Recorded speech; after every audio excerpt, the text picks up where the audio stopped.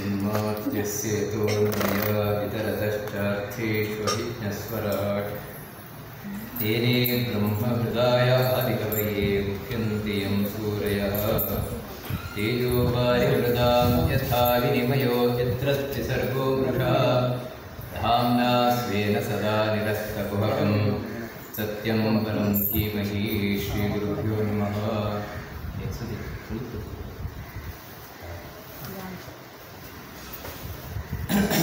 ಭಾಗವತದಲ್ಲಿ ಸೂತ ಪುರಾಣಿಕರು ಶೌನಕರಿಗೆ ತಾವು ಭಾಗವತದ ಕಥೆಯನ್ನು ತಿಳಿಸಿಕೊಂಡು ಅದರಲ್ಲಿ ಶೌನಕರು ಒಂದು ಪ್ರಶ್ನೆಯನ್ನು ಕೇಳಿದರು. ಈ ಪರೀಕ್ಷಿತ ರಾಜ ಹಾಗೂ ಶುಕಾಚಾರ್ಯರು ಇವರಿಬ್ಬರು ಹೇಗೆ ಭೇಟಿಯಾದರು? ಯಾಕಂತ ಹೇಳಿದ್ರೆ ಒಬ್ಬರು ವಿರಕ್ತರು. ಅಂತ ಹೇಳಿದ್ರೆ ಅವಧೂತರು ಏನೂ ಬೇಡ ಅಂತ ಇರುವಂಥದ್ದು ಅವರು ರಾಜನ ಬಳಿ ಹೋಗ್ಲಿಕ್ಕೆ ಸಾಧ್ಯವೇ ಇಲ್ಲ. ಇನ್ನೊಬ್ಬ ರಾಜ ರಾಜ್ಯವನ್ನು ಆಡಬೇಕಾದವನು ದೇಶವನ್ನು ಆಡಬೇಕಾದವನು ತಾನು ಸಾಯ್ಲಿಕ್ಕೋಸ್ಕರ ಆಮರಣ ಅಂತ ಉಪವಾಸ ತಾನು ಕೂತವರು ಇವರಿಬ್ಬರು ಒಟ್ಟಿಗೆ ಹೇಗೆ ಸೇರಿದರು? ಈ ಕಥೆಯನ್ನು ನನಗೆ ಹೇಳಬೇಕು ಅಂತ ಕೇಳಿದಾಗ ಸೂತ ಪ್ರಾಣಿಗಳು ಹೇಳ್ತಾ ಇದ್ದಾರೆ. ಮಹಾಭಾರತ ಯುದ್ಧ ಮುಗಿದು. ಮಹಾಭಾರತ ಯುದ್ಧ ಮುಗಿದು ಕಡೆಗೆ ಆ ರಾತ್ರಿ, ಮಹಾಭಾರತ ಯುದ್ಧ ಮುಗಿದ ರಾತ್ರಿ, ಆರಾಮಾಗಿ ಎಲ್ಲರೂ ಕೂಡ ಮಲ್ಕೊಂಡಿದ್ದಾರೆ ಶಿಬಿರದಲ್ಲಿ. ಪಾಂಡವರ ಮಕ್ಕಳು, ಐದು ಮಂದಿ ಮಕ್ಕಳು, ಮತ್ತೆ ಉಪಪಾಂಡವರು ಮಲ್ಕೊಂಡಿದ್ದಾರೆ. ಇನ್ನು ದುಷ್ಟದ್ಯುಮ್ನ ದ್ರೌಪದಿಯ ಅಣ್ಣ ತಾನು ಮಲ್ಕೊಂಡಿದ್ದಾರೆ. ಆ ಸಂದರ್ಭದಲ್ಲಿ ಅಶ್ವತ್ಥಾಮ ತಾನು ಬಂದು ರಾತ್ರೋರಾತ್ರಿ ಇಡೀ ಶಿಬಿರಕ್ಕೆ ಬೆಂಕಿಯನ್ನು ಕೊಟ್ಟು ಆ ಐದು ಮಂದಿ ದ್ರೌಪದಿಯ ಮಕ್ಕಳು, ಅದೇ ಉಪಪಾಂಡವರು, ಅವರನ್ನು ಕೊಂದು ದುಷ್ಟದ್ಯುಮ್ನನ್ನು ಕೊಂದು ದೊಡ್ಡ ಹತ್ಯೆಯನ್ನು ನಡೆಸಿದ್ದಾರೆ. ಈ ವಿಷಯ ದ್ರೌಪದಿಗೆ ಗೊತ್ತಾಯಿತು. ದ್ರೌಪದಿ ತಾನು ಐದೂ ಮಕ್ಕಳನ್ನ ಕಳ್ಕೊಂಡು ಜೋರಾಗಿ ಅಳ್ಳಿಕ್ಕೆ ಶುರು ಮಾಡಿದ್ರು ಒಂದು ಕಡೆಯಿಂದ ಅಣ್ಣ ತಾನು ಮರಣವನ್ನು ಹೊಂದಿದ್ದಾನೆ ಐದು ಮಕ್ಕಳು ತಾನು ಮರಣ ಹೊಂದಿದ್ದಾರೆ. ಆಗ ಅರ್ಜುನ ತಾನು ಸಾಂತ್ವನವನ್ನು ಉಳಿಸಿದ ಅರ್ಜುನ ಅವಳಿಗೆ ಸಾಂತ್ವನವನ್ನು ಉಳಿಸಿ, ನೀನು ನೋಡು, ಅಳಬೇಡ. ನಿನ್ನ ಮಕ್ಕಳನ್ನ ಕೊಂದವರೇನಿದ್ದಾರೆ, ಅವರನ್ನು ಹೆಣಮುರಿ ಕಟ್ಟು ನಿನ್ನ ಪಾದದಡಿಗೆ ತಂದು ಹಾಕಿದ್ದಾರೆ ನೋಡು ನಾನು ಅಂತ ಹೇಳಿ ತಾನು ರಥವನ್ನು ಏರಿ ಹೊರಟಾಗ ಕೃಷ್ಣ ತಾನು ಸಾರಥ್ಯವನ್ನು ಮಾಡಿದ. ತೀರಾ ಅಶ್ವತ್ಥಾಮನ ಅಟ್ಟಿಸ್ಕೊಂಡು ಅಟ್ಟಿಸ್ಕೊಂಡು ಹೋದ. ಹೋದಾಗ ಅಶ್ವತ್ಥಾಮ ಇನ್ನೇನು, ತಾನು ಸಾಯ್ತೇನೆ, ಸಿಕ್ಕಿ ಬೀಳ್ತೇನೆ ಅರ್ಜುನನಿಗೆ ಎಂದು ಹೇಳಬೇಕಾದ್ರೆ ಬ್ರಹ್ಮಶಿರೋಸ್ತ್ರವನ್ನು ಪ್ರಯೋಗವನ್ನು ಮಾಡಿದ ಆ ಬ್ರಹ್ಮಶಿರೋಸ್ತ್ರಕ್ಕೆ ಎದುರಿಲ್ಲ. ಆಗ ಅರ್ಜುನ ಕೃಷ್ಣನನ್ನು ನೋಡಿ, ಕೃಷ್ಣ, ಏನಿದು, ತೇಜಸ್ಸು ಬರ್ತಾ ಇದೆಯಲ್ವಾ ಅಂತ ಕೇಳಿದಾಗ, ಇದು ಅಶ್ವತ್ಥಾಮ ಪ್ರಯೋಗಿಸಿದಂತಹ ಬ್ರಹ್ಮಶಿರೋಸ್ತ್ರ. ಅವನಿಗೆ ಅದನ್ನು ಉಪಸಂಹಾರ ವಾಪಸ್ ತಗೊಳ್ಳಿಕ್ಕೆ ಗೊತ್ತಿಲ್ಲ. ಬಿಡ್ಲಿಕ್ಕೆ ಮಾತ್ರ ಗೊತ್ತಿರುವಂಥದ್ದು ನೀನು ಅದನ್ನು ಉಪಸಂಹಾರ ಮಾಡು ಅಂತ ಹೇಳಿ ಅರ್ಜುನ ಆ ಅಸ್ತ್ರವನ್ನು ತಾನು ಉಪಸಂಹಾರವನ್ನು ಮಾಡ್ತಾನೆ. ಭಾಗವತ ಹೇಳುವಂತ ಇಷ್ಟೇ ಇಲ್ಲಿ ಆಮೇಲೆ ಅಶ್ವತ್ಥಾಮನನ್ನ ಹೆಡಗುರಿ ಕಟ್ಕೊಂಡು ಬಂದು ದ್ರೌಪದಿಯ ಪಾದಕ್ಕೆ ಬೀಳಿಸಿತು ಹೆಡಗುರಿ ಕಟ್ಕೊಂಡು ಬಂದಾಗ ಕೃಷ್ಣ ಒಂದು ಮಾತು ಹೇಳ್ತಾನೆ, ನೋಡು ಅರ್ಜುನ, ಬಿಡಬಾರ್ದು ಇವನನ್ನ. ಯಾಕೆ ಅಂತ ಹೇಳಿದ್ರೆ ಇವನು ಭಾರಿ ತಪ್ಪು ಮಾಡಿದವನು. ಯಾವತ್ತೂ ಯಾರು ಮಲಗಿದವರನ್ನ ಮತ್ತಂ ಪ್ರಮತ್ತಂ ಉನ್ಮತ್ತಂ ಸುತ್ತಂ ಭಾಗಂ ಸ್ತ್ರೀಯಂ ಜಡಂ. ಪ್ರಪನ್ನಂ ವಿರಥಂ ಭೀತಂ ನರಿಪುಂ ಹಂತಿ ಧರ್ಮವಿತು. ಯಾವತ್ತು ಯಾರು ಬುದ್ಧಿ ಕೆಟ್ಟವರಿದ್ದಾರೆ ಅಥವಾ ಕುಡಿತದ ಅಮಲಿನಿಂದ ಏನೇನೋ ವರ್ತಿಸ್ತಾ ಇದ್ದಾರೆ ಅಥವಾ ಮಲ್ಕೊಂಡಿರುವಂತಹ ಮಕ್ಕಳಿದ್ದೇನಿದ್ದಾರೆ ಸ್ತ್ರೀಯರು, ಇವರನ್ನೆಲ್ಲ ಕೊಲ್ಲುವುದಿಲ್ಲ. ಧರ್ಮವನ್ನು ತಿಳಿದವನು ಯಾವತ್ತೂ ಕೊಲ್ಲುವುದಿಲ್ಲ. ಆದರೆ ಈ ಅಶ್ವತ್ಥಾಮ ರಾತ್ರಿ ವೇಳೆಯಲ್ಲಿ ಮಲಗಿದಂತಹ ಮಕ್ಕಳನ್ನು ಕೊಂದಿದ್ದಾನೆ. ಅದಕ್ಕೆ ಇವನನ್ನು ಬಿಡಲೇಬಾರದು. ಇವನನ್ನು ಕೊಂದು ಹಾಕಲೇಬೇಕು ಅಂತ ಹೇಳಿ ಕೊಂದು ಬಿಡು ನನ್ನ ಅಂತ ಅರ್ಜುನನಿಗೆ ಹೇಳ್ತಾನೆ, ಕೃಷ್ಣ. ಯಾಕಂದ್ರೆ ಅರ್ಜುನನ ಪರೀಕ್ಷೆ ಮಾಡಿ ಆದರೆ ಇನ್ನೊಂದೇನು ಧರ್ಮಶಾಸ್ತ್ರ ಹೇಳ್ತದೆ ಅಂತ ಹೇಳಿದ್ರೆ ಬ್ರಾಹ್ಮಣನನ್ನು ಕೊಲ್ಲಬಾರದು ಬ್ರಾಹ್ಮಣ ಏನು ತಪ್ಪು ಮಾಡಿದ್ರು ಅವನಿಗೆ ಕಡೆ ಶಿಕ್ಷೆ ಏನಂದ್ರೆ ಹಿಂದೆ ಮಾಡ್ತಾ ಇದ್ದದ್ದು ಗಡಿಬಾರದು ಊರಿಂದ ಹೊರ ಕಳಿಸೋದೇ ಹೊರತು ಕೊಲ್ಲೋದು ಒಂದಿಲ್ಲ ಆದರೆ ಕೃಷ್ಣ ಹೇಳ್ತಾ ಅದನ್ನು ಕೊಲ್ಲಿವನನ್ನ ಅದಕ್ಕೆ ಅರ್ಜುನ ಕೊಲ್ಲಿಗೆ ಹೋಗಲಿಲ್ಲ. ಸುಮ್ಮನಿದ್ದ ಕರ್ಕೊಂಬಂದ ದ್ರೌಪದಿಯ ಪಾದದಲ್ಲಿ ಬಿಡಿಸಿದ. ಯಾವಾಗ ದ್ರೌಪದಿ ಆ ಅಶ್ವತ್ಥಾಮನನ್ನು ನೋಡಿದ್ದು, ಕೂಡಲೇ ತಾನು ಹೇಳ್ತಾ ಇದ್ದ ಮುಚ್ಚದ ಮುಚ್ಚದಾವೇಶಃ ಬ್ರಾಹ್ಮಣೋ ಇತರ ಗುರು ಬಿಟ್ಬಿಡಿ ಇವನನ್ನ ಬಿಟ್ಬಿಡಿ ಇವನನ್ನ ಅಂತ. ನಿಜವಾಗಲೂ ಕೂಡ ಈ ಅಶ್ವತ್ಥಾಮನಿಂದಲೇ ತನ್ನ ಮಕ್ಕಳನ್ನ ಕಳ್ಕೊಂಡಿದ್ದಾಳೆ, ತನ್ನ ಅಣ್ಣನನ್ನ ಕಳ್ಕೊಂಡಿದ್ದಾಳೆ. ಹಾಗಾಗಿದ್ರು ಅಂದ್ರೆ ನೋಡಿ ಹೆತ್ತ ತಾಯಿಗೆ ಒಂದು ಮಗುವನ್ನ ಕಳ್ಕೊಂಡ್ರೂ ಕೂಡ ಆ ದುಃಖವನ್ನು ಸಹಿಸಿಕೊಳ್ಳಿಕ್ಕಾಗಲ್ಲ. ಹಾಗಿರ್ಬೇಕಾದ್ರೆ ಐದೂ ಮಕ್ಕಳು ನೋಡಿ ಮಕ್ಕಳೇ ಇಲ್ಲ, ಅಂಥ ಪರಿಸ್ಥಿತಿ ನಿರ್ಮಾಣ ಆಗಿದೆ. ಹಾಗಿದ್ರೂ ಕೂಡ ಅವಳು ಹೇಳುವುದೇನೆಂದ್ರೆ ಬಿಟ್ಬಿಡಿ ಇವನನ್ನ ಮುಚ್ಚದ ಮುಚ್ಚದಾಮೇಶಃ ಬ್ರಾಹ್ಮಣೋ ನಿತರಾಮಗುರು ಯಾಕಂದ್ರೆ ಎಷ್ಟಂದ್ರು ಬ್ರಾಹ್ಮಣ. ಬ್ರಾಹ್ಮಣರು ಅಂತ ಹೇಳಿದ್ರೆ ನಮ್ಮ ಗುರುಗಳು. ಅದು ಕೂಡ ಅಚಿಂತ ಬ್ರಾಹ್ಮಣ ಅಲ್ಲ. ನಿನ್ನ ಗುರುಗಳು ದ್ರೋಣಾಚಾರ್ಯರಿದ್ದಾರೆ ದ್ರೋಣಾಚಾರ್ಯ ನಮಗ ಆತ್ಮಾವೈ ಪುತ್ರನಾಮಾಸಿ ಅಂತ ಶಾಸ್ತ್ರ ಹೇಳ್ತಾ ಇದೆ. ಅಪ್ಪನೇ ತನ್ನ ಮಗನ ರೂಪದಲ್ಲಿ ಬರ್ತಾನೆ ಅಂತ. ಅದಕ್ಕಾಗಿ ಅಶ್ವತ್ಥಾಮ ಅಂತ ಹೇಳಿದ್ರೆ ನಿನ್ನ ಗುರುಗಳಾದ ದ್ರೋಣಾಚಾರ್ಯರು ಈ ರೂಪದಲ್ಲಿದ್ದಾರೆ. ಮತ್ತೆ ಇನ್ನೊಂದೇನಂತ ಹೇಳಿದ್ರೆ ಮಾರೋದಿ ಕಸ್ಯರಣಿ ಗೌತಮಿ ಪತಿದೇವತಾ ಅಂತ ಹೇಳ್ತಾಳೆ. ನನಗೆ ಎಲ್ಲಕ್ಕಿಂತ ಮುಖ್ಯ ಏನು ಅಂತ ಹೇಳಿದ್ರೆ ಅಶ್ವತ್ಥಾಮನಿಗಿಂತ ಅಶ್ವತ್ಥಾಮನ ಅಮ್ಮ, ಕೃಪಿ. ಅವಳು ಅಳುದು ಬೇಡ. ಯಾಕೆ ಅಂತ ಹೇಳಿದ್ರೆ ಮಕ್ಕಳನ್ನ ಕಳೆದುಕೊಂಡ ವೇದನೆ ಏನು ಅಂತ ನನಗೆ ಗೊತ್ತಿದೆ. ಇದೇ ವೇದನೆ ಆ ಕೃಪಿಗೆ ಬರಬಾರದು. ದ್ರೋಣಾಚಾರ್ಯರ ಪತ್ನಿಗೆ ಬರಬಾರದು.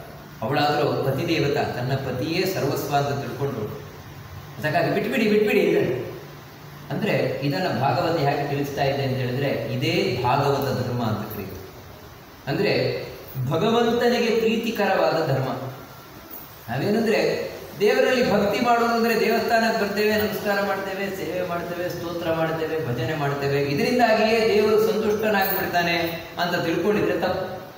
ಮತ್ತೇನಂದ್ರೆ ನಮ್ಮ ನಡತೆಯೂ ಕೂಡ ಬಹಳ ಮುಖ್ಯ. ನಮ್ಮ ನಡತೆ ಯಾವ ರೀತಿ ಇರಬೇಕು, ಕ್ಷಮಾ, ಗುಣ, ಅದು ಬಹಳ ಮುಖ್ಯವಾದದ್ದು ಅದರಲ್ಲಿಯೂ ಕೂಡ ಸಜ್ಜನರಲ್ಲಿ ಯಾವತ್ತು ಕ್ಷಮೆಯನ್ನು ತೋರಿಸಲೇಬೇಕು ಅದನ್ನ ಇಲ್ಲಿ ಸ್ಪಷ್ಟವಾಗಿ ದ್ರೌಪದಿ ಹೇಳ್ತಾರೆ ನಿಜವಾಗಲೂ ಕೂಡ ಅಶ್ವತ್ಥಾಮ ಅಷ್ಟೆಲ್ಲ ಹತ್ಯಾಕಾಂಡವನ್ನು ಮಾಡಿದ್ರು ಕೂಡ ಎಷ್ಟೊಂದು ದ್ರೋಣಾಚಾರ್ಯರ ಪುತ್ರ ಬಂದನಿದ್ದಾರೆ ಮತ್ತೆ ಎರಡನೇ ದೇವತೆ ಹೇಳಿದ್ರೆ ತಿಳಿದ ಜ್ಞಾನಿ, ದೊಡ್ಡ ಜ್ಞಾನಿ.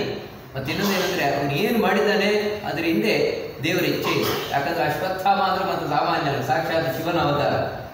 ಅಶ್ವತ್ಥಾಮನ ಕೂಡ ದೇವರ ಪ್ರೇರಣೆಯಿಂದನೇ ಆ ಹತ್ಯೆ ಎಲ್ಲ ಮಾಡಿದ್ರು ಬಿಟ್ಬಿಡಿ ಅಂತ ಹೇಳಿ ಆಗ ಅರ್ಜುನ ಆ ಅಶ್ವತ್ಥಾಮನ ಶಿರಸ್ಸಿನಲ್ಲಿದ್ದಂತಹ ಒಂದು ರತ್ನ, ಅದು ಹುಟ್ಟಿದಾಗಿನಿಂದಲೂ ಇದ್ದದ್ದು. ಹಸಿವು, ಬಾಯಾರಿಕೆಯ ನಿದ್ರೆ ಇದನ್ನೆಲ್ಲ ಪರಿಹಾರ ಮಾಡುವಂಥದ್ದು.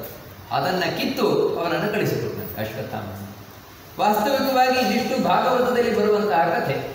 ಆದರೆ ವಾಸ್ತವಕತೆ ಹಾಗಿಲ್ಲ. ವಾಸ್ತವಕತೆ ಮಹಾಭಾರತ ಹೇಳ್ತದೆ ಅಲ್ಲೇನಂದ್ರೆ ಭೀಮಸೇನ ಹೆಳಮುರಿ ಕಟ್ಕೊಂಡು ಬಂದದ್ದು. ಅಶ್ವತ್ಥಾಮನನ್ನ. ಅರ್ಜುನ ಅಲ್ಲ. ಆದರೆ ಇಲ್ಲಿ ಅರ್ಜುನ ಕಟ್ಕೊಂಡು ಬಂದದ್ದು ಅಂತ ಹೇಳ್ತಾರೆ ಇಲ್ಲೇನು ಪರಸ್ಪರ ವಿರೋಧ ಇದೆಯಲ್ವಾ? ಅರ್ಜುನ ಕಟ್ಕೊಂಡು ಬಂದದ್ದೇ ಇವಾಗ ಅಶ್ವತ್ಥಾಮನನ್ನ ಹೆಣಗುರಿ ಕಟ್ಕೊಂಡು ಬಂದದ್ದು ಯಾರು? ಈ ಅರ್ಜುನನ ಭೀಮಸೇನನ. ಯಾಕಂದ್ರೆ ಎರಡು ವೇದವ್ಯಾಸರೇ ಬರೆದದ್ದು. ನೋಡಿ ಭಾರತ ಹೇಳಿದ್ರೆ ಮಹಾಭಾರತ ಬರೆದದ್ದು ವೇದವ್ಯಾಸರೇ. ಭಾಗವತ ಬರೆದದ್ದು ವೇದವ್ಯಾಸರೇ. ಒಂದ ವೇದವ್ಯಾಸರೇ ಮರ್ತೋಯ್ತಾ? ಮಹಾಭಾರತದಲ್ಲಿ ಬರೆದದ್ದು ಹೇಳಿ ಬರಬೇಕಾದ್ರೆ ಮರ್ತೋಯ್ತಾ? ಅಂತ ಹೇಳಿದ್ರೆ, ನೋಡಿ, ಇದಕ್ಕೆಲ್ಲ ಮಧ್ವಾಚಾರ್ಯರು ಬಹಳ ಸುಂದರವಾಗಿ ಉತ್ತರವನ್ನು ಕೊಟ್ಟಿದ್ದಾರೆ ಇಲ್ಲದೇ ಇದ್ರೆ ನಮ್ಗೆ ಉತ್ತರ ಗೊತ್ತಾಗಲ್ಲ. ಮಧ್ವಾಚಾರ್ಯ ವೇದವ್ಯಾಸರ ಇನ್ನೊಂದು ಕಡೆ ಹೇಳಿದ್ದನ್ನು ತಾವು ಉದಾಹರಣೆ ಏನ್ ಮಾಡ್ತಾರೆ? ವೇದವ್ಯಾಸರ ಇನ್ನೊಂದು ಕಡೆ ಹೇಳಿದ್ದಾರೆ. ಏನಂತ ಹೇಳಿದ್ರೆ ಮಹಾ ಭಾಗವತದಲ್ಲಿ ಬಂದದ್ದೇನಿದೆ? ಇದು ಅಶ್ವತ್ಥಾಮನ ಕನಸಿನಲ್ಲಿ ಕಂಡ ದೃಶ್ಯ. ಮಹಾಭಾರತದಲ್ಲಿ ಬಂದದ್ದೇನಿದೆ? ನಿಜವಾಗಿ ನಡೆದ ದೃಶ್ಯ ಅಂತ ಹೇಳ್ತಾರೆ. ಅಂದ್ರೆ ಎರಡು. ಅಶ್ವತ್ಥಾಮ ದುರ್ಯೋಧನನಿಗೆ ಮಾತು ಕೊಟ್ಟ.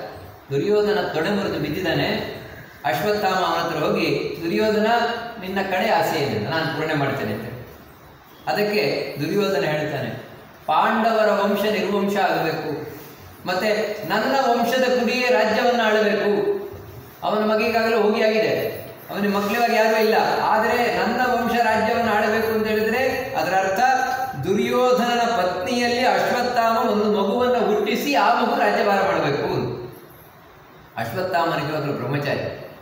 ಅಖಂಡ ಬ್ರಹ್ಮಚರ್ಯ ಇರುವುದು ಆದರೆ ಈ ದುರ್ಯೋಧನನ ಸಹವಾಸವೋ ಏನೋ ಗೊತ್ತಿಲ್ಲ. ಆಯ್ತು, ಅದು ಮಾತು. ಯಾವಾಗ ಈ ಮಾತು ಕೊಟ್ಟ ಅವನ ಬ್ರಹ್ಮಚರ್ಯ ಹೊರಟು. ಅಶ್ವತ್ಥಾಮನ ಬ್ರಹ್ಮಚರ್ಯ ಹೊರಟು. ಆಮೇಲೆ ಹೌದು ಪಾಂಡವ ವಂಶ ನಿರ್ವಂಶ ಮಾಡೋದು ಹೇಗೆ ಅಂತ ತಾನು ಯೋಚನೆ ಮಾಡ್ಕೊಂಡು ಮಲ್ಕೊಂಡಿದ್ದಾನೆ ರಾತ್ರಿ. ಆಗ ಅವನು ಒಂದು ಕನಸು ಬಿತ್ತು. ಆ ಕನಸಿ ಆ ಕನಸಿನಲ್ಲಿ ಅರ್ಜುನ ಇವನನ್ನು ಅಟ್ಟಿಸ್ಕೊಂಡು ಬಂದದ್ದು. ಯಾಕಂದ್ರೆ ಕೃಷ್ಣನದ್ದು ಭಯ. ಅರ್ಜುನ ಇವನನ್ನು ನಟಿಸ್ಕೊಂಡು ಬಂದದ್ದು ಎಲ್ಲ ಕಥೆಗಳು ಬಿಟ್ಟು. ಆಮೇಲೆ ಇವನು ಹೋದ, ಆ ಅದಕ್ಕೆ ಸರಿಯಾಗಿ ಇನ್ನೊಂದು ಕನಸು ಬಿತ್ತು, ಒಂದು ದೊಡ್ಡ ಮರ. ಮರದಲ್ಲಿ ಅನೇಕ ಕಾಗೆಗಳಿದ್ದವು ಒಂದು ಗೂಬೆ ಬಂತು. ಗೂಬೆ ಬಂದು ಕೂತು ಆ ಎಲ್ಲ ಕಾಗೆಗಳನ್ನು ಓಡಿಸ್ತಂತೆ ಅದನ್ನು ನೋಡಿದ ಕೂಡಲೇ ಇವನಿಗೆ ಒಂದು ಸ್ಫೂರ್ತಿ ಬಂತು. ಕೂಡಲೇ ತಾನು ಹೋಗಿ ಆ ಶಿಬಿರಕ್ಕೆಲ್ಲ ಬೆಂಕಿ ಕೊಟ್ಟು ಧ್ವಂಸ ಮಾಡಿ ಎಲ್ಲ ರಾದ್ದಾಂತ ಮಾಡಿದ. ಅವಾಗ ಭೀಮಸೇನ ಬಂದು ಅವನನ್ನು ಹೆಣಗುಡಿ ಕಟ್ಕೊಂಡು ಹೋಗ್ತಾನೆ. ಇದು ನಿಜವಾಗಿ ನಡೆದಿರುವಂತಹ ಕಥೆ. ಆಮೇಲೆ ದ್ರೌಪದಿ ತಾನು ಮಕ್ಕಳನ್ನ ಕಳ್ಕೊಂಡು ಅತ್ಲು ಆಮೇಲೆ ಸಮಾಧಾನ ಮಾಡಿಕೊಂಡ್ಳು ಕೃಷ್ಣ ತಾನು ಧರ್ಮರಾಜನಿಗೆ ರಾಜ್ಯಭಾರವನ್ನು ಕೊಡಿಸ್ಲಿಕ್ಕೋಸ್ಕರ ಬಂದವ. ಯುದ್ಧ ಎಲ್ಲ ಮುಗಿತು. ಧರ್ಮರಾಜ ತಾನು ರಾಜ್ಯದಲ್ಲಿ ಸ್ಥಾಪನೆಗೊಂಡ. ಕೃಷ್ಣ ತಾನು ಹೊರಟೆ ನಿಂತ ಆಯ್ತು ನಾನು ದ್ವಾರಕಾಪಟ್ಟ ಹೊರಡುತ್ತೇನೆ ಅಂತ. ಆಗ ಕುಂತಿ ಬಂದು ಕೃಷ್ಣನೆದುರು ಕುಂತಿ ಬಂದು ಕೈ ಜೋಡಿಸ್ತಾಳೆ. ಕೈ ಜೋಡಿಸಿ ಪ್ರಾರ್ಥನೆಯನ್ನು ಮಾಡಿಕೊಳ್ತಾಳೆ. ಹೇ ಕೃಷ್ಣ ನಮಸ್ತೆ ಪುರುಷಂ ತ್ವಾದ್ಯಂ ಈಶ್ವರಂ ಪ್ರಕೃತೆ ಪರಂ ಅಲಕ್ಷ್ಯಂ ಸರ್ವಭಾವಾನ, ಅಂತರ್ಬಹಿರವಿಧ್ರುವಂ. ಸ್ವಾಮಿ, ನಮಸ್ಕಾರ. ವಾಸ್ತವಿಕವಾಗಿ ಕೃಷ್ಣ ಯಾರು ಅಲ್ಲ. ಕುಂತಿಯ ಅಣ್ಣನ ಮಗ. ಕುಂತಿಯ ಅಣ್ಣನೇ ವಸುದೇವ. ವಸುದೇವನ ಮಗ. ಆದರೆ ಅವಳು ನನ್ನ ಅಣ್ಣನ ಮಗ ಅಂತ ತಿಳ್ಕೊಂಡಿಲ್ಲ ಕೃಷ್ಣನನ್ನ. ಸಾಕ್ಷಾತ್ ಭಗವಂತ ಅಂತ ತಿಳ್ಕೊಂಡಿದ್ದಾಳೆ ಅದಕ್ಕೆ ಕೃಷ್ಣನಿಗೆ ಕೈ ಮುಗಿದು ನಮಸ್ಕಾರ ಮಾಡಿ, ಏ ಭಗವಂತ, ಯಾರು ಆದ್ಯ ಪುರುಷ, ಯಾರೂ ಇಲ್ಲದಾಗಲೂ ಇದ್ನೋ? ಪ್ರಳಯ ಕಾಲದಲ್ಲಿಯೂ ಕೂಡ ಯಾರು ಮಲಗಿದ್ನೋ? ಅಂತ ಭಗವಂತ ನನಗೆ ನಮಸ್ಕಾರ ಮಾಡ್ತಾ ಇದ್ದಾನೆ. ಅಲಕ್ಷಂ ಸರ್ವಭೂತಾನ ಅಂತರ್ಬಹಿರಪಿ ಧ್ರುವಂ ಕೃಷ್ಣ, ನೀನ್ ಎಲ್ಲಾ ಕಡೆ ಇರುವವರು ಅಣುರೇಣು ತೃಣಕಾಷ್ಟ ಪರಿಪೂರ್ಣ ಗೋವಿಂದ ನಿರ್ಮಲಾತ್ಮಕನಾಗಿ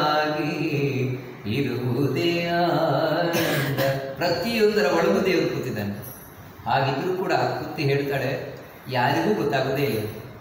ನೀನಿದ್ಯಾ ಅಂದ್ರೆ ಗೊತ್ತಾಗೋದಿಲ್ಲ. ಎಲ್ಲಿವರೆಗೆ ಅಂದ್ರೆ ಇವತ್ತು ನಮಗೆ ಪ್ರಶ್ನೆ ಬರ್ತದೆ ದೇವರಿದ್ದಾನ ದೇವರಿದ್ದಾನ? ಎಲ್ಲಿದ್ದಾನೆ ದೇವರು? ಇದ್ರೆ ಕಾಣಬೇಕಿತ್ತಲ್ವ? ಈ ರೀತಿ ಪ್ರಶ್ನೆ ಬರ್ತದೆ. ಆದರೆ ಕುಂತಿ ಹೇಳ್ತಾ ಇದ್ದಾಳೆ, ದೇವರು ಎಲ್ಲಿ ಇಲ್ಲ? ಪ್ರತಿಯೊಂದು ಕಡೆಯೂ ದೇವರಿದ್ದಾನೆ. ಅಂತರ ಬಹಿರಪಿ ಧ್ರುವ ನಮ್ಮ ಒಳಗೆ ಕೂತಿದ್ದಾನೆ, ಹೊರಗೆ ಕೂತಿದ್ದಾನೆ. ಯೋಚನೆ ಮಾಡಿದರೆ ಚಿಂತನೆ ಮಾಡ್ತಾ ಮಾಡ್ತಾ ಹೋದರೆ ದೇವರ ಇರುವಿಕೆ ಪರಿಚಯ ಆಗುತ್ತದೆ. ಕಣ್ಣಿಗೆ ಕಾಣದೇ ಇರಬಹುದು. ಇವಾಗ ಒಂದು ವೈರನ್ನು ಮುಟ್ಟಿದ್ರೆ ಶಾಕ್ ಹೊಡಿತದೆ. ಎಲ್ಲಿಂದ ಕರೆಂಟ್ ಕಾಣಿಸ್ತಾ ಇಲ್ವಲ್ಲ? ಆದರೆ ಕಣ್ಣಿಗೆ ಕಾಣೋಲ್ಲ. ಕರೆಂಟ್ ಕಣ್ಣಿಗೆ ಕಾಣೋಲ್ಲ. ಆದರೆ ಶಾಕ್ ಹೊಡೆಯುವುದು ಬಿಡಲ್ಲ. ಹಾಗೆ ಭಗವಂತ ಕಣ್ಣಿಗೆ ಕಾಣದಿರಬಹುದು. ಆದರೆ ಇದ್ದೇ ಇದ್ದಾನೆ ಅಂತರವೇ ಬಹಿಧ್ರುವ. ಯಾಕೆ ಕಣ್ಣಿಗೆ ಕಾಣಿಸ್ತಾ ಇಲ್ಲ? ಅದಕ್ಕೆ ಕುಂತು ಹೇಳ್ತಾಳೆ. ಮಾಯಾಯ ಮನಿಕಾಚ್ಛನ್ನ ಮಯಾಧೋಕ್ಷಜ ಮನ್ ಮನ್ ಭರ್ತ್ಯಯ ಕೃಷ್ಣ, ಎಷ್ಟಂದ್ರೆ ನಾವು ಮನುಷ್ಯರು. ಕಣ್ಣಿಗೆ ಪರದೆ ಹಾಕೊಂಡು ಕಣ್ಣಿಗೆ ಪೊರೆ ಬರುವುದಲ್ಲ, ಈಗಾಗಲೇ ಪೊರೆ ಬಂದಾಗಿದೆ. ಯಾವ ಪೊರೆ ಅಂದರೆ ದೇವರನ್ನು ಕಾಣಲಿಕ್ಕಾಗದ ಪೊರೆ. ಅದೇ ದೇವರು ಮರೆ ಆಗಿದ್ದಾನೆ ಅದರಿಂದ. ಅದೇ ಮಾಯಾ, ಯವನಿಕಾಚ್ಛನ್ನ ಅಂತ ಹೇಳ್ತಾಳೆ. ಪರದೆ, ಮಧ್ಯದಲ್ಲಿ ಪರದೆ. ಇದೆ ಎರಡು ಪರದೆ ಇದೆ ನೋಡಿ. ನಮಗೂ ದೇವರಿಗೂ ಮಧ್ಯದಲ್ಲಿ ಎರಡು ಪರದೆ ಇದೆ ಅಂತ ಹೇಳ್ತಾರೆ ಪರಮಾಚ್ಛಾದಿಕ, ಸಗುಣಾಚ್ಛಾದಿಕ ಅಂತ ಹೇಳುತ್ತೆ ಒಂದೇ ಅಂದರೆ ನಾನೇನು ಅಂತ ನನಗೆ ಗೊತ್ತಾಗದಾಗ ಮಾಡಿ. ನಾನೇನು? ನಾನು ಯಾರು? ಗೊತ್ತಿಲ್ಲ ಅಲ್ಲ, ನಾನು ನಾನು ಇಂಥವನಲ್ವ? ನಾನು ಇಂಥವ್ರ ಮಗ, ಇಂಥವ್ರು. ಇದು ಈ ಜನ್ಮದ ಪರಿಚಯ ಅಷ್ಟೇ. ಇದೆಲ್ಲ ದೇಹದಿಂದ ಬಂದಿರುವ ಪರಿಚಯ. ಯಾವಾಗ ಈ ದೇಹ ಬಿಟ್ಟೆ, ಆಮೇಲೆ ಇಂಥವ್ರ ಮಗನೂ ಇಲ್ಲ, ಇಂಥವ್ರ ಅಪ್ಪನೂ ಇಲ್ಲ, ಇವೆಲ್ಲ ಮುಗೀತು. ಇನ್ನೊಂದು ಕಡೆ ಹುಟ್ಟಿದೆ. ಅಲ್ಲಿ ಇನ್ನೊಬ್ಬರಪ್ಪ ಇನ್ನೊಬ್ಬ ಅಮ್ಮ, ಇನ್ನೊಂದು ಪರಿಚಯ, ಇನ್ನೊಂದು ಅಡ್ರೆಸ್ ಎಲ್ಲ ಬೇರೆ. ಈ ರೀತಿ ಒಂದೊಂದು ಜನ್ಮದಲ್ಲಿ ಹುಟ್ಟುತ್ತಾ ಇರ್ತೇವೆ, ಇದೇ ನಮ್ಮ ಪರಿಚಯ ಅಂತ ತಿಳ್ಕೊಳ್ತಾ ಇರ್ತೇವೆ. ಇದು ಯಾವುದು ನಮ್ಮ ಪರಿಚಯ ಅಲ್ಲ. ನಮ್ಮ ಪರಿಚಯ ಬೇರೆಯೇ ಇದೆ. ಏನು ನನ್ನ ಪರಿಚಯ ಅಂತ ನನ್ನ ನಿಜವಾದ ಪರಿಚಯ ನನಗೆ ಗೊತ್ತಿಲ್ಲ. ಯಾಕೆ? ಅದೇ ಒಂದು ಪರದೆ. ಇನ್ನೊಂದು ಪರದೆ, ದೇವರು ಏನಂತ ಗೊತ್ತಿಲ್ಲ. ವಾಸ್ತವಿಕವಾಗಿ ದೇವರೆಲ್ಲೋ ದೂರದಲ್ಲಿಲ್ಲ ಮತ್ತೆ ಹತ್ತಿರಕ್ಕಿಂತ ಹತ್ತಿರವಾಗಿ ನಾನು. ದೂರ ದೂರ ತರಂ ಯತ್ತು ಮಂತಿಕ ಆನಂದಸ್ಯ ಪದಂ ವಂದೇ ಬ್ರಹ್ಮೇಂದ್ರಾದ್ಯಭಿವಂದಿತಂ ದೇವರು ಹತ್ತಿರಕ್ಕಿಂತ ಹತ್ತಿರವಾದ ವಸ್ತು ಅಂತೆ ನಮಗೆ. ತುಂಬಾ ಹತ್ತಿರದಲ್ಲಿ ಎಲ್ಲಿವರೆಗೆ ಅಂದರೆ ನಾನು ಜೀವ ಅಂತ ಹೇಳಿದ್ದೇನೆ ನನಗೆ ಜೀವನಿಗೆ ತುಂಬಾ ಹತ್ತಿರ ಇದ್ದಾನಂತೆ. ಅದೇ ದೂರಕ್ಕಿಂತ ದೂರ ಇರುವವನು ದೇವರು ಹಾಗಿದ್ರೂ ಕೂಡ ಆ ದೇವರು ಯಾಕೆ ಕಾಣಿಸ್ತಾ ಇಲ್ಲ ಅಂದರೆ ಯಾಕೆ ಗೊತ್ತಾಗ್ತಾ ಇಲ್ಲ ಅಂದರೆ ಕಣ್ಣು ಮುಂದೆನೇ ಇದ್ದಾರೆ ದೇವರು. ಆದರೆ ಕಾಣಿಸ್ತಾ ಇಲ್ಲ. ಯಾಕಂದ್ರೆ ಮಧ್ಯದಲ್ಲಿ ಪರದೆ ಇದೆ ಮಯಾಧೋಕ್ಷಜ ಮತ್ತೆಯ ಅದಕ್ಕೆ ಹೇಳ್ತಾಳೆ, ನನಗೆ ಯಾಕೆ ಅರ್ಥ ಆಗಬೇಕು ಕೃಷ್ಣ? ಎಲ್ಲಿವರೆಗೆ ಅಂದ್ರೆ ನೀನು ಎದುರಿಗೆ ಬಂದು ನಿಂತರೂ ನನಗೆ ಗೊತ್ತಾಗೋದಿಲ್ಲ. ಹೇಗೆ ಅಂತ ಹೇಳಿದ್ರೆ, ದೇವರನ್ನ ಕಾಣಬೇಕು ಅಂತ ಹೇಳಿದ್ರೆ ಹೊರಗಿನ ಕಣ್ಣು ಪ್ರಯೋಜನ ಇಲ್ಲ, ಜ್ಞಾನದ ಕಣ್ಣು ಬೇಕು. ಅದಕ್ಕೆ ಒಳ್ಳೆ ಉದಾಹರಣೆಯನ್ನು ಕೊಡ್ತಾಳೆ. ಭರತನಾಟ್ಯ ಮಾಡ್ತಾರೆ ಭರತನಾಟ್ಯವನ್ನು ಮಾಡಬೇಕಾದ್ರೆ, ಆ ನಾಟ್ಯ ಮಾಡಬೇಕಾದ್ರೆ ಬೇರೆ ಬೇರೆ ಮುದ್ರೆಗಳನ್ನೆಲ್ಲ ತೋರಿಸ್ತಾರೆ. ಹೀಗೆ ಮಾಡ್ತಾರೆ ಹೀಗೆ ಮಾಡ್ತಾರೆ ಹೀಗೆಲ್ಲ ಬೇರೆ ಬೇರೆ ಮುದ್ರೆಗಳನ್ನೆಲ್ಲ ತೋರಿಸ್ತಾರೆ. ನಾವೇನಂದ್ರೆ ಕಣ್ಬಿಟ್ಕೊಂಡು ನೋಡ್ತಾ ಇರ್ತೇವೆ. ಅದೇನಂದ್ರೆ ನಮ್ಗೆ ಅರ್ಥ ಆಗೋಲ್ಲ. ಅವ್ರು ಏನು ಹೀಗೆ ಮಾಡ್ತಾರೆ, ಹೀಗೆಲ್ಲ ಮುದ್ರೆಗಳನ್ನು ತೋರಿಸ್ತಾರೆ, ನಮ್ಗೆ ಅರ್ಥ ಆಗೋಲ್ಲ. ಆದರೆ ಯಾರು ಆ ಭರತನಾಟ್ಯವನ್ನು ಕಲ್ತಿದ್ದಾರೆ? ಭರತನಾಟ್ಯವನ್ನು ಕಲ್ತಿರುವವರಿಗೆ ಆ ಒಂದೊಂದು ಮುದ್ರೆಗಳು ಏನು ಅಂತ ಅರ್ಥ ಆಗುತ್ತೆ? ಓ, ಇದು ಹೀಗೆ ಇದು ಹೀಗೆ, ಇದರ ಅರ್ಥ ಹೀಗೆ, ಇದರ್ಥ ಹೀಗೆ ಅಂತ. ಆದರೆ ನೋಡಿ, ಅದನ್ನು ಓದಿದವರಿಗೆ ಅರ್ಥ ಆಗುತ್ತೆ ಏನಂತ. ಹಾಗೇನೆ ಯಾರು ಭಗವಂತನ ಬಗ್ಗೆ ತಿಳ್ಕೊಂಡಿದ್ದಾರೆ, ಅವರಿಗೆ ಮಾತ್ರ ಭಗವಂತ ಎಲ್ಲೆಲ್ಲಿ ಹೇಗೆ ಆಗಿದ್ದಾನೆ ಅಂತ ಗೊತ್ತಾಗುತ್ತೆ ಹೊರತು ದೇವರ ಬಗ್ಗೆ ತಿಳಿಯದವರಿಗೆ ದೇವರ ಕಣ್ಮುಂದೆ ಇದ್ರೂ ಗೊತ್ತಾಗಲ್ಲ. ಈ ರೀತಿ ಪ್ರಾರ್ಥನೆಯನ್ನು ಮಾಡಿಕೊಡ್ತಾ ಹೇಳ್ತಾಳೆ, ಸ್ವಾಮಿ, ಅಂತಹ ನಿನ್ನನ್ನ ನಾನು ಹೇಳಿ ಕೇಳಿ ಒಂದು ಹೆಣ್ಣು. ಹೆಣ್ಣು ಯಾಕೆ ಹೇಳ್ತಾಳೆ ಅಂತ ಹೇಳಿದ್ರೆ ಕುಂತಿ, ಸ್ತ್ರೀಯರ ಮನಸ್ಸು ಇತರ ವಿಷಯಗಳಿಗೆ ಎಳೆಯುವುದು ಬೇಗ. ಅದರಿಂದಾಗಿ ಒಂದು ಕಡೆ ಮನಸ್ಸನ್ನು ನಿಲ್ಲಿಸುವಂತಹದ್ದು ಸ್ತ್ರೀಯರಿಗೆ ಪುರುಷರಷ್ಟು ಸುಲಭ ಅಲ್ಲ ಅಲ್ಲ ಅಸಾಧ್ಯ ಏನಲ್ಲ. ಮನಸ್ಸು ಮಾಡಿದರೆ ಸ್ತ್ರೀಯರಿಗೂ ಸಾಧ್ಯ ಇದೆ, ಆದರೆ ಆಸೆಗಳು ಹೆಚ್ಚಿರುವುದರಿಂದಾಗಿ ಕಷ್ಟ. ಅದನ್ನು ಕುಂತಿಯೇ ಒಪ್ಕೊಳ್ತಾಳೆ, ಕೃಷ್ಣ, ಅದರಿಂದಾಗಿ ನಾನು ಹೇಳಿ ಕೇಳಿ ಹೆಣ್ಣಾಗಿ ನಿನ್ನನ್ನು ಹೇಗೆ ನಾನು ಸ್ಮರಣೆ ಮಾಡೋಣ ಕೃಷ್ಣ? ಯಾವ ರೀತಿ ಸಾಧ್ಯ ಉಂಟು? ಹಾಗಿದ್ರು ನಿನ್ನನ್ನು ಸ್ತೋತ್ರ ಮಾಡುತ್ತೇನೆ. ಕೃಷ್ಣಾಯ ವಾಸುದೇವಾಯ, ದೇವಕೀ ನಂದನಾಯ ಚ ನಂದಗೋಪಕುಮಾರಾಯ ಗೋವಿಂದಾಯ ನಮೋ ನಮಃ. ಅವಳು ಕೃಷ್ಣನನ್ನ ಬರೀ ಕೃಷ್ಣ ಅಂತಲೇ ಕೃಷ್ಣಾಯ, ಕೃಷ್ಣನಿಗೆ ನಮಸ್ಕಾರ. ಕೃಷ್ಣನಿಗೆ ನಮಸ್ಕಾರ ಅಂತ ಹೇಳಿದ್ರೆ ಅಪ್ಪ, ಅಮ್ಮ ಇಟ್ಟ ಹೆಸರು ಅಂತ ಅಷ್ಟೇ ಒಂದು ಅರ್ಥದಲ್ಲಿ ಕೃಷ್ಣನಿಗೆ ನಮಸ್ಕಾರ ಮಾಡೋದಲ್ಲ ಯಾಕೆ ಅಂತ ಹೇಳಿದ್ರೆ ದೇವರ ಒಂದೊಂದು ಹೆಸರುಗಳು ಕೂಡ ಬರೀ ಗುರುತಿಸ್ಲಿಕ್ಕಲ್ಲ. ನಮ್ಮ ಹೆಸರುಗಳಿದೆ. ಯಾಕೋಸ್ಕರ ಅಂದ್ರೆ ನಮ್ಮನ್ನು ಗುರುತಿಸ್ಲಿಕ್ಕೆ. ಇವರಿಂದ ಇವರು ಬೇರೆ. ಅದಕ್ಕೋಸ್ಕರ ಇವರಿಗೊಂದು ಹೆಸರಿಡುದು. ಅದಕ್ಕೊಂದು ಹೆಸರಿಡುದು. ಈ ರೀತಿ ನಾವು, ಆದರೆ ದೇವರದ್ದಾಗಲ್ಲ ಯಾನಿ ನಾಮಾನಿ ಗೌಡಾನಿ.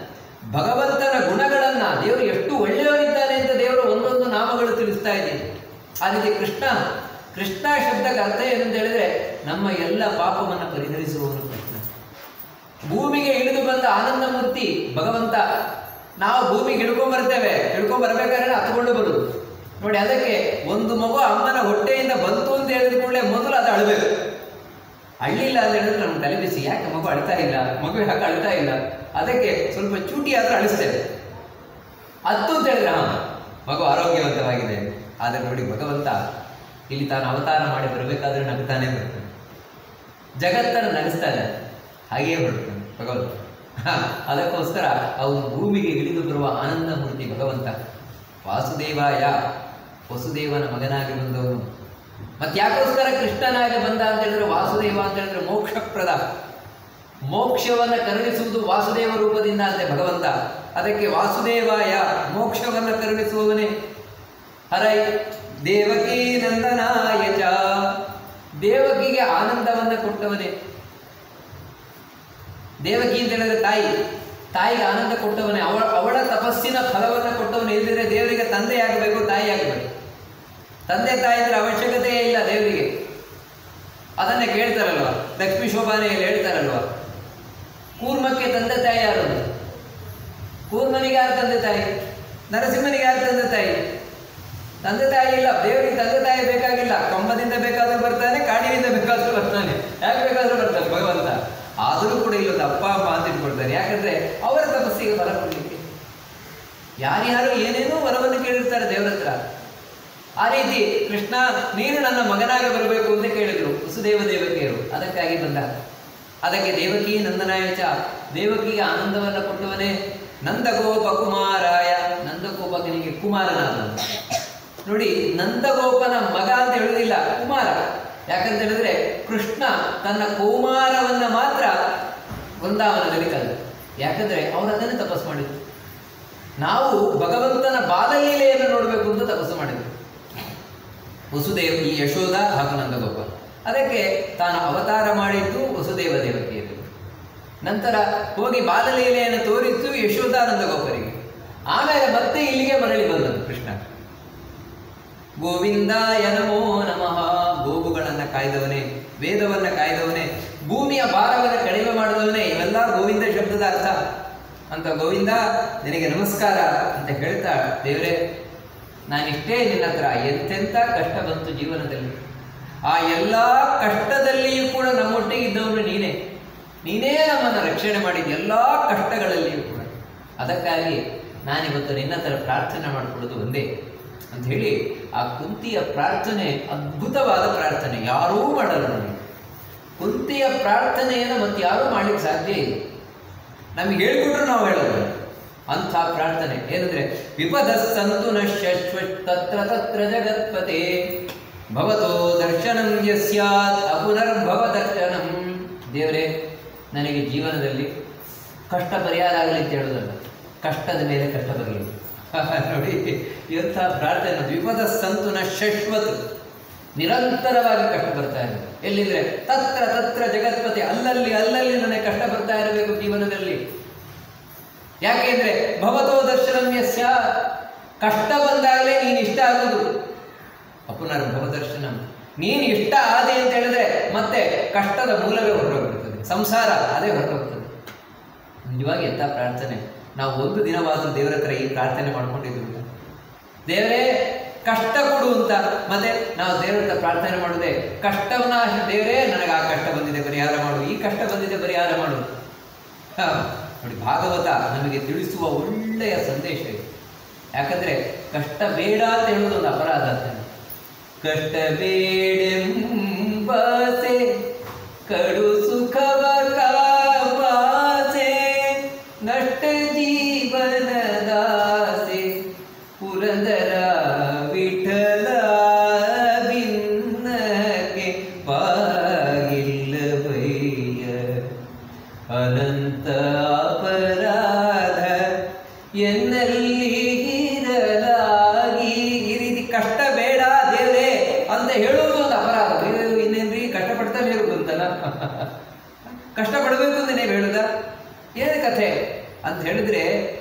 ಕಷ್ಟ ಬೇಕು ಅಂತಲ್ಲ, ಬರುವ ಕಷ್ಟ ಏನಿದೆ ಅದನ್ನು ಬೇಡ ಅಂತ ಹೇಳ್ಬಾರ್ದು ಕಾರಣ ಏನಂದರೆ, ಕಷ್ಟ ಯಾಕೆ ಬರ್ತದೆ ಜೀವನದಲ್ಲಿ? ನಾವು ಮಾಡಿರುವ ಪಾಪದ ಫಲ ನಾವು ಹಿಂದಿನ ಜನ್ಮಗಳಲ್ಲಿ ಏನು ಪಾಪ ಮಾಡಿದ್ದೇವೆ, ಅದು ಈ ಜನ್ಮದಲ್ಲಿ ನಮಗೆ ಕಷ್ಟವಾಗಿ ಬರ್ತದೆ. ಕಷ್ಟ ಬೇಡ ಕಷ್ಟ ಬೇಡ ಅಂತ ನಾವು ದೇವರಂತ ಹೇಳಿದರೆ, ದೇವರು ಕಷ್ಟವನ್ನು ಯಾವತ್ತೂ ಕ್ಯಾನ್ಸಲ್ ಮಾಡೋಲ್ಲ. ಯಾಕೆ ಅಂತ ಹೇಳಿದ್ರೆ, ಶಾಸ್ತ್ರ ಹೇಳುದು ಅವಶ್ಯಮೇವ ಭೋಕ್ತವ್ಯಂ ಕೃತಮ ಕರ್ಮ ಶುಭಾಶುಭಂ ಅಂತ. ನಾನು ಏನು ಮಾಡಿದ್ದೇನೋ ನಾನು ಉಣ್ಲೇಬೇಕು. ನಿಯಮ ಇದು ದೇವರು. ಆದರೆ ವಿಷಯ ಏನು ಅಂತ ಹೇಳಿದ್ರೆ, ಆ ಕಷ್ಟ ಬರುವುದನ್ನು ದೇವರೇ ಬೇಡ ಬೇಡ ಬೇಡ ಅಂದರೆ ದೇವರು ಪೋಸ್ಟ್ಪೋನ್ ಮಾಡ್ತಾ ಹೋಗ್ತಾನೆ. ಪೋಸ್ಟ್ಪೋನ್ ಮಾಡ್ತಾ ಹೋಗ್ತಾನೆ. ಅಂದರೆ ಮುಂದುವರಿಸ್ಕೊಂಡು ಮುಂದುವರಿಸ್ಕೊಂಡು ಮುಂದುವರಿಸ್ಕೊಂಡು ಏನಾಗುತ್ತೆ ಅಂತ ಹೇಳಿದ್ರೆ, ಯೌವನದಲ್ಲಿ ದೇವರೇ ಕಷ್ಟ ಬೇಡ ಕಷ್ಟ ಬೇಡ ಕಷ್ಟ ಬೇಡ. ವೃದ್ಧಾಪ್ಯದಲ್ಲಿ ಎಲ್ಲ ಒಟ್ಟಿಗೆ ಬಂದು ಹೊಡಿತು ಎಲ್ಲ ಒಟ್ಟಿಗೆ ಹೊಡಿತದೆ. ಅವಾಗ ತಡ್ಕೊಳ್ಳಿಕ್ಕಾಗಲ್ಲ ನೋಡಿ, ಅದರಿಂದಾಗಿ ಹೇಳುವಂಥದ್ದು ಯಾವ ಯಾವ ಕಾಲದಲ್ಲಿ ಏನೇನು ಕಷ್ಟ ಬರ್ತದೆ ಅನುಭವಿಸ್ಬಿಡ್ಬೇಕು. ಆದರೆ ದೇವರ ಇಷ್ಟೇ ಪ್ರಾರ್ಥನೆಯನ್ನು ಮಾಡಬೇಕು? ಬಂದದ್ದೆಲ್ಲ ಬರಲಿ, ಗೋವಿಂದನ ದಯವೊಂದಿರಲಿ ದೇವರೇ, ಕಷ್ಟ ಬೇಡ ಅಂತ ಹೇಳಲ್ಲ. ಆದರೆ ಆ ಕಷ್ಟವನ್ನು ಸಹಿಸಿಕೊಳ್ಳುವ ಶಕ್ತಿಯನ್ನು ಕೊಡು. ದೇವರ ಹತ್ರ ಕೇಳುವುದೇ, ದೇವರೇ, ಆ ಕಷ್ಟವನ್ನು ಗೆಲ್ಲುವ ಶಕ್ತಿಯನ್ನು ಕೊಡು, ಸಹಿಸಿಕೊಳ್ಳುವ ಶಕ್ತಿ ಕೊಡು. ಯಾಕಂದರೆ ಕಷ್ಟದಲ್ಲಿಯೇ ನಮಗೆ ದೇವರ ಪರಿಚಯ ಆಗುತ್ತೆ. ಸುಖದಲ್ಲಲ್ಲ ಹಿಂದೆ ದೇವರ ಪರಿಚಯ ಚೆನ್ನಾಗಿರ್ತಾ ಇತ್ತು. ಯಾಕಂದ್ರೆ ಎಲ್ರಿಗೂ ಕಷ್ಟ. ಒಂದು ತುತ್ತು ಅನ್ನಕ್ಕೂ ಕಷ್ಟ ಇರ್ತಾ ಇತ್ತು ಹಿಂದೆ. ಅದರಿಂದಾಗಿ ದೇವರು ಎಲ್ಲ ಕಡೆ ಕಾಣಿಸ್ತಾ ಇದ್ದ. ಕಡೆಗೆ ಏನಂದ್ರೆ ಒಂದು ತುತ್ತು ಅನ್ನುವ ಅನ್ನ. ಅನ್ನವನಿಗೆ ಅವ ಅಡಕಡ. ನಾವೇಳಿ ದುಡ್ಡು, ಏ, ಅನ್ನ, ಯಾಕಂದ್ರೆ ಲಕ್ಷ್ಮಿಯದು ದೇವರು ಒಂದು ಅಗಳು. ಒಂದು ಅಗಳನ್ನವನ್ನು ಕೂಡ ಲಕ್ಷ್ಮಿ ದೇವರು ನೋಡಿ ಈ ರೀತಿ ನಾವು ಚಿಂತನೆಯನ್ನು ಮಾಡ್ತಾ ಇದ್ದ ಕಾಲ.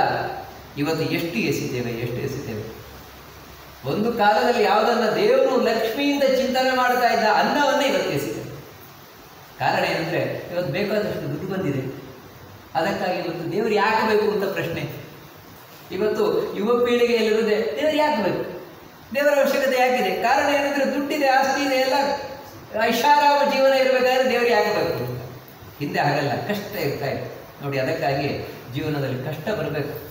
ಆ ಕಷ್ಟವನ್ನು ಎದುರಿಸಬೇಕಾದ್ರೆ ದೇವರನ್ನು ನಂಬಬೇಕು. ದೇವರ ಅನುಗ್ರಹದಿಂದಾಗಿ ಆ ಕಷ್ಟದಿಂದ ನಾವು ಪಾರಾಗಬೇಕು. ಆಗ ದೇವರಲ್ಲಿ ನಂಬಿಕೆ ಬರ್ತದೆ ಓ, ದೇವರಿದ್ದಾನೆ. ರಕ್ಷಣೆ ಮಾಡ್ತಾನೆ ನನ್ನನ್ನ. ದೇವರ ಕೈ ಬಿಡುವುದಿಲ್ಲ, ಆಗ ನಂಬಿಕೆ ಬರ್ತದೆ ನೋಡಿ, ಇದನ್ನೇ ಪುರಂದರದಾಸರು ಹೇಳ್ತಾರೆ. ಹರಿ ನೀ ಒಲಿವಂತೆ ಮಾಡು. ದೇವರೇ, ನನಗೆ ಅನುಗ್ರಹ ಮಾಡು. ಹೌದು, ನೀನು ಅನುಗ್ರಹ ಮಾಡಿದ್ದೆ ನನಗೆ ಯಾಕೆ ಗೊತ್ತಾಗಬೇಕು, ದೊಡ್ಡ.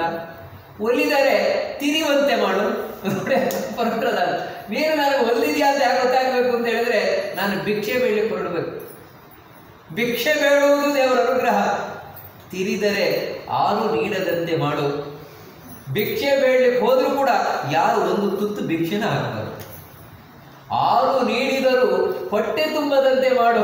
ನೋಡಿ ಎಷ್ಟು ಎಂಥ ಪ್ರಾರ್ಥನೆ ಗುರುತರದಾದರದ್ದು ಅಂದರೆ ಯಾರಾದರೂ ಕೊಟ್ಟರು ಭಿಕ್ಷೆ ಕೊಟ್ಟರು ಕೂಡ ಅರೆ ಹೊಟ್ಟೆ ಆಗಬೇಕು ಪೂರ್ತಿ ಹೊಟ್ಟೆ ಆಗಬೇಕು ಹೊಟ್ಟೆ ತುಂಬಿದರು ಇಂಬು ದೊರೆಯದಂತೆ ಮಾಡು? ಒಂದು ಪಕ್ಷ ಹೊಟ್ಟೆನೂ ತುಂಬಿಡ್ತು. ಹೊಟ್ಟೆ ತುಂಬಿದ ಮೇಲೆ ಕೆಲಸ ಏನು? ಆಮೇಲೆ ಒಂದೇ, ಎಲ್ಲಿ ದಿಮ್ ಸಿಗತ್ತೆ ಅಂತ. ಎಲ್ಲಾದ್ರೂ ಒಂದ್ ಕಡೆ ಮಲ್ಕೊಂಡ್ಬಿಡ್ಬೇಕು ಅಂದ್ರೆ ಹೊಟ್ಟೆ ತುಂಬಿದ ಮೇಲೆ ಅದೇ ಕೆಲಸ ಮಲಗಲಿ ಕೆಲಸ ಸಿಗತ್ತೆ ಅಂತ. ಎಲ್ಲ ಒಂದು ಕಾಲು ಗಂಟೆ ಆದ್ರೂ ಮಲ್ಕೊಳ್ಬೇಕು ಮಾರು ಇಷ್ಟೇ. ಅದಕ್ಕೆ ಹೊಟ್ಟೆ ತುಂಬಿದ ಮೇಲೆ ಮಲ್ಕೊಳ್ಳಿಕ್ಕೆ ಹೋದ್ರೆ ಒಂದು ದಿಂಬು ಸಿಗಬಾರ್ದು. ಇಂಬು ದೊರೆಯದಂತೆ ಮಾಡು?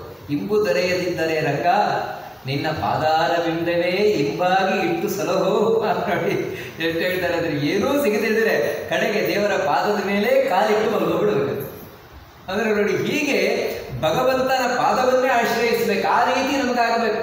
ಅದಕ್ಕಾಗಿ ಜೀವನದಲ್ಲಿ ಕಷ್ಟ ಬೇಡ ಅಂತ ಹೇಳಬಾರ್ದು. ಯಾಕಂದ್ರೆ ನಮ್ಮ ಪಾಪ ಎಲ್ಲ ಹೋಗ್ಬಿಡ್ಬೇಕು. ಯಾವ ರೀತಿ ಅಂತ ಹೇಳಿದ್ರೆ ಅನುಭವಿಸಿ ಹೋಗ್ಬಿಡ್ಬೇಕು. ಅದಕ್ಕಾಗಿ ನೋಡಿ ಕುಂತಿಯ ಪ್ರಾರ್ಥನೆ. ದೇವರಿಗೆ ಕಷ್ಟದ ಮೇಲೆ ಕಷ್ಟ ಕೊಡು ನನಗೆ ಯಾಕಂದ್ರೆ ಕಷ್ಟದಲ್ಲಿಯೇ ನೀನು ನನಗೆ ಸಿಗುವುದು. ಆ ಕಷ್ಟದಲ್ಲಿಯೇ ನಾನು ನನ್ನ ಬಿಡದೆ ಸ್ಮರಣೆ ಮಾಡಿದಾಗ ನೀನು ಬರ್ತೀಯ ನನ್ನನ್ನು ರಕ್ಷಣೆ ಮಾಡ್ತೀನಿ ಈ ನಂಬಿಕೆ ನಮಗೂ ಬರಬೇಕು. ಅವಾಗ ಕಷ್ಟಕ್ಕೆ ಹೆದರಲ್ಲ. ಯಾವತ್ತೂ ಜೀವನದಲ್ಲಿ ಕಷ್ಟಕ್ಕೆ ಹೆದರಲ್ಲ. ಇದು ಭಗವತ್ ಭಕ್ತರ ಲಕ್ಷಣ. ಇದು ಭಾಗವತ ತೋರಿಸ್ತಾ ಇರೋದು. ನೀವು ಕೃಷ್ಣನ ಭಕ್ತರ, ದೇವರ ಭಕ್ತರ ಕಷ್ಟಕ್ಕೆ ಹೆದರಬೇಕು. ಯಾವತ್ತೂ ಕೂಡ ಅಷ್ಟೇ. ಅಯ್ಯೋ, ಕಷ್ಟ ಬಂತು, ಕಷ್ಟ ಬಂದು ಅಳಬೇಡಿ ಮತ್ತೇನಂದ್ರೆ ಕಷ್ಟವನ್ನು ಎದುರಿಸ್ತಿ ಹೇಗೆ ದೇವರ ಅನುಗ್ರಹದಲ್ಲಿ ದೇವರಿದ್ದಾನೆ. ದೇವರು ರಕ್ಷಣೆ ಮಾಡ್ತಾನೆ. ದೇವರು ಕೈ ಬಿಡುವುದಿಲ್ಲ. ರಕ್ಷತಿ ಇತ್ಯೇವ ವಿಶ್ವಾಸ ತದೀಯೋ ಮಿತಿ ಸ್ಮೃತಿ. ಇದೇ ಮಧ್ವಾಚಾರ್ಯರು ಹೇಳುವ ಮಾತು. ದೇವರ ನಂಬಿ ದೇವರು ನನ್ನ ಕೈ ಬಿಡೋಲ್ಲ ಯಾಕಂದ್ರೆ ನಾನು ದೇವರಿಗೆ ಬೇರೆಯವನಲ್ಲ. ಮತ್ತೆ ನಾನು ದೇವರವನು. ದೇವರ ಕಡೆಯವನು ನಾನು. ಕೃಷ್ಣನ ಕಡೆಯವನು ನಂಬಿ ದೇವರ ಕೈ ಬಿಡೋದು ಯಾಗಾದರೂ ರಕ್ಷಣೆಯನ್ನು ಮಾಡ್ತಾರೆ ನೋಡಿ, ಇದು ನಮಗೆ ಬಹಳ ಮುಖ್ಯವಾದ ಬೇಕಾದ ನಂಬಿಕೆ.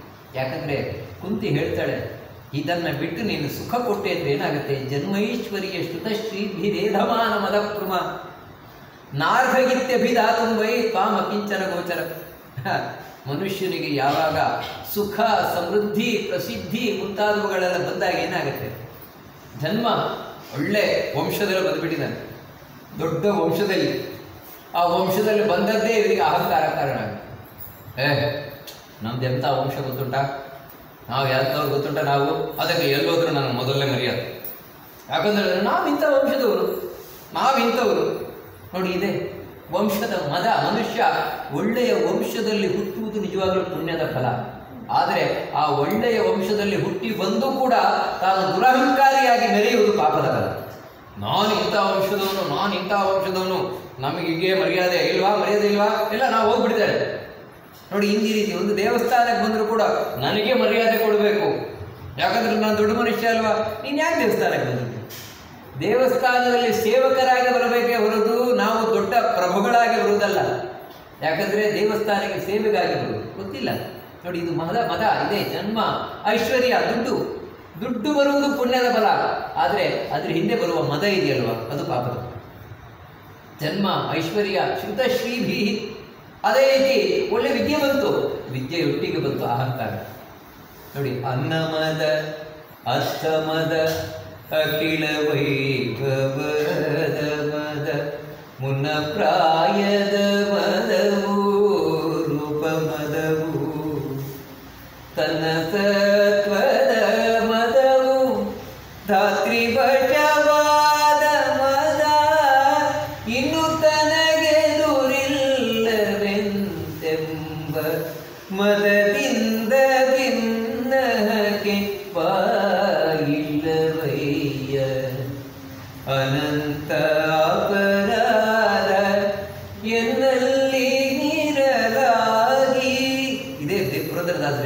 ಎಷ್ಟು ಮದ ಮದ ಹಾಗಿದ್ದಾಗ ದೇವ್ರಿಗೆ ಯಾಕೆ ಬೇಕು ಅಂತ ಕಾಣಿಸ್ತದೆ. ದೇವ್ರಿಗೆ ಯಾಕೆ ಬೇಕು ನನಗೆ?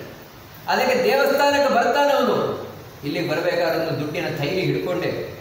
ಯಾಕೆ ಅಂತ ಹೇಳಿದ್ರೆ ತನ್ನ ಮದವನ್ನು ತೋರಿಸ್ಲಿಕ್ಕೆ. ದೇವರ ಪೂಜೆ ಮಾಡಲಿಕ್ಕಲ್ಲ. ಅಂದ್ರೆ ಇದೇನಂದ್ರೆ ಐಶ್ವರ್ಯ ಮಾಡುವ ಮದ. ದೇವರೇ, ಇಂಥವನು ಎಷ್ಟು ಹೇಳ್ತಾಳೆ. ಕುಂತಿ ಇದ್ರೆ ನಿನ್ನ ಒಂದು ನಾಮ ಸ್ಮರಣೆ ಮಾಡ್ಲಿಕ್ಕೆ ಅವನ ನಾಲಾಯಕ ಅಂತ ಹೇಳ್ತಾನೆ. ಅವನು. ಇಂತಹ ದುರಹಂಕಾರಿಯಾದವನು ನಿನ್ನ ನಾಮಸ್ಮರಣೆ ಮಾಡಲಿಕ್ಕೂ ಅಯೋಗ್ಯವಾದ ವ್ಯಕ್ತಿಯು. ಅದಕ್ಕೋಸ್ಕರ ಅಂತ ಮದಕ್ಕೆ ಕಾರಣವಾದ ದುಡ್ಡು ಕೊಡಬೇಡ, ಸಂಪತ್ತು ಕೊಡಬೇಡ, ಐಶ್ವರ್ಯ ಇದ್ಯಾವುದು ಬೇಡ ನನಗೆ. ಇದಕ್ಕಿಂತ ಕಷ್ಟವೇ ಆಗಬೇಕು ಯಾಕಂದ್ರೆ ಆ ಕಷ್ಟದಲ್ಲಾದರೂ ನಿನ್ನ ನೆನಪಾಗತ್ತಲ್ವ ನನಗೆ? ಬಹಳ ಸುಂದರವಾದ ಪ್ರಾರ್ಥನೆ ಕೃತಿ ಮಾಡಿಕೊಡೋದು. ದೇವರೇ, ನೀನು ಯಾಕೋಸ್ಕರ ಅವತಾರ ಮಾಡಿದೆ? ಒಬ್ಬೊಬ್ರು ಒಂದೊಂದು ರೀತಿ ಹೇಳ್ತಾರೆ.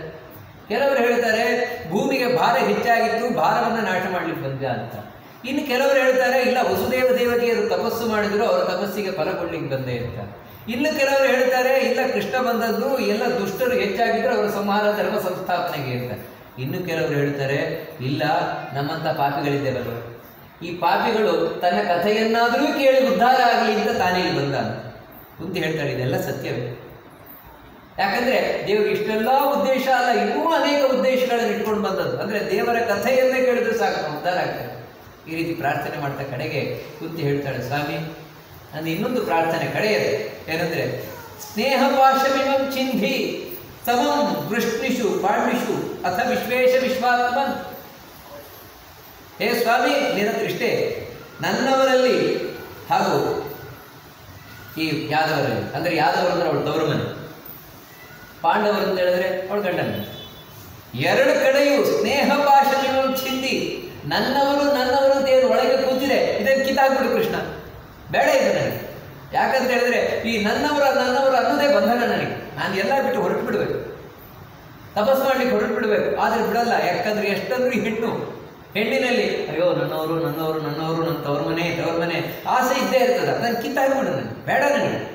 ನೀನೇ ಬೇಕು ಅಂತ ಹೇಳಿ ಪ್ರಾರ್ಥನೆ ಮಾಡ್ಕೊಳ್ತಾಳೆ ಕೃಷ್ಣ ನಗಾಟಂತೆ ನಗಾಟು, ಅದೇ ಅವನ ಅನುಗ್ರಹ. ತಾನು ಹೊರಟು ನಿಂತಾಗ ಧರ್ಮರಾಜ ತಡೆದ ಕೃಷ್ಣ, ನೀನು ಇರಬೇಕು ಅಂತ. ಕೃಷ್ಣ ಇನ್ನು ಅಲ್ಲಿ ನಿಂತ. ಆಗ ಉತ್ತರೆ ಓಡೋಡಿ ಬಂದ. ಅಭಿಮನ್ಯುವಿನ ಪತ್ನಿ. ಧರ್ಮರಾಜನ ಸೊಸೆಯವಳು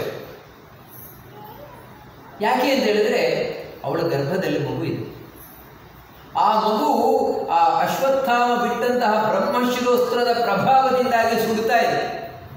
ಅದಕ್ಕಾಗಿ ಓಡೋಡಿ ಬಂದು ಕೃಷ್ಣನ ಪಾದಕ್ಕೆ ಬಿದ್ದು, ಕೃಷ್ಣ, ನನ್ನ ಹೊಟ್ಟೆ ಉರಿತಾ ಇದೆ. ಅಂತ ಹೇಳಿದ್ರೆ ಮಗು ಒಳಗೆ ಉರಿದಾಗ ಭಾಸ ಆಗ್ತಾ ಇದೆ. ನನ್ನನ್ನ ಬೇಕಾದರೂ ಕೊಲ್ಲು ಕೃಷ್ಣ, ಆದರೆ ಮಗುವನ್ನು ಕೊಲ್ಲಬೇಕು ಯಾಕಂತ ಹೇಳಿದ್ರೆ ಇಡೀ ನಮ್ಮ ಪಾಂಡವ ವಂಶದ ಕುಡಿ ಇದೊಂದೇ. ಈ ಗರ್ಭವು ಹೊರಟೋಯ್ತು ಅಂತ ಹೇಳಿದ್ರೆ ಪಾಂಡವರ ವಂಶವೇ ನಿರ್ವಂಶ ಆಗೋಗುತ್ತೆ. ಅದಕ್ಕೆ ಕೃಷ್ಣ, ಇದು ಬ್ರಹ್ಮಶಿರೋಸ್ತ್ರದ ಪ್ರಭಾವ ಅಂತ ನನಗೆ ಗೊತ್ತು. ಅಶ್ವತ್ಥಾಮ ಪ್ರಯೋಗಿಸಿದ ಬ್ರಹ್ಮಶಿರೋಸ್ತ್ರದ ಪ್ರಭಾವ. ಆದರೆ ಪಾಂಡವರ ಮೇಲೆ ಏನೂ ಆಗದಾಗಿ ಕೃಷ್ಣ ನೋಡಿಕೊಂಡಿದ್ದ. ಅಲ್ಲ ನಿಜವಾಗ್ಲೂ ಆ ಬ್ರಹ್ಮಶಿರೋಸ್ತ್ರವನ್ನು ಅರ್ಜುನ ಉಪಸಂಹಾರವನ್ನು ಮಾಡಿದ್ದ. ಆದರೆ ಅದು ಬ್ರಾಹ್ಮಣ ಬಿಟ್ಟ ಬ್ರಹ್ಮಾಸ್ತ್ರ. ಅದನ್ನು ಸಂಪೂರ್ಣ ಉಪಸಂಹಾರ ಮಾಡಬೇಕು ಅಂತ ಹೇಳಿದ್ರೆ ಅಶ್ವತ್ಥಾಮನೇ ಮಾಡಬೇಕು. ಅದಕ್ಕೆ ಕೃಷ್ಣ ಮಹಾಭಾರತದಲ್ಲಿ ಹೇಳ್ತಾನೆ, ಅಶ್ವತ್ಥಾಮ, ಬಾಯಲ್ಲಾದರೂ ವಾಪಸ್ ತಗೋ. ಬ್ರಹ್ಮಶಿರೋಸ್ತ್ರ ಪಾಂಡವರಿಗೆ ಏನು ಮಾಡದೇ ಇರಲಿ, ಪಾಂಡವರ ವಂಶಕ್ಕೆ ಏನು ಆಗದೇ ಇರಲಿ ಅಂತ ಮಾತಾದ್ರೂ ತಗೋ, ನೀನು ಮಾತಾದ್ರೂ ಹಾಡು ಅಂತ ಹೇಳಿದ್ರೆ, ಇಲ್ಲ ಅಂತ ಅಶ್ವತ್ಥಾಮ, ಇಲ್ಲ. ಪಾಂಡವರ ವಂಶ ನಿರ್ವಂಶ ಆಗಲೇಬೇಕು ಇದೇ ನನ್ನ. ಏನು ಹೇಳಿದ್ರು ಕೇಳಲೇ ಅವಾಗ ಕೃಷ್ಣನಿಗೆ ಸಿಟ್ಟು ಬಂದು ಹೇಳ್ತಾನೆ, ದುರ್ಬುದ್ಧೇ ವೀರ್ಯಂ ಎತ್ತೇ ಶಕ್ಯ ಗುರುಷ್ವತತು ಏ, ದುರ್ಬುದ್ಧಿಯೇ ನಾನು ಇಷ್ಟೇ ಹೇಳ್ತಾ ಇದ್ರು, ನೀನು ಕೇಳಲ್ವಲ್ಲ? ಆಯ್ತು ನಿನಗೆ ಏನು ಸಾಧ್ಯ ಇದೆ ಮಾಡು. ನಾನು ಮಾತ್ರ ಏನು ಇಚ್ಛೆ ಮಾಡಿದ್ದಾನೆ ಮಾಡೇ ಮಾಡ್ತೇನೆ. ಈ ಮಗು ಅಲ್ಲ, ಇನ್ನು ಒಂದು ಸಾವಿರ ವರ್ಷಗಳ ಕಾಲ ಪಾಂಡವರ ವಂಶ ಈ ರಾಜ್ಯ, ಈ ದೇಶವನ್ನು ಆಡ್ತದೆ ಅಂತ ಕೃಷ್ಣ ಹೇಳ್ತಾರೆ ಒಂದು ಸಾವಿರ ವರ್ಷಗಳ ಕಾಲ ಈ ದೇಶವನ್ನು ಆಡ್ತದೆ ಯಾರು, ಏನು ಮಾಡ್ತಾರೆ ನೋಡೋಣ? ಅಂದ್ರೆ ನೋಡ್ರಿ, ಕೃಷ್ಣನಿಗೆ ಇಚ್ಛೆ ಅಂತ ಅದಕ್ಕೆ ಎದುರಾಳಿಯೇ ಇಲ್ಲ, ಸತ್ಯವಾ ಸತ್ಯ ಸಂಕಲ್ಪ. ಆಡಿದ ಮಾತು ಸತ್ಯ ಕೃಷ್ಣನನ್ನು ಅದಕ್ಕೋಸ್ಕರ ನೋಡಿ ಉತ್ತರ ಗರ್ಭ ಉರಿತಾ ಇದೆ. ಕೃಷ್ಣ ಹೇಳ್ತಾನೆ, ನೀನು ಎದುರು ಬೇಡ ಕೂಡಲೇ ಪುಟ್ಟ ರೂಪದಿಂದ ಅವಳ ಗರ್ಭವನ್ನು ಪ್ರವೇಶ ಮಾಡಿದನು. ಪ್ರವೇಶ ಮಾಡಿ ಆ ಮಗುವಿನ ಸುತ್ತ ತಿರುಗುತ್ತಾ ಇದ್ದಾನೆ. ಇಷ್ಟು ಅಂಗುಷ್ಠ ಗಾತ್ರದ ರೂಪದಿಂದ ಅಂದರೆ ಇಷ್ಟು ಇಷ್ಟು ಗಾತ್ರದಿಂದ ತಾನು ಒಂದು ಗದೆಯನ್ನು ಹಿಡ್ಕೊಂಡು ತಿರುಗಿಸ್ತಾ ತಿರುಗಿಸ್ತಾ ತಿರುಗಿಸ್ತಾ ಆ ಅಸ್ತ್ರದ ಪ್ರಭಾವ ಆ ಮಗುವಿನ ಮೇಲೆ ಏನೂ ಆಗದಾಗೆ ತಾನು ಸುತ್ತುತ್ತಾ ಇದ್ದಾನೆ. ಅದಕ್ಕೆ ಅವನಿಗೆ ಪರೀಕ್ಷಿತ ಅಂತ ಹೆಸರು, ಆ ಮಗುವಿಗೆ ಪರಿರಕ್ಷಿತ ಅಂತ ಹೇಳಿದ್ರೆ ಸುತ್ತುವರಿಯಲ್ಪಟ್ಟು ರಕ್ಷಿಸಲ್ಪಟ್ಟವನು ಭಗವಂತನಿಂದ ಹೀಗೆ ಸಮಾಧಾನ ಇದೆ ನಂತರ ಇಲ್ಲಿ ಇನ್ನೊಂದೇನಾಗಿದೆ ಅಂದರೆ ಧರ್ಮರಾಜನಿಗೆ ಮನಸ್ಸಿನಲ್ಲೊಂದು ಏನೋ ಮಾನಸಿಕವಾದ ವೇದನೆ. ಅಯ್ಯೋ, ನಾನು ತುಂಬ ತಪ್ಪು ಮಾಡಿದ್ದೇನೆ. ನಾನು ತುಂಬ ತಪ್ಪು ಮಾಡಿದ್ದೇನೆ. ಯಾಕೆ ಅಂತ ಹೇಳಿದ್ರೆ, ನನ್ನ ಕಾರಣದಿಂದಾಗಿ ಎಲ್ಲರೂ ಸತ್ತೋಗ್ಬೇಕಾಯ್ತು. ಲಕ್ಷ ಲಕ್ಷ ಮಂದಿ ಸತ್ತೋಗಿದ್ದು ನನ್ನ ಕಾರಣದಿಂದ ಅಂತ. ಎಲ್ಲರೂ ಹೇಳ್ತಾರೆ, ಇಲ್ಲ, ನೀನು ಕಾರಣ ಅಲ್ಲ. ಯಾವುದಕ್ಕೂ ನೀನು ಕಾರಣ ಅಲ್ಲ. ಯಾವ ಕಾಲದಲ್ಲಿ ಏನಾಗಬೇಕಿತ್ತು ಅದಾಯಿತು ಅಂತ. ಯಾರು ಎಷ್ಟು ಹೇಳಿದ್ರು ಕೂಡ ಇವನು ಕೇಳುವುದೇ ಇಲ್ಲ. ಧರ್ಮರಾಜ ಕೇಳುವುದೇ ಇಲ್ಲ. ಕಡೆಗೆ ಕೃಷ್ಣ, ನಾನು ಯಾರು ಹೇಳಿದ್ರು ಕೇಳಲ್ಲ. ಕಡೆ ವೇದವ್ಯಾಸರು ಹೇಳಿದ್ರು, ಕೃಷ್ಣ ಹೇಳಿದ್ರು, ಯಾರು ಹೇಳಿದ್ರು ಇವ್ರು ಕೇಳೋದೇ ಇಲ್ಲ. ಸರಿ, ನಿಮ್ಮ ಅಜ್ಜ ಇದ್ದಾರಲ್ಲ, ಭೀಷ್ಮಾಚಾರ್ಯರು. ಶರಶೈಯಲ್ಲಿ ಅನ್ಕೊಂಡಿದ್ದಾರೆ ಕುರುಕ್ಷೇತ್ರದಲ್ಲಿ. ಅವ್ರ ಹತ್ರ ನಾವು ಕೇಳೋದು ಯಾಕಂದ್ರೆ ಇವಾಗ ನಾವು ಯಾರು ಏನು ಹೇಳಿದ್ರು ಕೂಡ ಏನು ತಿಳ್ಕೊಡ್ತಾನೆ ಧರ್ಮರಾಜ ಅಂದ್ರೆ ಇವರೆಲ್ಲ ನನ್ನ ಕಡೆ ಬರಲ್ವಾ? ಅದಕ್ಕೆ ನನ್ನ ಸಮಾಧಾನ ಆಗಲಿ ಈ ರೀತಿ ಹೇಳ್ತಾರೆ. ನಿಜವಾಗ್ಲೂ ಸತ್ಯ ಹೇಳ್ತಾ ಇಲ್ಲ. ನಮಗೆ ಸಮಾಧಾನ ಆಗಲಿ ಅಂತ ಹೇಳ್ತಾರೆ ಅಂತ.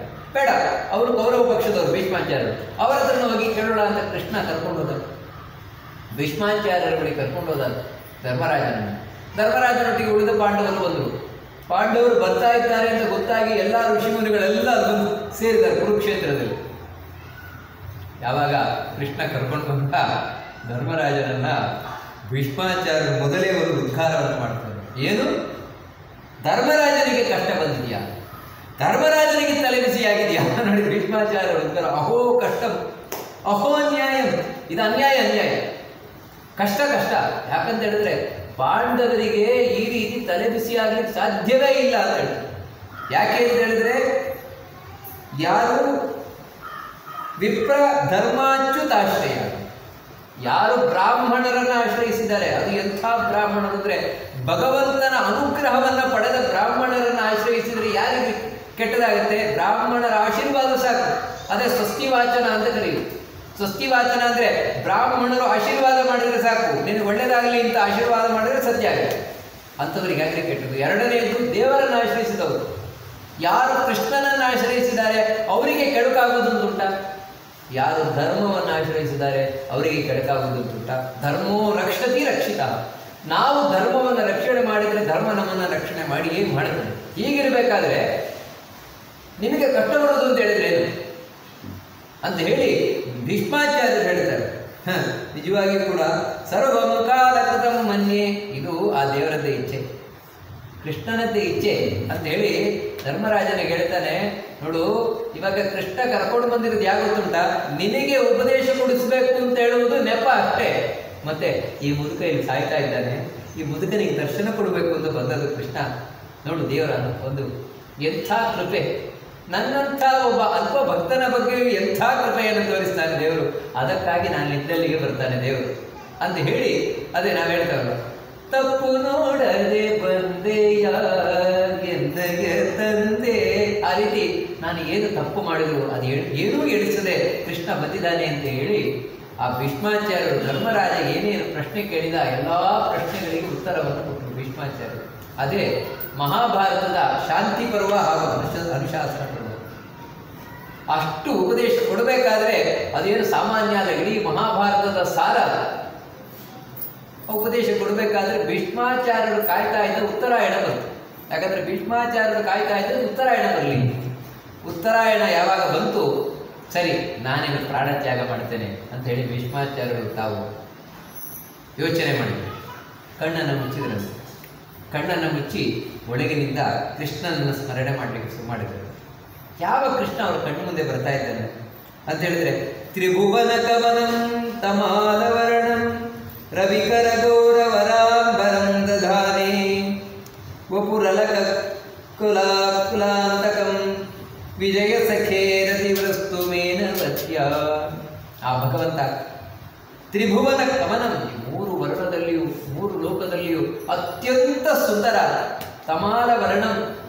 ಅಂದ್ರೆ ಕಡು ನೀಲಿ ಬಣ್ಣ, ನೀರು ತುಂಬಿದ ಮೋಡದ ಬಣ್ಣ ಅಂತೆ ಕೃಷ್ಣ. ರವಿಕರ ಗೌರ ವರಾಂಬರಂ ದದಾನೆ ಅಂತಹ ಕೃಷ್ಣ ತಾನು ಒಳ್ಳೆ ಬಂಗಾರದ ಬಣ್ಣದ ವಸ್ತ್ರವನ್ನು ಧರಿಸಿದ್ದಾನಂತೆ. ಗುಂಗುರು ಗುಂಗುರು ಕೂದಲುಗಳು. ಅದರಿಂದ ಕೂಡಿರುವ ಕೃಷ್ಣ ನನ್ನ ಮುಂದೆ ಬರಲಿ. ಎಂಥವರು ಅಂತ ಹೇಳಿದ್ರೆ ಯುಧಿ ವಿಧೂಮ್ರ ಜೋ ವಿಧೂರ ಶ್ರಮವಾರ್ಯಲಂಕೃತಾಸ್ಯೇ ಶರೇರ್ ವಿಭಿದ್ಯಮಾನತ್ವಚಿ ವಿರಸತ್ ಕಮಲೆ ಕಮಚೇಸ್ತು ಕೃಷ್ಣ ಆತ್ಮ. ಆ ಯುದ್ಧ ರಂಗದಲ್ಲಿ ಅರ್ಜುನನ ಸಾರಥ್ಯವನ್ನು ಮಾಡ್ತಾ ಇದ್ದಾನೆ ಕೃಷ್ಣ. ಸಾರಥ್ಯವನ್ನು ಮಾಡ್ತಾ ಇರಬೇಕಾದ್ರೆ ಎದುರಿನಲ್ಲಿ ಕುದುರೆಗಳು. ಆ ಕುದುರೆಗಳು ಹೋಗಬೇಕಾದ್ರೆ ಧೂಳು ಹೇಳ್ತದೆ ಯಾಕಂದ್ರೆ ಈಗಿನ ನಾವೇ ಮಣ್ಣು. ಆ ಮಣ್ಣಿನಲ್ಲಿ ಹೋಗಬೇಕಾದ್ರೆ ಧೂಳು ಹೇಳ್ತದೆ ಆ ಧೂಳು ಮೊದಲು ಬಂದು ಮುಕ್ಕುವುದೇ ಕೃಷ್ಣನಿಗೆ ಅದರಿಂದಾಗಿ ಕೃಷ್ಣನ ಮುಖ, ಕೂದಲು ಎಲ್ಲ ಧೂಳಿನಿಂದ ಮುಚ್ಚಿ ಹೋಗಿದೆಯಂತೆ ಯುದಿ ತಿರುಗ ರಜೋ ವಿಧೂಮ್ರ ವಿದ್ಯುತ್. ಆ, ಅದರಿಂದಾಗಿ ಕೃಷ್ಣನ ಕೂದಲೆಲ್ಲ ಕೆಂಚಾಗಿದೆ ಗುಂಗುರು ಗುಂಗುರು ಕೂದಲುಗಳು ಕೆಂಚಾಗಿದೆ ಅಂತೆ. ಅಷ್ಟು ಮಾತ್ರ ಅಲ್ಲ, ಭೀಷ್ಮಾಚಾರ್ಯರು ಹೇಳ್ತಾರೆ, ನಾನು ಹರಿತವಾದ ಬಾಣಗಳನ್ನು ಕೃಷ್ಣನ ಮೇಲೆ ಬಿಟ್ಟಿದ್ದೇನೆ. ಯಾಕಂದ್ರೆ ಬೇಕು ಅಂತಾನೆ. ಕೃಷ್ಣನಿಗೆ ಸಿಡು ಬರೆಸ್ಬೇಕು ಅಂತಾನೆ. ಯಾಕಂದ್ರೆ ಯುದ್ಧ ನಡೆಯುವುದಕ್ಕಿಂತ ಮುಂಚೆ ಪ್ರತಿಜ್ಞೆ ಮಾಡಿದ ಕೃಷ್ಣ, ನಾನು ಯಾವುದೇ ಆಯುಧವನ್ನು ಹಿಡಿಯುವುದಿಲ್ಲ. ಆಯುಧ ಹಿಡಿಯುವುದಿಲ್ಲ? ಕೃಷ್ಣ, ಆದರೆ ಇದು ಭೀಷ್ಮಾಚಾರ್ಯರು ಗೊತ್ತಾಯಿತು. ನಾನು ಕೃಷ್ಣನ ಕೈಯಲ್ಲಿ ಚಕ್ರ ಹಿಡಿದೇ ಹಿಡಿಸ್ತೇನೆ. ಅವರ ಪ್ರತಿಜ್ಞೆ. ಅಂದ್ರೆ ನೋಡಿ ಭಗವಂತನಿಗೆ ವಿರುದ್ಧವಾಗಿ ಅವರ ಪ್ರತಿಜ್ಞೆ. ಅದಕ್ಕೋಸ್ಕರ ಕೃಷ್ಣ ಹೇಗಾದರೂ ಆಯುಧ ಹಿಡಿಬೇಕು. ಆ ರೀತಿ ಅವನಿಗೆ ಪ್ರಚೋದನೆ ಮಾಡಬೇಕು. ಅದಕ್ಕೋಸ್ಕರ ಮತ್ತೆ ಮತ್ತೆ ಮತ್ತೆ ಕೃಷ್ಣನ ಮೇಲೆ ಬಾಣ ಬಿಡ್ತಾ ಇದ್ದಾರಂತೆ. ಅದರಿಂದಾಗಿ ಕೃಷ್ಣನ ಕವಚ ಒಡೆದೋಗಿದೆಯಂತೆ.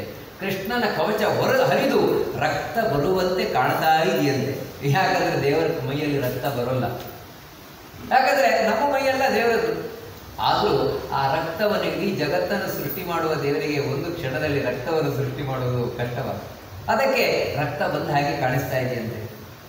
ಸಪತಿ ಸಖಿವಚೋ ನಿಶಮ್ಯ. ಮಧ್ಯೆ ನಿಜ ಪರಯೋರ್ಬಲಯೋರ್ ರಥಂ ನಿವೇಶ್ಯ. ಸ್ಥಿತವತಿ ಪರಸೈನಿಕಾಯುರಕ್ಷ್ಣ ಕೃತವತಿ ಪಾರ್ಥ ಸಖೇ ರತಿರ್ಮಮಾಸ್ತು ಯುದ್ಧ ಇನ್ನೇನು ಪ್ರಾರಂಭ ಆಗಬೇಕು?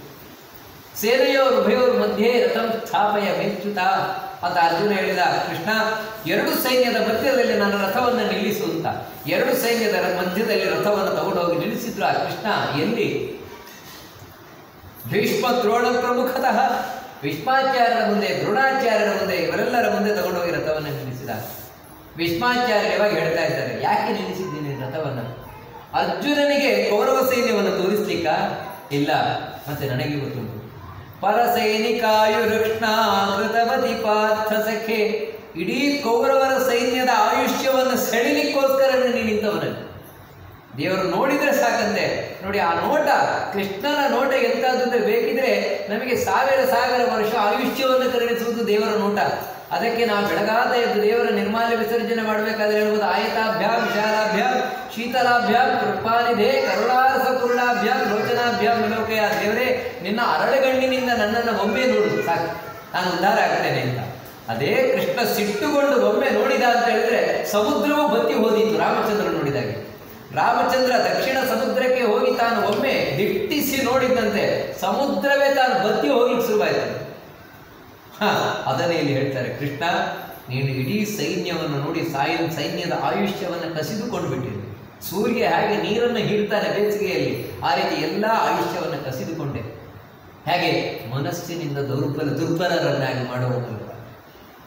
ಇದೆಲ್ಲ ಏನಂದ್ರೆ ದೊಡ್ಡ ಸೈಕಾಲಜಿ ಕೃಷ್ಣ ಏನು ಸಾಮಾನ್ಯ ಒಮ್ಮೆ ನೋಡಿದ ಅಂತ ತಿಳ್ಕೊಳ್ಳಿ ಭೀಷ್ಮಾಚಾರ್ಯರನ್ನು ನೋಡಿದ ಕೃಷ್ಣ ನೋಡಿದ ಕೂಡಲೇ ಭೀಷ್ಮಾಚಾರ್ಯ ತಲೆ ತೆಗೆಸಿ ಯಾಕಂದ್ರೆ ಕೃಷ್ಣ ಯಾವಾಗ ಸಂಧಾನಕ್ಕೆ ಹೋಗಿರ್ತಾನೆ, ಭೀಷ್ಮಾಚಾರ್ಯರು ಕರೆದಿರ್ತಾನೆ ಕೃಷ್ಣ, ನನ್ನ ಮನೆಗೆ ಆತಿಥ್ಯಕ್ಕೆ ಬಾ, ಅತಿಥಿಯಾಗಿ ಬಾ, ನಾನು ಆತಿಥ್ಯ ಮಾಡ್ತೇನೆ. ಬರೋಲ್ಲ ಅಂತೇಳಿ ಯಾಕಂದ್ರೆ ದ್ರೌಪದಿಗೆ ಅವಮಾನ ಆದಾಗ ನೀವು ಏನು ಮಾಡ್ತಾರೆ? ದ್ರೌಪದಿಗೆ ಸೀರೆಯನ್ನು ಎಳೆದು ಅವಮಾನ ಮಾಡಬೇಕಾದ್ರೆ ನೀವು ಸುಮ್ಮನೆ ನೋಡ್ಕೊಂಡು ಕೂತವರಲ್ವಾ? ನನ್ನ ಭಕ್ತಿಗೆ ಅವಮಾನ ಆದಾಗ ನೀವು ನೋಡ್ಕೊಂಡು ಕೂತಿದ್ರಲ್ಲ ನಿಮ್ಮ ಮನೆಗೆ ಬರೋಲ್ಲ. ಈಗ ಕೃಷ್ಣ ನೋಡಿದ ಕೂಡಲೇ ಅದು ನೆನಪಾಯಿತು. ಓ, ನಾನು ತಪ್ಪಿತಸ್ಥ. ಅಪರಾಧ ಮಾಡಿದ್ದೇನೆ. ಯಾವಾಗ ಮನಸ್ಸಿನ ಧೈರ್ಯ ಕುಂದಿ ಹೋಗುತ್ತದೆ ಯುದ್ಧ ಮಾಡಲಿಕ್ಕೆ ಮನಸ್ಸು ಗಟ್ಟಿಯಾಗುತ್ತೆ ದ್ರೋಣಾಚಾರ್ಯರ ಅವಸ್ಥೆಯು ಹೀಗೆ. ಹೀಗೆ ಕೃಷ್ಣ ಎಲ್ಲರ ಆಯುಷ್ಯವನ್ನು ಸೆಳೆದ. ಅದನ್ನೇ ಈಗ ನೆನ್ಪು ಮಾಡ್ಕೊಳ್ತಾ ಇದ್ದಾರೆ. ಸ್ವಾಮಿ, ಈಗ ನನ್ನ ಆಯುಷ್ಯ ಮುಗಿದಿದೆ. ಈಗ ನನ್ನನ್ನು ತಗೊಂಡು ಹೋಗ್ಲಿಕ್ಕೆ ಬಾ. ಅಷ್ಟು ಮಾತ್ರ ಅಲ್ಲ ಏನು ಹೇಳ್ತಾರೆ? ಸ್ವನಿಯಮಪಹಾಯ ಮತ್ಪ್ರತಿಜ್ಞಾ ಋತಮಧಿಕರ್ತುಮವಪ್ಲುತೋ ರಥಸ್ಥಃ ಧೃತರಥ ಹರಿವ ಹಂತುಮಿಮಂ ಹಂತುಮಿಭಂ ಗತೋತ್ತರೀಯಃ ಯುದ್ಧ ನಡೀತಾ ಇದೆ. ಆ ಯುದ್ಧದಲ್ಲಿ ಭೀಷ್ಮಾಚಾರ್ಯರು ವೀರಾವೇಶದಿಂದ ಹೋರಾಟ ಮಾಡ್ತಾ ಇದ್ದಾರೆ ಅರ್ಜುನ ಅದಕ್ಕೆ ಸರಿಯಾಗಿ ಹೋರಾಟ ಮಾಡ್ತಾ ಇದ್ದ ಅವನಿಗೆ, ಅಜ್ಜ, ಅಜ್ಜನ ಹತ್ರ ನಾನು ಯಾಕೆ ಹೋರಾಟ ಮಾಡೋದು? ಅದಕ್ಕೆ ನಿಧಾನವಾಗಿ ಯುದ್ಧ ಮಾಡ್ತಾ ಇದ್ದಾನೆ. ಇದನ್ನು ನೋಡಿ ಕೃಷ್ಣನಿಗೆ ಸಿಟ್ಟು ಬಂತಂತೆ. ಸಿಟ್ಟು ಬಂದವನೇ ಕೂಡಲೇ ರಥದಿಂದ ಕೆಳಗೆ ಹಾರಿದ, ಹೇಳಿದ, ಎಲ್ಲ ಹೋಗಿ ಶಿಬಿರದಲ್ಲಿ ಮಲ್ಕೊಳ್ಳಿ. ಯಾಕಂದ್ರೆ ಯುದ್ಧ ನನಗೆ ಬೇಕಾಗಿದೆ ಅಲ್ವಾ? ಯುದ್ಧದಲ್ಲಿ ಗೆದ್ದರೆ ನನಗೆ ನಾಳೆ ಸಾಮ್ರಾಜ್ಯ ಸಿಗುದಲ್ವಾ? ಹೋಗಿ ಎಲ್ಲ ಮಲ್ಕೊಳ್ಳಿ. ಈ ಮುದುಕ ಇರುವವರೆಗೆ ನಾವು ಗೆಲ್ಲಿಗೆ ಸಾಧ್ಯವೇ ಇಲ್ಲ. ಈ ಮುದುಕನ ನಾನು ಹೀಗೆ ಹೀಗೆ ಮುಗಿಸಿಬಿಡ್ತೇನೆ ಅಂತ ಹೇಳಿ ಕೃಷ್ಣ ರಭಸದಿಂದ ರಥದಿಂದ ಹಾರಿ ತಾನು ಅಲ್ಲೇ ಒಂದು ಗಾಡಿಯ ಚಕ್ರ ಇತ್ತಂತೆ. ಆ ಗಾಡಿಯ ಚಕ್ರ ಅಂದ್ರೆ ಸುದರ್ಶನ ಚಕ್ರವನ್ನೇನ ಮಹಾಭಾರತ ಹೇಳ್ತದೆ. ಸುದರ್ಶನ ಚಕ್ರವನ್ನು ಹಿಡಿದು ಸೀದಾ ಹೋಗ್ತಾ ಇದ್ದಾನಂತೆ ಭೀಷ್ಮಾಚಾರ್ಯರ ಬಳಿ. ಯಾಕಂದ್ರೆ ಹೋಗಬೇಕಾದ್ರೆ ಮೇಲೆ ಹೊತ್ತಿರುವ ವಸ್ತ್ರ ಏನಿದೆ, ಅದು ಜಾರಿ ಬೀಳ್ತಾ ಇದೆಯಂತೆ. ಹಾಗಿದ್ರು ಅದನ್ನು ಸರಿ ಮಾಡಿಕೊಳ್ಳಿಕ್ಕೂ ಬರುಸುತ್ತಿಲ್ಲ ಕೃಷ್ಣನಿಗೆ. ಆ ರೀತಿ ಹೋಗ್ತಾ ಇದ್ದಾನಂತೆ ಭೀಷ್ಮಾಚಾರ್ಯರ ರಥದಲ್ಲಿ ಕೂತಿದ್ದಾರೆ. ಕೈ ಜೋಡಿಸಿ, ಕೃಷ್ಣ, ಬಾ ಬಾ ಅಂತ ಹೇಳ್ತಾ ಇದ್ದಾರೆ. ಯಾಕಂದ್ರೆ ನೀನಿವತ್ತು ಬರದೇ ಇದ್ರೆ ನಾನು ಸುಳ್ಳುಗಾರನಾಗ್ತೇನೆ. ನಿನ್ನ ಪ್ರತಿಜ್ಞೆಯನ್ನು ಕೂಡ ನೀನು ಮರೆತು ನನ್ನ ಪ್ರತಿಜ್ಞೆಯನ್ನು ಯಾಕಂದ್ರೆ ಭಕ್ತನ ಪ್ರತಿಜ್ಞೆಯನ್ನು ಸತ್ಯ ಮಾಡಬೇಕು ಅಂತ ನೀನು ಬರ್ತಾ ಇದೆಯಲ್ವಾ? ಅಂತ ಹೇಳಿದ್ರೆ ಕೃಷ್ಣನ ಕೈಯಲ್ಲಿ ನಾನು ಚಕ್ರವನ್ನು ಹಿಡಿಸ್ತೇನೆ ಅಂತ ಹೇಳುವಂತಹದ್ದು ಭೀಷ್ಮಾಚಾರ್ಯರ ಪ್ರತಿಜ್ಞೆ. ಆ ಪ್ರತಿಜ್ಞೆಯನ್ನ ಇವತ್ತು ಸತ್ಯ ಮಾಡಲಿಕ್ಕೋಸ್ಕರ ಬರ್ತಾ ಇದ್ದೇನೆ ಕೃಷ್ಣ. ಬಾ ಬಾ, ನನ್ನನ್ನು ಕೊಲ್ಲು ಅಂತ ಹೇಳಿ ಸ್ವಾಗತ ಮಾಡ್ತಾರೆ ಭೀಷ್ಮಾಚಾರ್ಯರು. ಆದರೆ ಕೂಡಲೇ ಅರ್ಜುನ ಬಂದು ಕೃಷ್ಣನ ಕಾಲಿಡ್ಕೊಳ್ತಾನೆ, ಕೃಷ್ಣ, ಬೇಡ, ಇನ್ನು ನಾನು ಹೋರಾಟ ಮಾಡ್ತೇನೆ. ನನಗೆ ಬುದ್ಧಿ ಬಂತು ಅಂತ ಆಮೇಲೆ ವಿರಾವೇಶದಿಂದ ಹೋರಾಟ ಮಾಡ್ತಾನೆ. ಈಗ ಭೀಷ್ಮಾಚಾರ್ಯರು ಆ ಕೃಷ್ಣನನ್ನು ಸ್ಮರಣೆ ಮಾಡಿಕೊಳ್ತಾ ಇದ್ದಾರೆ. ಕೃಷ್ಣ, ಅವತ್ತು ಚಕ್ರವನ್ನು ಹಿಡಿದು ನನ್ನನ್ನು ಕೊಲ್ಲಿಕ್ಕೆ ಬಂದ್ಯ ಇವತ್ತು ಬಾ. ಇವತ್ತು ನನ್ನನ್ನು ಕೊಲ್ಲು ಇವತ್ತು ನನ್ನನ್ನು ಸಂಹಾರ ಮಾಡು ಅಂತ ಹೇಳಿ ಆ ಕೃಷ್ಣನ ರೂಪವನ್ನು ಈ ರೀತಿ ಚಕ್ರವನ್ನು ಹಿಡಿದು ನಿನ್ನನ್ನು ಕೊಲ್ತೇನೆ ಅಂತ ರಭಸದಿಂದ ಬರ್ತಾ ಇರುವ ಕೃಷ್ಣನ ರೂಪವನ್ನು ಚಿಂತನೆ ಮಾಡ್ತಾರೆ ಹೀಗೆ ಆ ಭಗವಂತನ ಚಿಂತನೆಯನ್ನು ಮಾಡುತ್ತಾ ತಾವು ಪ್ರಾಣವನ್ನು ತ್ಯಾಗ ಮಾಡಬೇಕು ಆಶ್ಚರ್ಯ ಏನು ಹೇಳಿದ್ರೆ ಮಹಾಭಾರತ ಹೇಳ್ತಿದೆ ಪ್ರಾಣ ತ್ಯಾಗ ಮಾಡುವವರೆಗೆ ಬಾಣ ಎಲ್ಲ ಚುಚ್ಚಿತ್ತು. ಮೈ ತುಂಬ ಬಾಣ. ಎಲ್ಲಿವರೆಗೆ ಅಂದರೆ ಹಿಂದಿನಿಂದ ಹೊಕ್ಕ ಬಾಣ ಮುಂದಿನಿಂದ ಬಂದಿತ್ತು. ಅಷ್ಟೂ ತಿಂಗಳುಗಳ ಕಾಲ ಆ ಬಾಣದ ನೋವಿನಲ್ಲೇ ಭೀಷ್ಮಾಚಾರ್ಯರು. ಆದರೆ ಯಾವಾಗ? ನಿಜವಾಗಲೂ ಬೇಕು ಅಂತ ಅವರನ್ನು ಅನುಭವಿಸಿದರು ಭೀಷ್ಮಾಚಾರ್ಯರು. ಯಾಕಂದರೆ ಯಾವಾಗ ಅವರ ಪ್ರಾಣ ಪಕ್ಷಿ ಹಾರಿ ಹೋಗಬೇಕು ಅಂತ ನಿಶ್ಚಯ ಮಾಡಿದರು, ಯಾಕಂದರೆ ಇಚ್ಛಾಮರಣೆಗಳು. ನಾನು ಸಾಯ್ತೇನೆ ಇನ್ನು ನಾನು ಸಾಯಬೇಕು ಇಚ್ಛೆ ಮಾಡಿದರು. ಕೂಡಲೇ ಎಲ್ಲ ಬಾಣಗಳು ತುಂಡಾಯಿತು. ಮೈಗೆ ಅಂಟಿಕೊಂಡಿದ್ದ ಎಲ್ಲ ಬಾಣಗಳು ತುಂಡಾಗಿ ಅಷ್ಟು ಮಾತ್ರ ಅಲ್ಲ, ಮೈಯಲ್ಲಿ ಏನು ಗಾಯ ಇತ್ತು, ಆ ಎಲ್ಲ ಗಾಯಗಳು ಮಾಸಿ ಹೋಯಿತಂತೆ ಇದನ್ನು ಮಹಾಭಾರತ ಬಹಳ ಸ್ಪಷ್ಟವಾಗಿದೆ ಗಾಯದ ಕಲೆ ಸಮೇತ ಇದೆ ಮೊದಲು ಭೀಷ್ಮಾಚಾರ್ಯರಾಗಿದ್ರು ಹಾಗೇ ಅದರ ಪ್ರಾಣವನ್ನು ಬಿಟ್ಟು ಹೋದರು. ಅಂದರೆ ಯೋಗಿಗಳು ಹೇಗಿರ್ತಾರೆ ಅಲ್ಲಿವರೆಗೆ ತಾನು ಅನುಭವಿಸಬೇಕು ಅಂತಲೇ ಅನುಭವಿಸಿದರು. ಅವ್ರು ಯಾವಾಗ ಅವರ ದೇಹವನ್ನು ಬಿಟ್ಟು ಹೊರಟೋದ್ರು, ದೇವತೆಗಳನ್ನು ಪುಷ್ಪವೃಷ್ಟಿಯನ್ನು ಮಾಡಿದರು. ಹೀಗೆ ಭೀಷ್ಮಾಚಾರ್ಯರು ದೇಹವನ್ನು ತ್ಯಾಗ ಮಾಡಿದ ಕಥೆಯನ್ನು ಭಾಗವತ ತಾತ್ಪರ್ಯ ಈ ಕಡೆ ಆದರೂ ವಿದುರ. ಯಾವಾಗ ಕೌರವರು ಪಾಂಡವರಿಗೆ ಯುದ್ಧ ನಿಶ್ಚಯ ಆಯಿತು. ಇಲ್ಲ, ನಾನು ಒಂದೇ ಕುಟುಂಬದವರು ಹೊಡೆದಾಡಿಕೊಳ್ಳುವುದನ್ನು ನೋಡುವುದಿಲ್ಲ ಅಂತ ಹೇಳಿ ತಾನು ತೀರ್ಥಯಾತ್ರೆ ಹೊರಟಿದ್ದ. ಈಗ ಧರ್ಮರಾಜನಿಗೆ ರಾಜ್ಯ ಸಿಕ್ಕಿದ್ದು ಗೊತ್ತಾದ ಮೇಲೆ ತಾನು ಮರಳಿ ಬರ್ತಾನೆ ವಿದುರ ವಿದುರ ಬಂದಾಗ ಸ್ವಾಗತ ಮಾಡ್ತಾನೆ ಧರ್ಮರಾಜ. ವಿದುರ ನನ್ನ ನೆನಪಾಯ್ತಾ ಅಂತ ಹೇಳಿ ಸ್ವಾಗತವನ್ನು ಮಾಡಿ ಸತ್ಕಾರ ಮಾಡ್ತಾನೆ. ವಿದುರನಾದರೂ ಧೃತರಾಷ್ಟ್ರ ಹತ್ರ ಹೋಗ್ತಾನೆ. ಧೃತರಾಷ್ಟ್ರನ ಹತ್ರ ಹೋಗಿ ಧೃತರಾಷ್ಟ್ರ ಚೆನ್ನಾಗಿದೆಯಾ ಅಂತ ಎಲ್ಲ ಕೇಳ್ತಾನೆ. ಕೇಳಿದಾಗ ವಿದುರ ಹೇಳ್ತಾನೆ ಆ, ಧೃತರಾಷ್ಟ್ರ ಹೇಳ್ತಾನೆ ಹೌದು ಚೆನ್ನಾಗಿದ್ದೇನೆ. ಆದರೆ ಭೀಮಸೇನ ಮಾತ್ರ ನನಗೆ ಅವಮಾನ ಮಾಡ್ತಾನೆ. ಅದಕ್ಕೆ ವಿದುರ ಹೇಳ್ತಾನೆ, ನಿಜವಾಗಿಯೂ ನಿನಗೆ ಒಳ್ಳೇದು ಮಾಡ್ತಾ ಇರೋದು ಭೀಮಸೇನ ಮಾತ್ರ. ಯಾಕಂದ್ರೆ ಯಸ್ವರ ಯಸ್ವತ ಪರದೋವಾಪಿ ಮನುಷ್ಯ ಯಾವಾಗ ವಯಸ್ಸಾಗ್ತಾ ಬಂದು, ವಯಸ್ಸಾಗ್ತಾ ಬಂದಾಗ ಅರ್ಥ ಮಾಡ್ಕೊಳ್ಬೇಕಂತ. ಏನಂತ ಹೇಳಿದ್ರೆ, ನನಗೆ ಕಡೆಕಾಲ ಸಮೀಪಿಸ್ತಾ ಇದೆ, ಕಡೆಕಾಲ ಸಮೀಪಿಸ್ತಾ ಇದೆ ಅನ್ನೋದನ್ನು ಅರ್ಥ ಮಾಡ್ಕೊಳ್ಬೇಕಂತೆ. ಯಾಕಂತ ಹೇಳಿದ್ರೆ, ಎಷ್ಟು ಹೇಳ್ತಾನೆ ಅಂತ ಹೇಳಿದ್ರೆ, ಧೃತರಾಷ್ಟ್ರನಿಗೆ ನೋಡು ಧೃತರಾಷ್ಟ್ರ, ನಮ್ಮ ಪಾಲಿಗೆ ಎಂಥ ಸಮಯ ಬರ್ತಾ ಇದೆ ಅಂದ್ರೆ ಯಾವುದಕ್ಕೆ ಪ್ರತಿಕ್ರಿಯೆ ಕೊಡ್ಲಿಕ್ಕೆ ನಮ್ಮಲ್ಲಿ ಅವಕಾಶ ಇಲ್ವೋ? ಅಂದ್ರೆ ನೋ ರೆಸ್ಪಾನ್ಸ್ ಅಂತ ಮರಣ, ಅದೇ. ಮರಣಕ್ಕೆ ಪ್ರತಿಕ್ರಿಯೆಯೇ ಇಲ್ಲ. ಮರಣ ಬಂತು ಅಂತ ಹೇಳಿದ್ರೆ ಕಬಳಿಸಿದೆ ಅದು. ಅದರಿಂದ ತಪ್ಪಿಸಿಕೊಳ್ಳಿಕ್ಕೆ ಸಾಧ್ಯವೇ ಇಲ್ಲ. ಅಂತ ಕಾಲ ಬರ್ತಾ ಇದೆ. ಅದಕ್ಕೆ ತಯಾರಾಗಲ್ಲ ಏನು ತಯಾರಾಗುತ್ತಂದ್ರೆ ಹೇಗೆ? ಮರಣಕ್ಕೆ ತಯಾರಾಗುವುದು ಅಂತ ಹೇಳಿದ್ರೆ ಏನು? ಅಂತ ಹೇಳಿದ್ರೆ ಮರಣಕ್ಕೆ ತಯಾರಾಗುವುದು ಅಂತ ಹೇಳಿದ್ರೆ ಎಲ್ಲ ಆಸೆ, ಆಕಾಂಕ್ಷೆಗಳನ್ನು ಬಿಡು. ಯಾಕಂದ್ರೆ ಬಿಟ್ಟು ಹೋಗಲೇಬೇಕು. ಆ ಬಿಟ್ಟು ಹೋಗಲೇಬೇಕು ಅನ್ನೋದು ನಿಶ್ಚಯ ಆದಮೇಲೆ ನಾವು ಮನಸ್ಸಿನಿಂದ ಎಲ್ಲ ವಸ್ತುಗಳನ್ನು ಬಿಡ್ತಾ ಹೋಗುದು ಹೊರಗಿನಿಂದ ಬಿಡಬೇಕಾಗಿಲ್ಲ. ಮನಸ್ಸಿನಿಂದ ಅಟ್ಯಾಚ್ಮೆಂಟ್ ಕಳ್ಕೊಂಡು ಕಳ್ಕೊಂಡು ಕಳ್ಕೊಂಡು ಬರಬೇಕು ಯಾರೇ ರೀತಿ ಆ ಅಟ್ಯಾಚ್ಮೆಂಟ್ ಅನ್ನು ಕಳ್ಕೊಳ್ಳುವುದಿಲ್ಲ, ಅಂತಹ ವ್ಯಕ್ತಿ ಅಟ್ಯಾಚ್ಮೆಂಟ್ ಅನ್ನು ಕಳ್ಕೊಳ್ಳದೇ ಇದ್ರೆ ಇಲ್ಲಿ ಸಿಕ್ಕಿ ಬಿಡುತ್ತಾನೆ ಸ್ವತಃ ಹೋಗಲ್ಲ ನನಗೆ ಒಂದು ವೈರಾಗ್ಯ ಬರಬೇಕು ಇಲ್ಲ, ಇನ್ನೊಬ್ರು ಹೇಳಿ ವೈರಾಗ್ಯ ಬರಬೇಕು ಅದಕ್ಕೆ ಹೇಳ್ತಾ ಇದ್ದಾನೆ, ನೋಡು, ಭೀಷ್ಮ, ಭೀಮಸೇನ. ನಿನಗೆ ಬರೀ ಯಾಕಂದ್ರೆ ಭೀಮಸೇನ ಈ ಧೃತರಾಷ್ಟ್ರನ ಎದುರಿಗೆ ಬರೋದಲ್ಲ ಕುರುಡ, ಧೃತರಾಷ್ಟ್ರ ಕುರುಡ ಅವನ ಮುಂದೆ ಬಂದು ಸಹದೇವನ ಹೇಳು ಸಹದೇವ, ಎಂಥ ಕೈ ಮತ್ತುಂಟ ಇದು ಈ ಮುದುಕ ಇದ್ದಾನಲ್ವ? ಮುದುಕನ ಮಕ್ಕಳನ್ನೆಲ್ಲ ಕೊಂದ ಕೈ ಇದು ಬೇಕು ಅಂತಾನೆ, ಅವನನ್ನು ನುಡಿಸ್ಬೇಕು ಅಂತಾನೆ. ಅಷ್ಟು ಮಾತ್ರ ಅದಕ್ಕೆ ಹೇಳ್ತಾನೆ, ನೋಡಿ ಈ ರೀತಿ ನನಗೆ ಹೇಳ್ತಾನೆ ಭೀಮಸೇನ ಅಂತ. ಅಷ್ಟೇನಾ? ಭೀಮಾಪವರ್ಜಿನ ವರ್ಜಿತ ಪಿಂಡಂ ಆದತ್ಸೆ ಗ್ರಹ ಪಾದವತು. ಪ್ರತಿದಿನ ನಿನಗೆ ಅನ್ನ ಹಾಕ್ತಾ ಇರುವವನು ಧೃತರಾಷ್ಟ್ರ, ಈ ಭೀಮಸೇನ. ಅವನು ಪಿಂಡ ಹಾಕಿದಾಗ ಅಂತ ನಿಮಗೆ. ಎಡಗೈಯಲ್ಲಿ ಅಪವರ್ಜಿತ ಪಿಂಡ ಅದು ಹೇಗೆ ಅಂತ ಹೇಳಿದ್ರೆ ನಾಯಿಗೆ ಹಾಕಿದಾಗ ಆಗದಾಗೆ ಹಾಕ್ತಾನೆ, ಅದನ್ನು ನೀನು ತಿನ್ಕೊಂಡು ಇನ್ನು ನೀನು ಮಕ್ಕಳನ್ನ ಕಳ್ಕೊಂಡೆ, ರಾಜ್ಯವನ್ನ ಕಳ್ಕೊಂಡೆ, ಇನ್ನೂ ಬುದ್ಧಿ ಬಂದಿಲ್ವಾ? ಹೊರಡಿ ಇಲ್ಲಿಂದ ಅಂತ ಹೇಳಿ. ಇಲ್ಲಿವರೆಗೆ ಪಾಪ ಮಾಡಿದ್ದು ಸಾಕು, ಇನ್ನು ಹೊರಡು. ಇನ್ನು ಹೊರಟು ತಪಸ್ಸನ್ನ ಮಾಡುವಂತ ವಿದುರ ಧೃತರಾಷ್ಟ್ರನಿಗೆ ತಾನು ಬುದ್ಧಿ ಮಾತನಾಡಿ ಧೃತರಾಷ್ಟ್ರನಿಗೆ ಹೌದು ಅಂತ ಕಾಣ್ತು ಯಾವತ್ತು ಜೀವನದಲ್ಲಿ ಒಳ್ಳೆಯವರು ಸಹವಾಸಬೇಕು ಧೃತ, ಧೃತರಾಷ್ಟ್ರ ತನ್ನ ಜೀವನದಲ್ಲಿ ಮಾಡಿದ ದೊಡ್ಡ ಒಳ್ಳೆ ಕೆಲಸ ಏನಂದ್ರೆ ವಿದುರ ಸಂಜೆಯರಂತಹ ಸಜ್ಜನರ ಸಹವಾಸ ಮಾಡಿದ ಅದರಿಂದಾಗಿ ಅವನು ಏನು ಅಪರಾಧ ಮಾಡಿದರೂ ಕೂಡ ಅದನ್ನೆಲ್ಲ ಕಳ್ಕೊಂಡ. ಯಾಕಂದ್ರೆ ವಿದುರನಂಥವನ ಸಹವಾಸದಿಂದ ಏನು ಮಾಡಿದ್ರು ವಿದುರನನ್ನು ಬಿಡಲಿಲ್ಲ. ದುರ್ಯೋಧನಾದಿಗಳು ವಿದುರನಿಂದ ದೂರ ಮಾಡಬೇಕು ಧೃತರಾಷ್ಟ್ರನನ್ನ ಅಂತ ಇನ್ನಿಲ್ಲದ ಪ್ರಯತ್ನಗಳು. ಆದರೆ ಧೃತರಾಷ್ಟ್ರ ಮಾತ್ರ ವಿದುರನನ್ನು ಬಿಡಲಿಲ್ಲ. ಅದಕ್ಕೆ ನೋಡಿ, ವಿದುರನೇ ಕಡೆಗೆ ಕರ್ಕೊಂಡು ಹೋಗ್ತಾರೆ ಯಾವಾಗ ವಿದುರ ಹೊರಟ, ಆಯಿತು, ನಾನಿನ್ನು ಹೋಗುತ್ತೇನೆ ಅಂತ ಗಾಂಧಾರಿ ತಾನು ಕೂಡ ಹೊರಟು. ನಾನಿನ್ನೇನಿಲ್ಲಿರುವುದು? ಗಾಂಧಾರಿ ಹೊರಟುಕೊಂಡೆ ಕುಂತಿ ತಾನು ಕೂಡ ಹೊರಟು.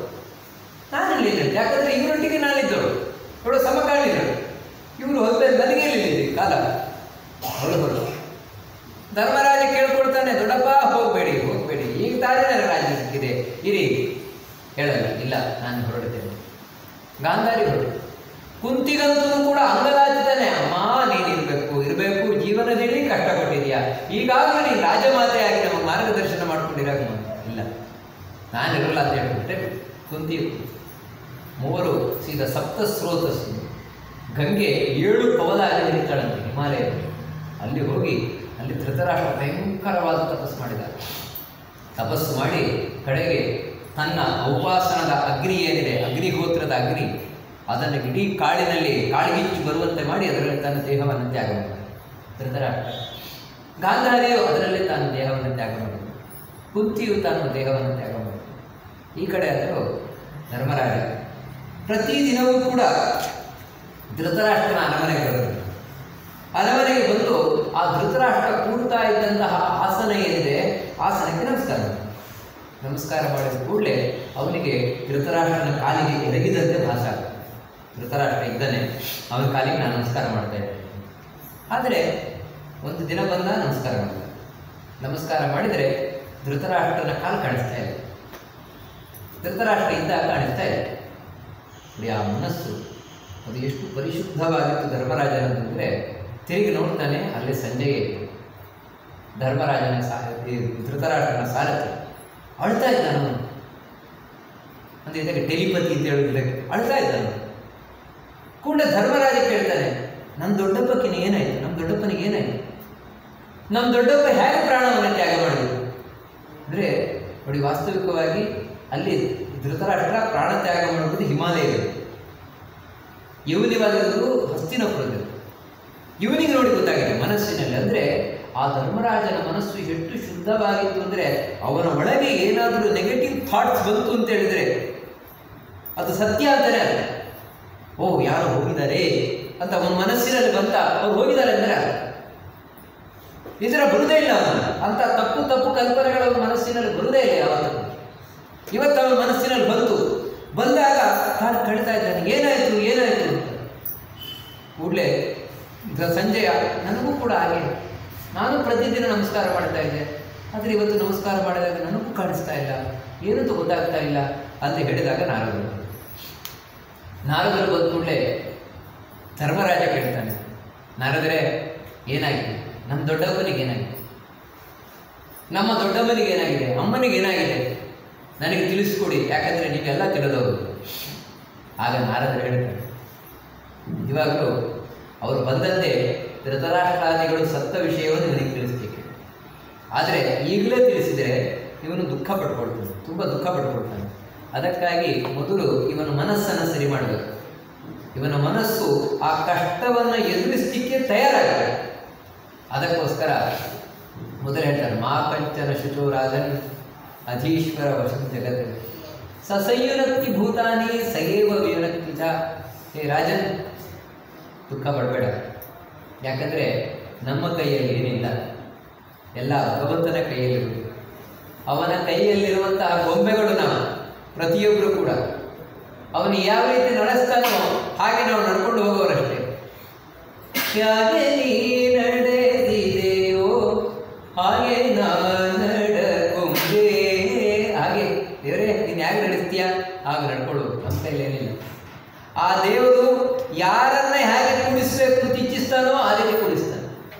ಸಾಕು.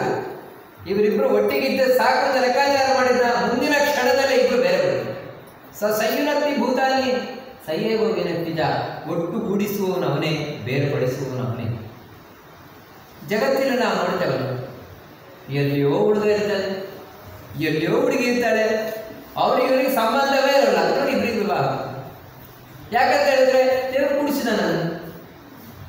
ಹಾಗಂತ ಇಬ್ರು ಬಹಳ ಇಷ್ಟಪಟ್ಟು ಮದುವೆ ಆಗಿರ್ತಾರೆ ಅಯ್ಯೋ ಬಿಟ್ಟಿರ್ಲಿಕ್ಕೆ ಸಾಧ್ಯ ಇಲ್ಲ ಒಂದೇ ತಿಂಗಳು ಬೇರೆ ಸೈವ ಯಾಕಂದ್ರೆ ಸೈಯವ ವಿನಕ್ತಿಜ ಬೇರ್ಪಡಿಸುವವನು ದೇವರೇ, ಒಟ್ಟುಗೂಡಿಸುವವನು ದೇವರೇ, ಪ್ರತಿಯೊಂದು ಕೂಡ.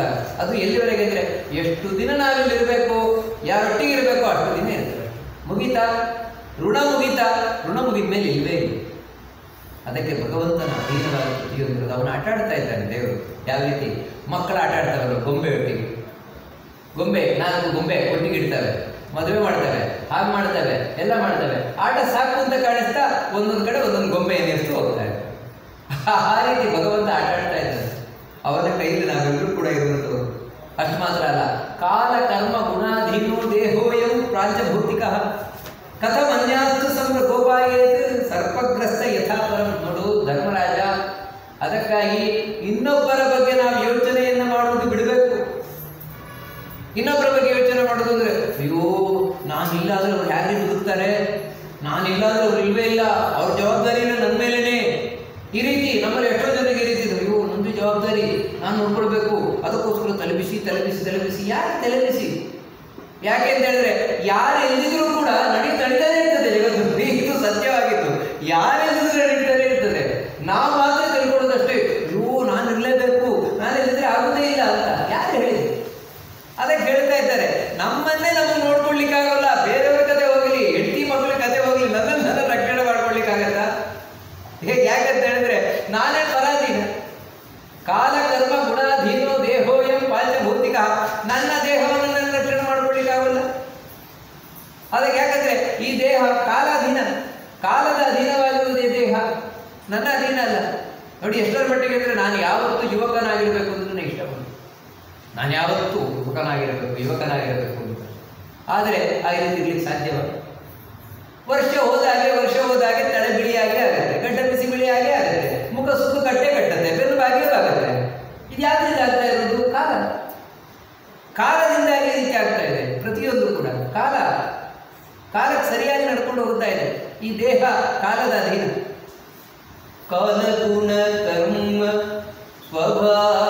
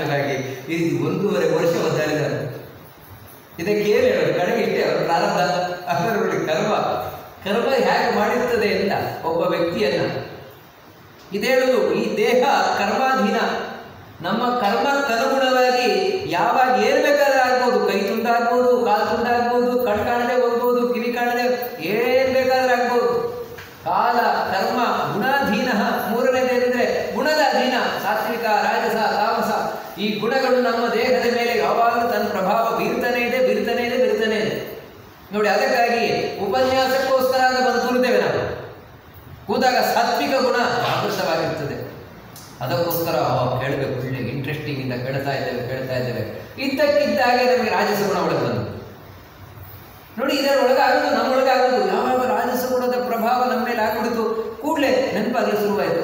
ಮನೆ ಕಡೆ ಏನಾಗಿದೆ? ಅಲ್ಲೇನಾಗಿದೆ ಇಲ್ಲೇನಾಗಿದೆ ಇಲ್ಲೇ ಯೋಚನೆ ಬರಲು ಶುರುವಾಯಿತು. ಇದಕ್ಕಿದ್ದಾಗೆ ತಾಮಸ ಗುಣ ಬಂದ್ಬಿಡ್ತು. ತಾಮಸ ಗುಣದ ಸ್ವಿಚ್ ಆನ್ ಆಗಿಬಿಡ್ತು. ಇಂಟ್ರೆಸ್ಟಿಂಗ್ ಇಂದ ಕೇಳ್ತಾ ಇದ್ರು ಮೆಲ್ಲ ಕಣ್ಣು ಬರ್ಲಿಕ್ಕೆ ಶುರು ನಮ್ಮ ದಿನ ಅಲ್ಲ ಅದು ದೇವರ ದಿನ. ಅಂದ್ರೆ ನೋಡಿ, ನಾವು ಕಣ್ಣು ಬರುವುದು ದೇವರ ದಿನ.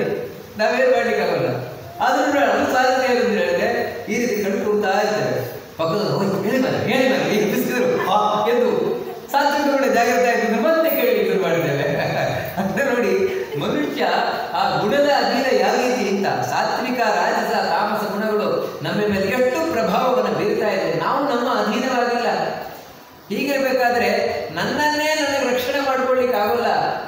ಇನ್ನಿನ್ನೊಬ್ಬರನ್ನ ಏನು ರಕ್ಷಣೆ ಮಾಡ್ತಾರೆ ಸ, ಸರ್ಪಗ್ರಸ್ತು ಯಥಾ ತರಹ ಹಾ, ಒಳ್ಳೆ ಉದಾಹರಣೆ ಒಂದು ಹಾವು ಬುಸ್ಬಿಡ್ತಾ ಇದೆ. ಇದರೊಳಗೆ ಕಪ್ಪೆ. ಆ ಕಪ್ಪೆಯನ್ನು ನೋಡ್ತಾ ಬುಸ್ಬಿಡ್ತಾ ಇದೆ. ಅದರ ಪಕ್ಕದಲ್ಲಿ ಇನ್ನೊಂದು ಕಪ್ಪೆ ಇದೆ. ಆ ಕಪ್ಪೆ ದುಃಖ ಪಡ್ತಾ ಇದೆ. ಅಯ್ಯೋ, ಪಾಪ. ಈ ಕಪ್ಪೆಯನ್ನು ಬಿಡ್ತದೆ ಹಾವು. ಈ ಕಪ್ಪೆ ಬಿಡ್ತದೆ ಅಂತ ದುಃಖ ಪಡ್ತಾ ಇದೆ. ಆದರೆ ಆ ಕಪ್ಪೆ ಗೊತ್ತಿಲ್ಲ. ಆ ಕಪ್ಪೆಯನ್ನು ತಿಂದಲ್ಲಿ ನಮ್ಮನ್ನೇ ನುಗ್ಗುತ್ತದಿದ್ದು ಮುಂದಿನ ಆಹಾರವೇ ನನಗೆ ಗೊತ್ತಿಲ್ಲ. ಹಾಗೆ ಇನ್ನೊಬ್ಬರ ಬಗ್ಗೆ ನಾವು ದುಃಖ ಪಟ್ಕೊಂಡು ಕೊಡ್ತೇವೆ. ಅಯ್ಯೋ, ಪಾಪ, ಅವ್ರು ಸತ್ತು ಹೋಗ್ಬಿಟ್ರು. ಅವರಿಗೆ ಹೋಗ್ಬಿಟ್ರು. ನನಗೆ ನನಗೆ ನಾಳೆ ಇದೇ ಕಥೆ ನಾಳೆ ನಾನು ಸಾಯ್ತೇನೆ. ನಾವೇನಂತ ಹೇಳಿದ್ರೆ ಅಳ್ಲಿಕ್ಕೆ ಕಾರಣ ನಾನು ಪರ್ಮನೆಂಟು ಅವರ ಟೆಂಪರರಿ ಹೊರಡೋದು ಇಲ್ಲ, ನಾಳೆ ನಾನು ಹೋಗೋದು ಅದು ನೋಡಿ, ಹೀಗೆ ನಮ್ಮನ್ನೇ ನಮ್ಮ ರಕ್ಷಣೆ ಮಾಡ್ಕೊಳ್ಳಿಕ್ಕಾಗಲ್ಲ. ಅದರಿಂದ ಅದರಿಂದಾಗಿ ಏನಂದ್ರೆ ಎಲ್ಲವೂ ದೇವರ ಅಧೀನ ಅಂತ ತಿಳ್ಕೋ, ದುಃಖವನ್ನ ತ್ಯಾಗ ಮಾಡು. ದೇವರು ಯಾವ ರೀತಿ ನಡೆಸ್ಕೊಂಡು ಹೋಗ್ತಾನೋ ಆ ರೀತಿ ಹೋಗಲಿ. ನಾವು ತಯಾರಾಗ ಇಷ್ಟು ನಾರದರು ಹೇಳಿ, ನಂತರ ಧೃತರಾಷ್ಟ್ರನಿಗೆ ಏನೇನಾಯಿತು ಅದನ್ನೆಲ್ಲ ತಿಳಿಸ್ಕೊಂಡು ಬಂದರು. ಧೃತರಾಷ್ಟ್ರ ಯಾವ ರೀತಿ ತಾನು ಪ್ರಾಣ ತ್ಯಾಗ ಮಾಡಿದ ಎಲ್ಲವನ್ನ ತಾನು ಹೇಳಿ ಆನಂತರ ಆ ಧರ್ಮರಾಜನ ದುಃಖವನ್ನು ಪುಷ್ಪನವನ್ನು ಮಾಡಿದರು. ಧರ್ಮರಾಜನಾದರೂ ನಂತರ ರಾಜ್ಯಭಾರವನ್ನು ಮಾಡ್ತಾ ಇದ್ದಾನೆ. ಕೃಷ್ಣ ದ್ವಾರಕೆಗೆ ಹೋಗಬೇಕಾದ್ರೆ ಅರ್ಜುನನನ್ನು ಕರ್ಕೊಂಡು ಹೋಗಿದ್ದ ಅರ್ಜುನನನ್ನು ಕರ್ಕೊಂಡು ಹೋಗಿದ್ದಾನೆ.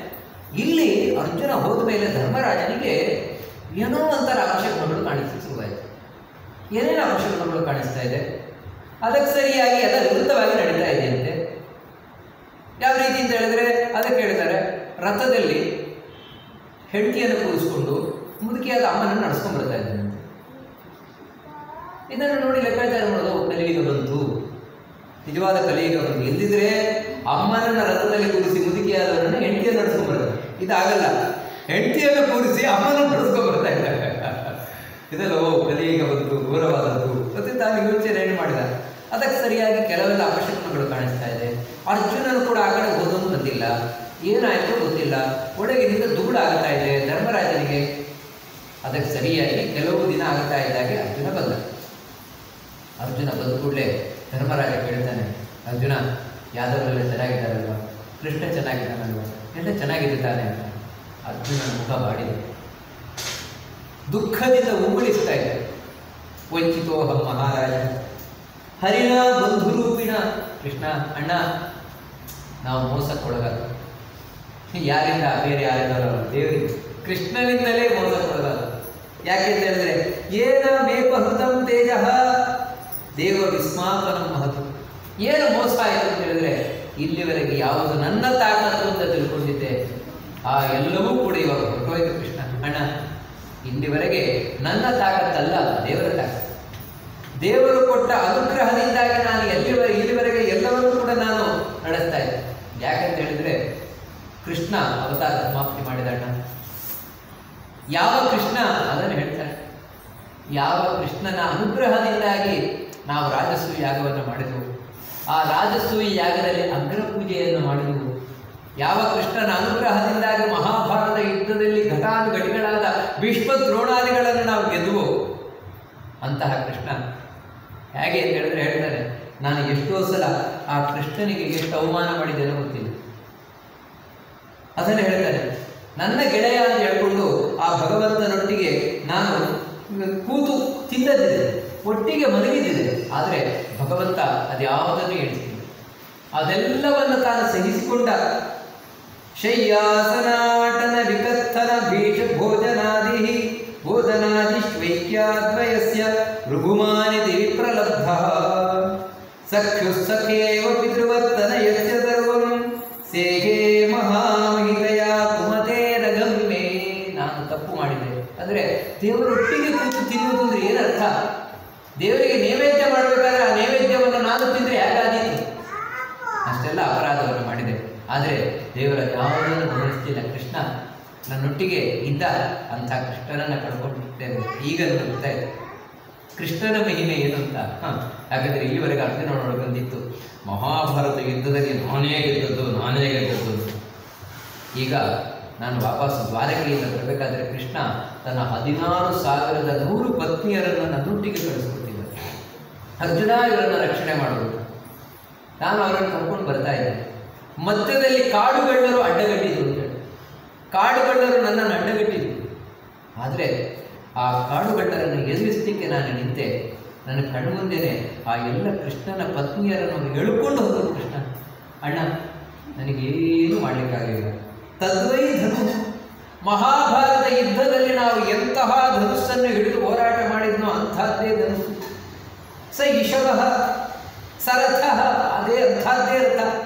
ಅಂಥದ್ದೇ ಬಾಣಗಳು. ಅಷ್ಟು ಮಾತ್ರ ಅಲ್ಲ ಸೋಯಂ ರತಿ ಆ ಅರ್ಜುನನೇ ಇವತ್ತಿದ್ದದ್ದು. ಅದೇ ಅರ್ಜುನನೇ. ಸರ್ವಂ ಕ್ಷಣೇನ ತದ್ ತದಭೂತ್ ಅಸದೀಶರಿಕ್ತಂ ಆದರೆ ಅದೆಲ್ಲವೂ ಕೂಡ ನೀರಿನಲ್ಲಿ ಹೋಮ ಮಾಡಿದಾಗಾಯಿತು.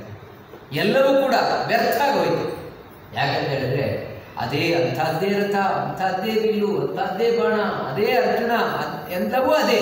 ಆದರೆ ಕೃಷ್ಣ ಒಬ್ಬ ಇಲ್ಲ ಸಾರಥಿ ಕೃಷ್ಣ ಒಬ್ಬ ಇಲ್ಲದೆ ಅರ್ಜುನ ಸೊನ್ನೆ ಅರ್ಜುನ ಏನೂ ಅಲ್ಲ. ಇವತ್ತು ಗೊತ್ತಾಯ್ತು ಕೃಷ್ಣನ ಮಹಾತ್ಮೆ ಏನು ಅಂತೇಳಿ ಅರ್ಜುನ ಅಳ್ತಾನೆ ಅಂದರೆ ನೋಡಿ, ಮಹಾಭಾರತ ಯುದ್ಧದಲ್ಲಿ ಎಲ್ಲರನ್ನೂ ಸೋಲಿಸಿದ್ದು ಅರ್ಜುನ ಅಲ್ಲ. ಇದರಲ್ಲಿ ಸಾರಥಿಯಾಗಿದ್ದ ಕೃಷ್ಣ. ಆದರೆ ಆ ಗುಟ್ಟನ್ನು ಎಲ್ಲೂ ಬಿಟ್ಕೊಡ್ಲಿಲ್ಲ. ಇಡೀ ಕೀರ್ತಿಯನ್ನು ದೇವರು ಅರ್ಜುನನಿಗೆ ಕೊಟ್ಟ. ತಾನು ಸುಮ್ಮನೆ ಕೂತ, ಈಗ ಅರ್ಜುನ ಹೇಳ್ತಾ ಇದ್ದಾನೆ. ಕೃಷ್ಣ ಇಲ್ಲದಿದ್ದ ಮೇಲೆ ನಾವಿಲ್ಲಿರ್ಬಾರ್ದು ನಾವಿಲ್ಲಿಂದ ಹೊರಟು ಬಿಡಬೇಕು. ಅರ್ಜುನ ಹೇಳ್ತಾರೆ ಧರ್ಮರಾಜನಿಗೆ ಹೌದು ಅಂತ ಕಾಣ್ತಾರೆ ನಂತರ ಪರೀಕ್ಷಿತನನ್ನ ಸಿಂಹಾಸನದಲ್ಲಿ ಕೂರಿಸಿದ ಧರ್ಮರಾಜ, ತಾನು ಹೊರಟ. ತಾವು ಉತ್ತರ, ಉತ್ತರದ ಕಡೆಗೆ ಹೋಗಿ, ಉತ್ತರದಲ್ಲಿ ಮೇರು ಪರ್ವತ ಮೇರು ಪರ್ವತದ ಸಮೀಪದಲ್ಲಿ ಪಾಂಡವರು ತಾವು ದೇಹತ್ಯಾಗವನ್ನು ಮಾಡಿ, ತಮ್ಮ ಮೂಲ ರೂಪ ಅದನ್ನು ಹೋಗಿ ಸೇರಿಕೊಂಡರು. ಇಲ್ಲಿ ಆದರೂ ಆನಂತರ ಪರೀಕ್ಷಿತ ರಾಜ್ಯಭಾರವನ್ನು ಮಾಡಿ ಪ್ರಾರಂಭವನ್ನು ಮಾಡಿದರು. ಪರೀಕ್ಷಿತ ಬಹಳ ಒಳ್ಳೆಯ ರಾಜ ಎಲ್ಲಿವರೆಗೆ ಅಂತ ಹೇಳಿದ್ರೆ ತನ್ನ ಅಜ್ಜಂದಿರು ಯಾವ ರೀತಿ ರಾಜ್ಯಭಾರ ಮಾಡ್ತಾ ಇದ್ದಾರೆ, ಅದೇ ರೀತಿ ತಾನು ಕೂಡ ರಾಜ್ಯಭಾರವನ್ನು ಮಾಡ್ತಾ ಇದ್ದಾನೆ. ಆ ಪರೀಕ್ಷಿತ ಎಲ್ಲ ಕಡೆಯೂ ಕೂಡ ಕೃಷ್ಣನ ಕೀರ್ತಿಯನ್ನು ಹರಡಿಸ್ತಾ ಇದ್ದಾನೆ. ಹೀಗೆ ಪರೀಕ್ಷಿತ ರಾಜ್ಯಭಾರವನ್ನು ಮಾಡ್ತಾ ಇರಬೇಕಾದ್ರೆ ನಡೆದ ನಡೆದ ಒಂದು ಘಟನೆಯನ್ನ ತಾವು ತಿಳಿಸ್ಕೊಂಡು ಹೋಗ್ತಾರೆ. ಸೂತಪುರಾಣಿಗಳು ಪರೀಕ್ಷಿತ ಹೀಗೆ ತಾನು ನೋಡ್ಕೊಂಡು ನೋಡ್ಕೊಂಡು ಹೋಗ್ತಾ ಇದ್ದಾನೆ. ತನ್ನ ಸಾಮ್ರಾಜ್ಯ ಯಾವ ರೀತಿ ಅಂತ ನೋಡ್ಕೊಂಡು ಹೋಗ್ತಾ ಇದ್ದಾನೆ. ನೋಡ್ಕೊಂಡು ಹೋಗಬೇಕಾದ್ರೆ ಒಂದು ಕಡೆ ನೋಡ್ತಾನೆ, ಒಬ್ಬ ರಾಜನ ಹಾಗೆ ವೇಷ ಹಾಕೊಂಡಿದ್ದಾನೆ ರಾಜನ ಹಾಗೆ ವೇಷ ಹಾಕೊಂಡಿದ್ದ ನಿಜವಾಗ್ಲೂ ರಾಜ ಅಲ್ಲ, ಒಬ್ಬ ದುಷ್ಟ, ಅದೇ ಕಲಿ, ಒಂದು ಎತ್ತು ಹಾಗೂ ಒಂದು ಹಸು. ಎರಡನ್ನು ಕೂಡ ಒದಿತಾ ಇದ್ದಾನೆ, ಕಾಲಲ್ಲಿ ಒದಿತಾ ಇದ್ದಾನೆ. ಆ ಎತ್ತಿಗೆ ಒಂದೇ ಕಾಲ. ಒಂದೇ ಕಾಲಲ್ಲಿ ನಿಂತಿದೆಯಂತೆ ಆ ಎತ್ತು. ಹಸುವಾದರೂ ಗಡಗಡ ಗಡಗಡ ನಡುಗುತ್ತಾ ಇದೆಯಂತೆ ನಡಗುತ್ತಾ? ತಾನು ಸೆಗಣಿ ಹಾಕ್ತಾ ಇದೆಯಂತೆ, ಮೂತ್ರ ಹಾಕ್ತಾ ಇದೆಯಂತೆ, ಗಡಗಡ ನಡುಗುತ್ತಾ ಇದೆಯಂತೆ ಇವನು ಹೋದ. ಅವೆರಡು ಮಾತಾಡ್ಕೊಡ್ತಾರೆ ನಮ್ಮ ಉಚಿತವಾಗಿ ಆ ಎತ್ತು ಮತ್ತೆ ಧರ್ಮ. ಧರ್ಮವೇ ಎತ್ತು. ಅದು ಆ ಹಸುವಿನ ಹತ್ರ ಕೇಳ್ತದೆ ಹಸು ಮತ್ತೆ ಅದರ ಭೂದೇವಿ. ಭೂದೇವಿ ಹಸುವಿನ ರೂಪದಲ್ಲಿದ್ದಾಳೆ. ಯಾಕಮ್ಮ ನೀನು ಅಳ್ತಾ ಇದೆಯಾ ಅಂತ ಕೇಳ್ತೀನಿ ಅದಕ್ಕೆ ಆ ಭೂದೇವಿ ಹಸು ಹೇಳ್ತದೆ ನನಗೆ ಕೃಷ್ಣ ಹೊರಟೋದ ಮೇಲೆ ತುಂಬ ದುಃಖ ಆಗ್ತಾ ಇದೆ. ಯಾಕಂದರೆ ಕೃಷ್ಣ ಭೂಮಿಯಲ್ಲಿ ಇರುವಷ್ಟು ಕಾಲ ಎಲ್ಲ ಸದ್ಗುಣಗಳು ತುಂಬಿ ತುಳುಕುತ್ತಾ ಇತ್ತು ಮನುಷ್ಯರಲ್ಲಿ. ಅಂದರೆ ಕೃಷ್ಣನ ಸನ್ನಿಧಾನವೇ. ನಮ್ಮಲ್ಲಿರುವ ಸದ್ಗುಣಗಳೇ ದೇವರ ಸನ್ನಿಧಾನ. ನಮ್ಮೊಳಗೆ ದೇವರಿದ್ದಾನೆ ಅಂದರೆ ನಮ್ಮಲ್ಲಿರುವ ಸದ್ಗುಣಗಳು. ಆ ಗುಣರೂಪದಿಂದ ದೇವರು ಕೂತಿರ್ತಾನೆ. ಎಲ್ಲರೊಳಗೆ ಸದ್ಗುಣ ಕಾಣಿಸ್ತಾ ಇತ್ತು. ಕೃಷ್ಣ ಯಾವಾಗ ಹೊರಟೋದ? ಅವಾಗ ಎಲ್ಲ ಸದ್ಗುಣಗಳು ಕೂಡ ಮರೆಯಾಗಬೇಕು ಅಂತ ಹೇಳಿ ನಾನು ಅಳ್ತಾ ಇದ್ದೇನೆ ಅಂತ ಹೇಳ್ತೀನಿ ಅಷ್ಟೊತ್ತಿಗೆ ಇವನು ಬಂದ ಪರೀಕ್ಷಿತ ಬಂದ. ಪರೀಕ್ಷಿತ ಬಂದು ತಾನು ಕೇಳ್ತಾನೆ, ಈ ಗೋವಿನ ಹತ್ರ, ಅದೇ ಈ ವೃಷಭದ ಹತ್ರ, ಯಾಕೆ ನೀನು ದುಃಖ ಪಡ್ತಾ ಇದೆಯಾ? ನೀನು ಯಾರು ಒದಿತಾ ಇರುವವನು ಯಾರು? ಹೇಳು ನೋಡೋಣ. ಅದಕ್ಕೆ, ಆ ಆ ಧರ್ಮ ಹೇಳ್ತಾನೆ ಧರ್ಮ ಹೇಳ್ತಾನೆ ಪುರುಷ ನವಯಂ ಕ್ಲೇಶ ಬೀಜಾನಿ ಯತಸ್ಯು ಪುರುಷರ್ಷಭ ಪುರುಷಂ ತಂ ವಿಜಾನೀಮಃ ವಾಕ್ಯ ಭೇದ ವಿಮೋಹಿತಾ ಇವಾಗ ತಾನು ನಡುಗ್ತಾ ಇದ್ದಾನೆ. ಇವನು ಒದಿತಾ ಇದ್ದಾನೆ. ಹಾಗಿದ್ರೆ ಬಾಯಿ ಬಿಟ್ಟು ನೀನು ಯಾಕೆ ಕಷ್ಟಪಡ್ತಾ ಇದ್ದೆ ಹೇಳುವಂತ ಪರೀಕ್ಷಿತ ಕೇಳಿದ್ರೆ ನನ್ನ ಕಷ್ಟಕ್ಕೆ ಏನು ಕಾರಣ ಅಂತ ಹೇಳೋದು. ಯಾವತ್ತು ನಾವು ಕಷ್ಟಕ್ಕೆ ಕಾರಣವನ್ನು ಹುಡುಕುವವರಲ್ಲ ಅಂತ ಹೇಳ್ತಾರೆ ನೋಡಿ ಜೀವನದಲ್ಲಿ ಕಷ್ಟ ಬಂತು ಅಂತ ಹೇಳಿದ್ರೆ, ಅವಾಗ ನನಗೆ ಈ ಕಷ್ಟ ಕಾರಣ ಯಾರು? ಅವರೇ ಕಾರಣ. ಇವರೇ ಕಾರಣ ಅಂತ ಬೆಟ್ಟು ಮಾಡಿ ತೋರಿಸುವುದಲ್ಲ. ಮತ್ತೆ ಹೇಳಿದ್ರೆ, ಆ ಕಷ್ಟಕ್ಕೆ ಪರಿಹಾರವನ್ನು ನಾವು ನಾವು ಹುಡುಕಬೇಕು. ಅದು ನಿಜವಾಗಿ ಒಬ್ಬ ಬುದ್ಧಿವಂತನ ಲಕ್ಷಣ. ಆದರೆ ನಾವು ಅದ ಮಾಡೋದು ಬಿಟ್ಟು ಏನಾದರೂ ಕಷ್ಟ ಬಂತು ಅಂತ ಹೇಳಿದ ಕೂಡಲೇ, ನೋಡಿ ಇವರೇ ಕಾರಣ. ಅವರೇ ಕಾರಣ ಅಂತ ಅವ್ರ ಮೇಲೆ, ಇವ್ರ ಮೇಲೆ ಬೆಟ್ಟು ಮಾಡಿ ತೋರಿಸಿ ಸೇಡ್ ತೀರಿಸ್ಕೊಳ್ಳಿಕ್ಕೆ ನೋಡಿ ಇದು ಸರಿಯಾದ ಮಾರ್ಗ ಅಲ್ಲ. ನೋಡಿ ಎಷ್ಟು ಹೇಳ್ತದೆ ಅಂದರೆ ಆ ಧರ್ಮ ಎತ್ತಿನ ರೂಪದಲ್ಲಿ ಹೇಳ್ತಾರೆ ಕೇಚಿತ್ ವೈಲ ಸಹ ಆ ಆಹುರಾತ್ಮಾನಮಾತ್ಮನಃ ನೋಡು ಈ ಕಷ್ಟ ಬಂದಿದೆಯಲ್ವಾ ಅದಕ್ಕೆ ಕೆಲವರು ಏನು ಹೇಳ್ತಾರೆ ಅಂದರೆ ನಾನು ಮಾಡಿದ್ದೇ ಕಾರಣ ನಾನು ಇವತ್ತು ಈ ರೀತಿ ಕಷ್ಟಪಡ್ತಾ ಇದ್ದೇನೆ ಅಂತ ಹೇಳಿದ್ರೆ ನಾನು ಮಾಡಿರುವ ಕರ್ಮವೇ ಕಾರಣ ಯಾಕಂದ್ರೆ ಮಾಡಿದ್ದು ಮಹಾರಾಯ ಏನು ಮಾಡ್ತೇವೆ ಅದನ್ನು ಉಣ್ಣಬೇಕಲ್ವಾ ಆ ರೀತಿ ನನಗಾಗ್ತಾ ಇದೆ ಇನ್ನು ದೈವಮನ್ನೇ ಪರೇ ಕರ್ಮ ಸ್ವಭಾವ ಪರೇ ಪ್ರಭು ಇನ್ನು ಕೆಲವರು ಹೇಳ್ತಾರೆ ದೈವ ಅಂತ ಹೇಳಿದ್ರೆ ನಮ್ಮ ಹಣೆ ಬರ ಹಣೆ ಬರ ಈ ರೀತಿ ಮಾಡಿಸ್ತದೆ ಇನ್ನು ಕೆಲವರು ಹೇಳಿದ್ರೆ ಕಾಲ ಅನುಭವಿಸುವ ಕಾಲ ಅನುಭವಿಸುವ ಕಾಲ ಬಂದಾಗ ಅನುಭವಿಸ್ಲೇಬೇಕು ಏನು ಮಾಡ್ಲಿಕ್ಕಾಗುತ್ತೆ ಇನ್ನು ಕೆಲವರು ಹೇಳ್ತಾರೆ ನೋಡಿ ಅವರೇ ಕಾರಣ ಇವರೇ ಕಾರಣ ನಾವು ಯಾವುದನ್ನು ಹೇಳಿಕೋಬೋದು ನಿನಗೆ ಯಾವುದು ಕಾಣಿಸ್ತದೋ ಅದನ್ನು ತಿಳ್ಕೋದು ಅದನ್ನು ಕೇಳಿ ಪರೀಕ್ಷಿತನಿಗೆ ಬಹಳ ಸಂತೋಷ ಆಯಿತು ಪರೀಕ್ಷಿತ ಹೇಳ್ತಾನೆ ಓ, ಧರ್ಮಂ ಪ್ರವೇಶಿ ಧರ್ಮಜ್ಞ, ಧರ್ಮೋಸಿ ದೃಶರೂಪ ದೃಕು. ಗೊತ್ತಾಯ್ತು ಗೊತ್ತಾಯ್ತು, ನೀನು ಯಾರು? ನೀನು ಧರ್ಮ ದೇವತೆಯಾಗಿದ್ಯಾ ಧರ್ಮರಾಜನಾಗಿದ್ಯಾ? ಅದಕ್ಕೆ ಇವಾಗ ಈ ವೃಷಭದ ರೂಪದಲ್ಲಿ ಎತ್ತಿನ ರೂಪದಲ್ಲಿದ್ಯಾ? ಧರ್ಮವನ್ನು ಹೇಳ್ತಾ ಇದೆ ಏನಂತ ಹೇಳಿದ್ರೆ ಯದ ಧರ್ಮ ಸ್ಥಾನ ಸೂಚಕಸ್ಯಾಪಿ ತಂದು ಭವೇತ್. ಯಾರು ಪಾಪ ಮಾಡ್ತಾರೆ, ಆ ಪಾಪವನ್ನು ಹೇಳಿದ್ರೆ ಹೇಳಿದವರಿಗೂ ಪಾಪ ಬರುತ್ತೆ. ನಮ್ಮಲ್ಲೊಂದು ಗಾದೆ ಇದೆಯಲ್ಲ ಮಾಡಿದವರು ಪಾಪ ಆಡಿದವರು ಬಾಯಲ್ಲಿ ಆ ರೀತಿ ಮಾಡಿದ ಪಾಪವನ್ನು ಹೇಳಿದವರಿಗೂ ಬರುತ್ತೆ ಎನ್ನುವ ಕಾರಣದಿಂದಾಗಿ ನೀನು ಹೇಳ್ತಾ ಇರಲ್ಲ ಅಂತ ಪರೀಕ್ಷಿತ ಹೇಳ್ತಾರೆ ಇಲ್ಲೊಂದು ತಿಳ್ಕೊಳ್ಬೇಕಾದ ಅಗತ್ಯ ಇದೆ. ನೋಡಿ, ಇದಕ್ಕೆ ಮಧ್ವಾಚಾರ್ಯರು ಬಹಳ ಸುಂದರವಾಗಿ ಹೇಳ್ತಾರೆ. ಹೌದು ಇನ್ನೊಬ್ಬರು ಮಾಡಿದ ಪಾಪವನ್ನು ಹೇಳಬಾರದು. ಯಾರು? ಸಜ್ಜನರು. ಸಜ್ಜನರು ಮಾಡಿದ ಪಾಪ ಕೆಲಸವನ್ನು ಯಾವತ್ತೂ ಹೇಳಬಾರದು. ಹೇಳಿದ್ರೆ ಮಹಾಪಾಪ ಬರುತ್ತೆ. ಆದರೆ ಅಸತ್ಕೃತ ಮಧರ್ಮಂತೂ ವದನ್ ಧರ್ಮ ಯಾರು? ದುಷ್ಟರಿದ್ದಾರೆ. ದುಷ್ಟರು ಮಾಡಿದ ಕೆಟ್ಟ ಕೆಲಸವನ್ನು ಹತ್ತು ಜನರಿಗೆ ಹೇಳ್ಕೊಂಬರ್ಬೇಕು ಹತ್ತು ಜನರಿಗೆ ಹೇಳ್ಕೊಂಬರ್ಬೇಕು ಯಾಕಂದ್ರೆ ಅದರಿಂದಾಗಿ ಪುಣ್ಯ ಬರುತ್ತೆ. ಅದರಿಂದಾಗಿ ಮಾಡಿದವರು ಪಾಪ ಆಡದವ್ರ ಬಾಯಲ್ಲಿ ಅಂತ ಹೇಳೋದು ಯಾರಿಗೆ ಅಂದರೆ ಮಾತ್ರ ಅದೇ ಸಜ್ಜನರಿಗೆ ಕೋಡಿದೆಯಾ ಸಜ್ಜನರು ಮಾಡಿದ ಯಾಕೆ ಹೇಳ್ಬಾರ್ದು ಸಜ್ಜನರಿಗೆ ಏನು ದೊಡ್ಡಸ್ತಿಗೆ ಇದೆ? ಅಂತ ಹೇಳಿದ್ರೆ ಇಷ್ಟೇ. ನಾವು ಯಾರನ್ನ ಸಜ್ಜನರು ಅಂತ ಕರಿತೇವೆ ಅಂದರೆ ಯಾರಿಂದ ಆಗಿರುವುದು ಸಮಾಜಕ್ಕೆ ಹಿತ ಇದೆ? ಸಮಾಜಕ್ಕೆ ಹಿತಕರವಾಗಿರುವಂತಹ ವ್ಯಕ್ತಿಗಳು ನಿಜವಾಗ್ಲೂ ಸಜ್ಜನರು. ಅವರು ಸಮಾಜಕ್ಕೆ ತುಂಬ ಉಪಕಾರ ಮಾಡ್ತಾ ಇರ್ತಾರೆ. ತುಂಬ ಧಾರ್ಮಿಕರಾಗಿರ್ತಾರೆ. ಅವರು ಏನು ಅಕಸ್ಮಾತ್ತಾಗಿ ತಪ್ಪು ಮಾಡಬಹುದು? ಯಾಕಂತ ಹೇಳಿದ್ರೆ ದೇವರನ್ನು ಬಿಟ್ಟು ಉಳಿದವರೆಲ್ಲರೂ ತಪ್ಪು ಮಾಡೋರು ಆ ರೀತಿ ಆ ತಪ್ಪನ್ನೇ ನಾವು ದೊಡ್ಡದು ಮಾಡಿ ಎಲ್ರಿಗೂ ಹೇಳ್ತಾ ಇರ್ತದೆ ಅದರಿಂದ ಏನಾಗುತ್ತೆ ಅಂದರೆ ಅವರಿಗಲ್ಲ ನಷ್ಟ ಸಮಾಜಕ್ಕೆ ಯಾಕಂದರೆ ಸಮಾಜಕ್ಕೆ ಅವರಿಂದ ಸಿಗಬೇಕಾದಂತಹ ಎಷ್ಟೋ ಉಪಕಾರಗಳು ತಪ್ಪಲು ಅದಕ್ಕೆ ಯಾವ ಅರ್ಥದಲ್ಲಿ ಹೇಳಬಾರ್ದು. ಆದರೆ ದುಷ್ಟರಿದ್ದಾರಲ್ವ ಅವರು ಮಾಡಿದ ತಪ್ಪನ್ನು ಯಾವತ್ತೂ ಹೇಳಬೇಕು. ಯಾಕಂದರೆ ಅದರಿಂದ ಉಪಕಾರ ಆಗುತ್ತೆ. ಇವಾಗ ಯಾವ ಕಳ್ಳ, ನಮ್ಮ ಮನೆಗೆ ಬಂದು ತಗೊಂಡು ಹೋಗಿದ್ದಾನೆ, ಏನೋ ವಸ್ತು. ಇನ್ನೊಬ್ಬರು ಮನೆಗೆ ಹೋದ. ಅಲ್ಲಿ ಅವರ ಫಂಕ್ಷನ್ಗೆ ಹೋದ. ನಮ್ಮ ನನ್ನ ಪರೀಕ್ಷೆ ಫಂಕ್ಷನಿಗೆ ಬಂದವನು ಕದ್ಕೊಂಡು ಹೋಗಿದ್ದ ಇನ್ನೊಬ್ಬರು ಮನೆ ಫಂಕ್ಷನ್ಗೆ ಹೋದ. ಅಲ್ಲಿ ಅವನಿದ್ದಾನೆ ನಾನು ಅಲ್ಲಿಗೆ ಹೋದೆ. ಹೋದಾಗ ಆ ಮನೆಯ ಯಜಮಾನರಿಗೆ ನೋಡಿ ಸ್ವಲ್ಪ ಹುಷಾರಾಗಿರಿ. ನಮ್ಮ ಮನೆಯಲ್ಲಿ ಕದ್ಕೊಂಡು ಹೋಗಿದ್ದಾನೆ ನೀವು ಸ್ವಲ್ಪ ಹುಷಾರಾಗಿರಿ. ಅಂತ ನಾನು ಹೇಳಿದೆ ಅಂದರೆ ಅವರು ಸ್ವಲ್ಪ ಜಾಗರೂಕರಾಗಿರ್ತಾರೆ. ಅವರ ಮನೆಯಲ್ಲಿ ಕಳ್ಳತನ ಆಗೋದು ತಪ್ಪುದಿಲ್ಲ. ನೋಡಿ, ಈ ರೀತಿ ದುಷ್ಟರು ಮಾಡಿದಂತಹ ದುಷ್ಕರ್ಮವನ್ನು ಆಗ್ತದೆ ಆದರೆ ಸಜ್ಜನರು ಮಾಡಿದ್ದು ಹೇಳಬಾರದು. ಈ ನೀತಿಯನ್ನು ತೋರಿಸ್ಲಿಕ್ಕೋಸ್ಕರ ಈ ರೀತಿ ನೀನು ಹೇಳ್ತಾ ಇದೆಯಲ್ವಾ? ಅಂತ ಹೇಳಿ ಕೂಡಲೇ ಕತ್ತಿಯನ್ನು ಎತ್ತಿದ್ದಂತೆ ಆ ಕಲಿ ಏರಿದ್ದಾನೆ ಅಂದ್ರೆ ಯಾರು ರಾಜನ ವೇಷದಲ್ಲಿ ತಾನು ಕೊಲ್ಲಿಕ್ಕೆ ಹೊರಡ್ತಾ ಇದ್ದ. ಅವ್ರ ಮೇಲೆ ಕತ್ತಿ ಎತ್ತಿದ್ದಂತೆ. ನೀನು ಈ ಧರ್ಮವನ್ನೇ ನಾಶ ಮಾಡಲಿಕ್ಕೆ ನೋಡ್ತಾ ಇದೆಯಲ್ವಾ? ಧರ್ಮ ದೇವತೆಗೆ ನಾಲ್ಕು ಕಾಲ.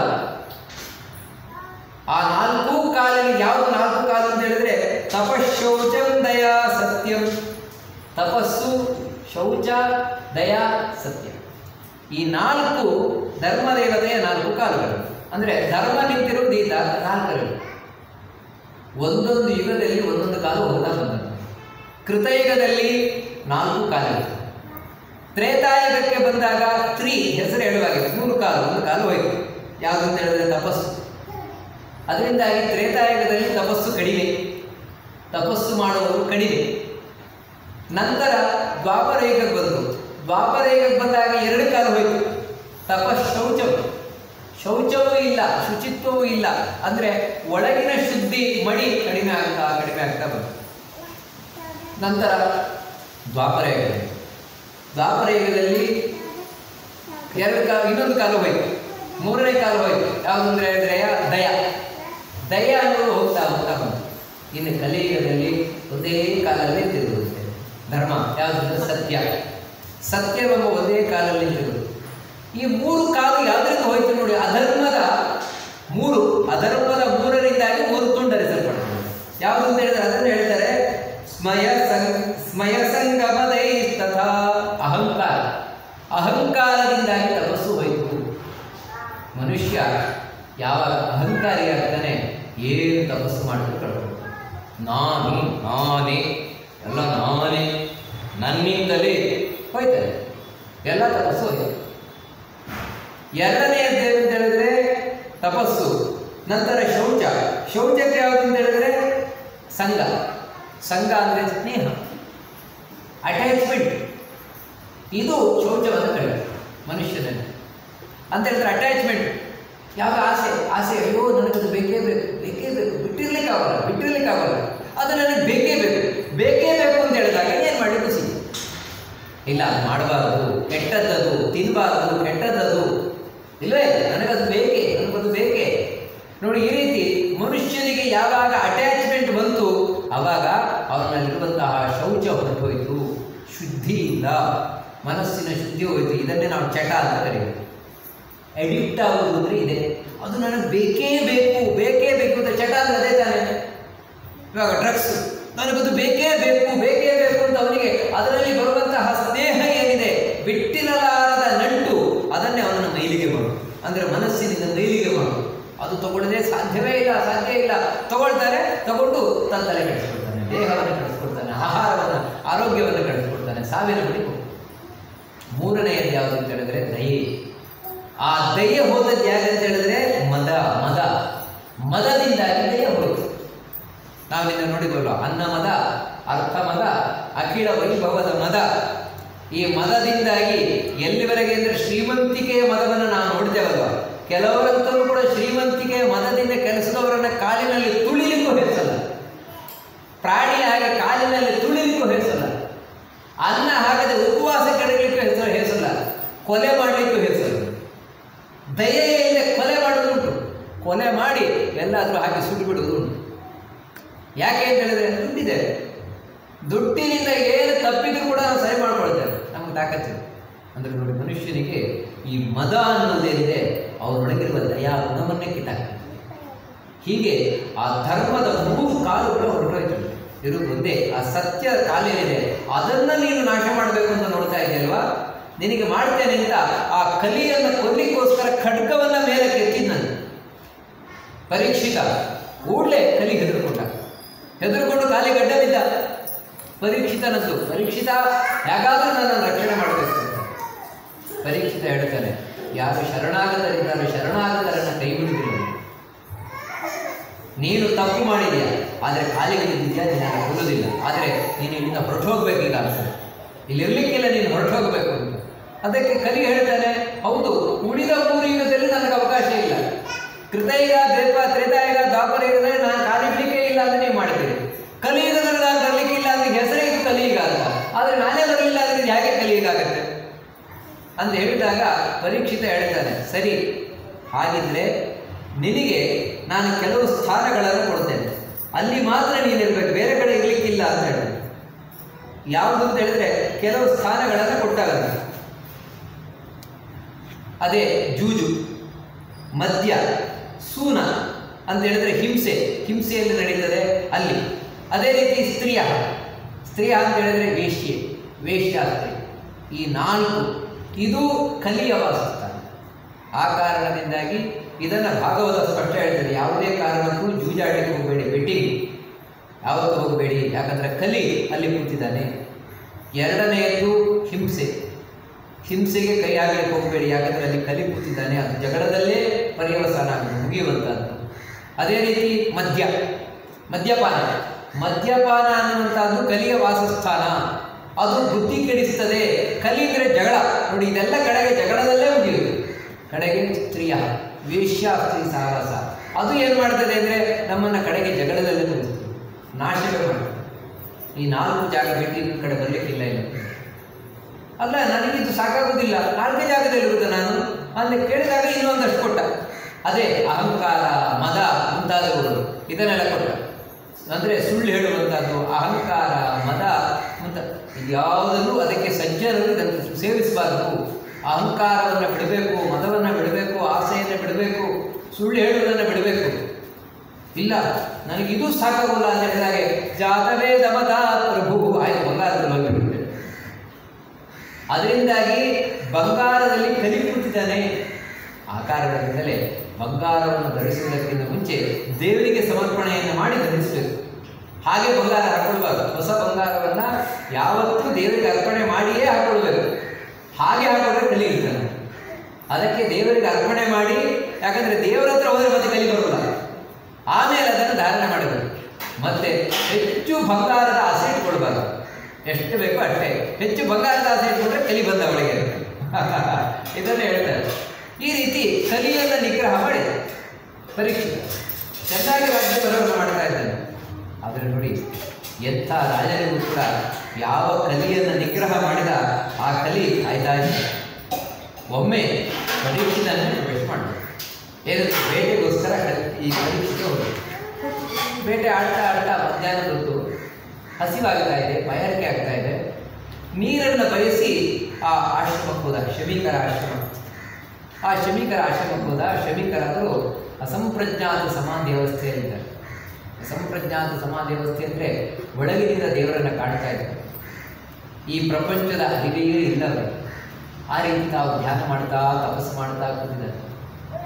ಪರೀಕ್ಷಿತ ಹೋದ ನಮಸ್ಕಾರ ಮಾಡಿದ ಅವ್ರ ಹತ್ರ ಕೇಳಿದ, ಸ್ವಾಮಿ ಬಾಯಾರಿಕೆ ಆಗ್ತಾ ಇದೆ, ನೀರು ಕೊಡಿ ನೀರು ಕೊಡಿ. ಏನು ಮಾತಾಡಲಿಲ್ಲ ಯಾಕಂದ್ರೆ ಅವ್ರು ಮಾತಾಡುವ ಪರಿಸ್ಥಿತಿಯೇ ಇಲ್ಲ ಅಸಂಪ್ರಜ್ಞಾತ ಸಮಾಜ ವ್ಯವಸ್ಥೆಯಲ್ಲಿದ್ದಾರೆ. ಇವನು ಏನು ತಿಳ್ಕೊಂಡ ಅಂದ್ರೆ ಮೊದಲೇ ಇವನಿಗೆ ಬಾಯಾರಿಕೆ ಆಗಿತ್ತು ಹಸಿವಾಗಿತ್ತು. ಅದಕ್ಕೆ ಸರಿಯಾಗಿ ಅವ್ರು ಮಾತಾಡ್ತಾನೂ ಕೂಡ ಇಲ್ಲ. ಅದಕ್ಕೆ, ಓ, ಇವರು ನಿಜವಾಗಿಯೂ ಕೂಡ ತಪಸ್ಸು ಮಾಡ್ತಾ ಇದ್ದಾರಾ? ಅಥವಾ ಕಣ್ಣು ಬಿಟ್ಟರೆ ರಾಜನ ಉಪಕಾರ, ಜನನೆಲ್ಲ ಉಪಚಾರ ಮಾಡಬೇಕಾಗುತ್ತೆ. ಉಪಚಾರ ಹೆಚ್ಚು ಕಮ್ಮಿ ಆಯ್ತಂದ್ರೆ ಮತ್ತೆ ರಾಜ ಕೋಪಗೊಳ್ಳೋದು ಇದೆಲ್ಲ ಇದು ಮುಸಾಫರಿಗೆ ಬೇಡ ಅದಕ್ಕೋಸ್ಕರ ತಪಸ್ಸು ಮಾಡ್ತಾ ಕೂತ್ಬಿಟ್ಟೆ ಅಂದರೆ ರಗಡೆ ಇರುವಲ್ಲ ಅಂತ. ಕೂತಿದ್ದಾರ ನೋಡೋಣ ಅಂತ ಹೇಳಿ.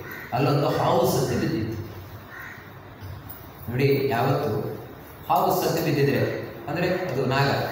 ಸಂಸ್ಕಾರ ಮಾಡುವುದು ನಮ್ಮಲ್ಲಿರುವ ಕ್ರಮ. ಆದರೆ ನೋಡಿ, ಪರೀಕ್ಷಿತ. ಸಂಸ್ಕಾರ ಮಾಡುವುದು ಅದನ್ನು ಎತ್ತಿದ. ಎಲ್ಲಿವರೆಗೆ ಅಂದರೆ ಕೈಯಲ್ಲೂ ಎತ್ತಿಲ್ಲ. ಬಿಲ್ಲಿನ ತುದಿಯಲ್ಲಿ ಎತ್ತಿಲ್ಲ ಅಂದರೆ ಅವನಿಗೆ ಅದನ್ನು ಮುಟ್ಲಿಕ್ಕೂ ಅಸಹ್ಯ. ಅಂತಹ ಆ ಸತ್ತ ಹಾವನ್ನು ಶಮೀಕರ ಕುತ್ತಿಗೆಗೆ ಆಗಲ್ಲ. ಇದು ನೋಡಿ ಒಳಗೆ ಕಲಿ ಮಾಡಿಸ್ಬಿಟ್ಟ ಯಾವತ್ತು ಅಂತ ಅಸಪ್ರಜ್ಞಾತ ಸಮಾಧಿ ಅವಸ್ಥೆಯಲ್ಲಿರುವ ವ್ಯಕ್ತಿಗಳೊಡನೆ ಸಾಕ್ಷಾತ್ ದೇವರ ಪ್ರತಿಮೆ ಇದ್ದಾರೆ ಅವರಿಗೆ ಸತ್ತ ಹಾವನ ಏನು ಪ್ರತಿಕ್ರಿಯೆ ಇಲ್ಲ. ಸೀದಾ ಆಶ್ರಮದಿಂದ ತಾನು ಹೊರಟುಬಿಟ್ಟೆ. ಪರೀಕ್ಷಿತ. ಇವನು ಆಶ್ರಮದಿಂದ ಹೋಗಿ ತನ್ನ ರಾಜ್ಯದ ಕಡೆಗೆ ಹೋಗ್ತಾ ಇದ್ದಾನೆ. ಈ ಕಡೆ ಈ ದೃಶ್ಯವನ್ನ ಕೆಲವು ಹುಡುಗರು ನೋಡಿ ನೋಡಿ ಶೃಂಗಿ ಹೇಳಿದ್ರು ಶಮೀಕರ ಮಗ ಶೃಂಗಿ. ಮಹಾಭಾರತ ಹೇಳಿದ್ರೆ ಇನ್ನೊಂದು ವಿಶೇಷ ವಿಷಯ. ಏನಂತ ಹೇಳಿದ್ರೆ ಆ ಶೃಂಗಿ ಆಗ ತಾನೇ ತಪಸ್ಸು ಮಾಡಿಕೊಂಡು ಬ್ರಹ್ಮನಿಂದ ವರ ಮಾಡ್ಕೊಂಡು ಬರ್ತಾ ಇದ್ದಾನೆ. ಏಳು ವರ್ಷದ ಹುಡುಗ. ಮಹಾ ತಪಸ್ವಿ. ಅವನ ಹತ್ರ ಹೇಳ್ತಾರೆ ಅವನು, ನಾನು ಹಾಗೆ ಮಾಡಬಲ್ಲೆ, ಹೀಗೆ ಮಾಡಬಲ್ಲೆ ಅಂತ ಹೇಳಿದಾಗ ಮಹಾಭಾರತದ ಮಹಾಭಾರತದಲ್ಲಿ ಬರುವ ವಿಷಯ. ನೀನು ಏನು ಮಾಡಿದ್ಯಾ? ನಿಮ್ಮ ಅಪ್ಪನ ಪರಿಸ್ಥಿತಿ ನೋಡಿದ್ಯಾ? ನೋಡಿ, ನಿಮ್ಮ ಅಪ್ಪನ ಹೆಗಲಲ್ಲಿ ಸತ್ತ ಆಗಿದೆ ತೂಗಾಡ್ತಾ ಇದೆ ಅಂತ ಆ ಹುಡುಗರು ಹೇಳಿದಾಗ, ಹೌದಾ? ನನ್ನ ಅಪ್ಪನಿಗೆ ಈ ರೀತಿ ಅವಮಾನ ಮಾಡಿದವರು ಯಾರು ಪರೀಕ್ಷಿತ ಅಂತ ಗೊತ್ತಾಯ್ತು. ಹ, ಕೂಡಲೇ ಹೇಳ್ತಾನೆ, ಅಹೋ, ಅಧರ್ಮ ಪಾಲಾನ. ಪೃಥ್ವ್ಯಾ ಬಲಿಭುಜಾನಿವ ಸ್ವಾಮಿನ್ಯ.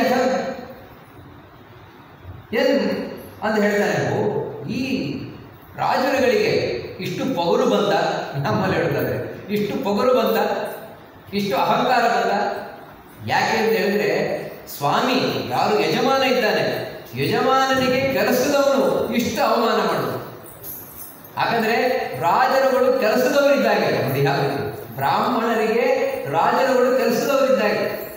ಅದಕ್ಕೆ ಯಾವತ್ತೇ ಅಂತ ಹೇಳಿದ್ರೆ ಬ್ರಾಹ್ಮಣೇ ಕ್ಷತ್ರ ಬಂಧುರಿ ದ್ವಾರಪಾಲೋ ನಿರೂಪಿತ. ಶೃಂಗಿ ಹೇಳುವಂಥದ್ದು.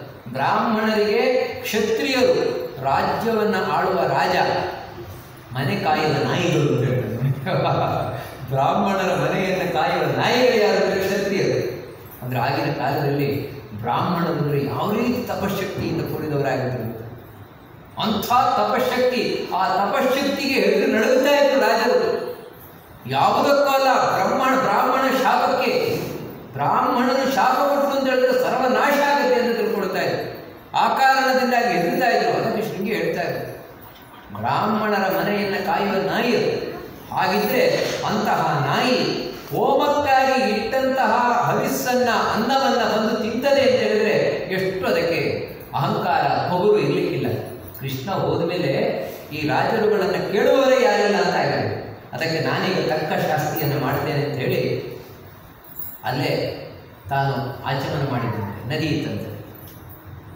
ನದಿಯಲ್ಲಿ ಆಚಮನವನ್ನು ಮಾಡಿ ದರ್ಬೆಯ ಪವಿತ್ರವನ್ನು ಹಾಕಿಕೊಂಡು ದರ್ಬೆಯ ಪವಿತ್ರವನ್ನು ಹಾಕಿಕೊಂಡು ಶಾಪವನ್ನು ಕೊಟ್ಟೆವು ಇತೋ ಮರ್ಯಾದಂ ತಕ್ಷಕ ಸಪ್ತಮೇಘನಿ ದಕ್ಷತೆ ಸ್ಮ ಕುಲಾಂಗಾರಂ ದ್ಯೋದಿತೋ ಮೇ ಪಿತೃಗಂ ಇವತ್ತಿನಿಂದ ಏಳು ದಿನಕ್ಕೆ ಸರಿಯಾಗಿ ತಕ್ಷಕನು ಈ ಇವನನ್ನ ಪರೀಕ್ಷಿತನನ್ನ ಕಚ್ಚಿ ಸಾಯಿಸಿ ಅಂತ ಶಾಪ ಕೊಟ್ಟು. ಶಾಪ ಕೊಟ್ಟು ತನ್ನ ಆಶ್ರಮಕ್ಕೆ ಬಂದ. ಆಶ್ರಮಕ್ಕೆ ಬಂದು ನೋಡ್ತಾನೆ, ಅಪ್ಪನ ಕೊರಳಿನಲ್ಲಿ ಹಾವು ಸತ್ತ ಬಡೋ ತಳ್ಳಿಕ್ಕೆ ಶುರು ಮಾಡಿದ. ಅಂದರೆ ಆ ಸ್ಥಿತಿಯನ್ನು ನೋಡ್ಲಿಕ್ಕೆ ಆಗಲಿಲ್ಲ ಯಾಕಂದ್ರೆ ಅಪ್ಪನ ಬಗ್ಗೆ ಅಂಥ ಗೌರವ ಅವನಿಗೆ. ಆಗ ಕ್ಷಮೀಕರು ತಾವು ಕಣ್ಣು ಬಿಟ್ಟು ನೋಡ್ತಾರೆ. ಮಗು ಅಳ್ತಾ ಇದ್ದಾನೆ. ಮಗು ಯಾಕಪ್ಪ ಅಳ್ತಾ ಇದೆಯಾ ಏನು ಕತೆ ಅಂತ ಹೇಳಿದಾಗ ತೋರಿಸ್ತಾನೆ, ಅಪ್ಪ, ನಿಮ್ಮ ಹೆಗಲಲ್ಲಿ ಹಾವಿದೆ ಹಾವಿದೆ ಅಂತ. ಅದರ ಬಗ್ಗೆ ಗಮನ ಹರಿಸ್ಲಿಕ್ಕೆ ಹೋಗಲ್ಲ. ಆಗ ಕೇಳ್ತಾನಪ್ಪ ಹೇಳ್ತಾನಪ್ಪ ಪರೀಕ್ಷಿತ ಮಾಡಿದ್ದು. ಅದಕ್ಕಾಗಿ ನಾನು ಶಾಪ ಕೊಟ್ಬಿಟ್ಟೆ. ಇವತ್ತಿನಿಂದ ಏಳು ದಿನಕ್ಕೆ ಸರಿಯಾಗಿ ತಕ್ಷಕದಿಂದ ಕಚ್ಚಲ್ಪಟ್ಟವನಾಗಿ ಸಾಯಲಿಂದ ಶಾಪ ಕೊಟ್ಟೆ ಅಂತ ಶೃಂಗಿ ಬಹಳ ಹೆಮ್ಮೆಯಿಂದ ಹೇಳಿದ. ಅಂದ್ರೆ ಅಪ್ಪನಿಗೆ ಯಾರು ಅಪರಾಧ ಮಾಡಿದ್ದಾನೆ, ಅವನಿಗೆ ನಾನು ತಕ್ಕ ಶಾಸ್ತಿ ಮಾಡಿದ್ದೇನೆ ಎನ್ನುವಂತಹ ಭಾವನೆ ಆದರೆ ಶನಿಕರು ಯಾರಿಗೆ ರೀತಿ ನಿಜವಾದ ಭಾಗವತ ಧರ್ಮದಲ್ಲಿರುವಂಥವ್ರು. ಅವರು ಹೇಳ್ತಾರೆ, ಅಯ್ಯೋ, ಎಂಥ ಅಹೋ ಗತಾಂಹೋ ಮಹದಜ್ಜತೆ ಕೃತಂ, ಅಲ್ಪೀಯಸಿ ದ್ರೋಹ ವೃಷ್ಣಮೋ ಕೃತ. ಅಯ್ಯೋ ಮಗು, ಏನಪ್ಪ ಮಾಡಿದೆ ನೀನು? ಮೊದಲ ಉದ್ಗಾರವೇ ಅದು. ಏನಪ್ಪ ಮಾಡಿದೆ? ಸಣ್ಣ ತಪ್ಪಿಗೆ ದೊಡ್ಡ ಶಿಕ್ಷೆ ಕೊಟ್ಬಿಟ್ಟಿಯಲ್ಲ. ಆದರೆ ಅವರ ಪಾಲಿಗೆ ಆ ಹಾವನ್ನು ಹಾಕಿದ್ದು ಸಣ್ಣ ತಪ್ಪು. ದೊಡ್ಡದಲ್ವೇ. ನಿಜವಾಗಿಯೂ ಕೂಡ ಬ್ರಹ್ಮಜ್ಞಾನಿಗಳಿಗೆ ನಾವು ಮಾಡುವ ಸಣ್ಣ ಸಣ್ಣ ಅಪರಾಧವೂ ಕೂಡ ಮಹತ್ತರವಾಗಿರ್ತದೆ ಯಾಕಂತ ಹೇಳಿದ್ರೆ ದೇವರನ್ನ ಕಂಡವರು ಹಾಗಿರಬೇಕಾದ್ರೆ ಆ ಶಮೀಕರು ಹೇಳುವಂತಹದ್ದು ಸಣ್ಣ ಅಪರಾಧಕ್ಕೆ ದೊಡ್ಡ ಶಿಕ್ಷೆಯನ್ನು ಕೊಟ್ಬಿಟ್ಟಿದ್ದಾರೆ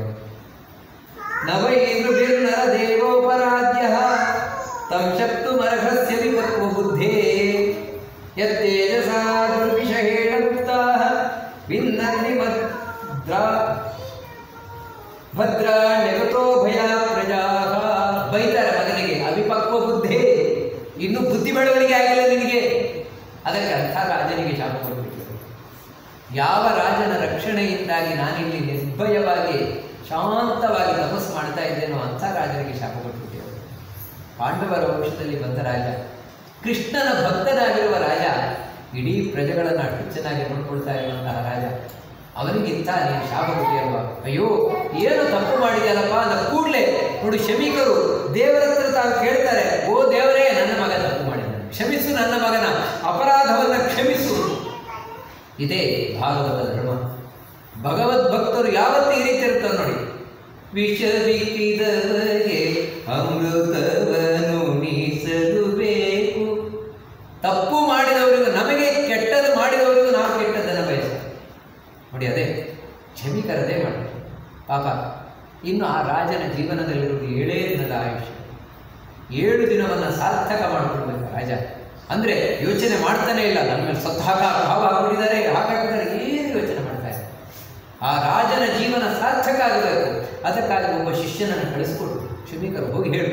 ರಾಜನಿಗೆ, ನಿನ್ನ ಜೀವನದಲ್ಲಿ ಏಳೇ ದಿನಗಳು ಬಾಕಿ ಇರುವುದು. ಈ ಕಡೆ ಆದರೂ ಹೇಳ್ತಾರೆ, ನೋಡು ಮಗನೇ, ಯಾವತ್ತು ಭಗವದ್ ಭಕ್ತರು ಯಾವ ರೀತಿ ಇರ್ತಾರೆ ಅಂದರೆ, ಸಾಧವ ಪ್ರಾಯಶು ಲೋಕೆ ಪರದ್ವಂದ್ವೇಷು ಯೋಜಿತಾ, ನ ನ ಕೃಷ್ಯಂತಿ, ಯಥ ಆತ್ಮ ಗುಣಾಶ್ರಯ. ಯಾವತ್ತೂ ಕೂಡ ಭಗವದ್ ಭಕ್ತರಾದರು ಇಂಥ ಪರಿಸ್ಥಿತಿ ಬಂದಾಗ ದುಃಖಕ್ಕೊಳಗಾಗುವುದೂ ಇಲ್ಲ ಹಿರಿ ಹಿರಿ ಹಿಗ್ಗುವುದೂ ಇಲ್ಲ ಮತ್ತೇನಂದ್ರೆ ಭಗವಂತ ಇಟ್ಟಾಗ ಆಗ್ತದೆ ಅಂತ ಇದು ಭಗವದ್ ಭಕ್ತರ ಲಕ್ಷಣ ಅದು ಬಿಟ್ಟು ಅಯ್ಯೋ, ನನಗೆ ಅವಮಾನ ಮಾಡಿಬಿಟ್ರು, ನನಗೆ ಸಮ್ಮಾನ ಮಾಡಿಬಿಟ್ರು, ಇದು ತಿಳ್ಕೊಳ್ಳೋದೇ ಅಲ್ಪ ಬುದ್ಧಿ ಯಾರಿಗೆ ಭಗವದ್ ಭಕ್ತಿ ಇಲ್ಲ, ಅವ್ರು ಇಂಥದ್ದೆಲ್ಲ ತಿಳ್ಕೊಳ್ಳೋದು. ಇಲ್ಲಿದ್ರೆ ಏನಂತ ಹೇಳಿದ್ರೆ ಮಾನಾಭಿಮಾನವು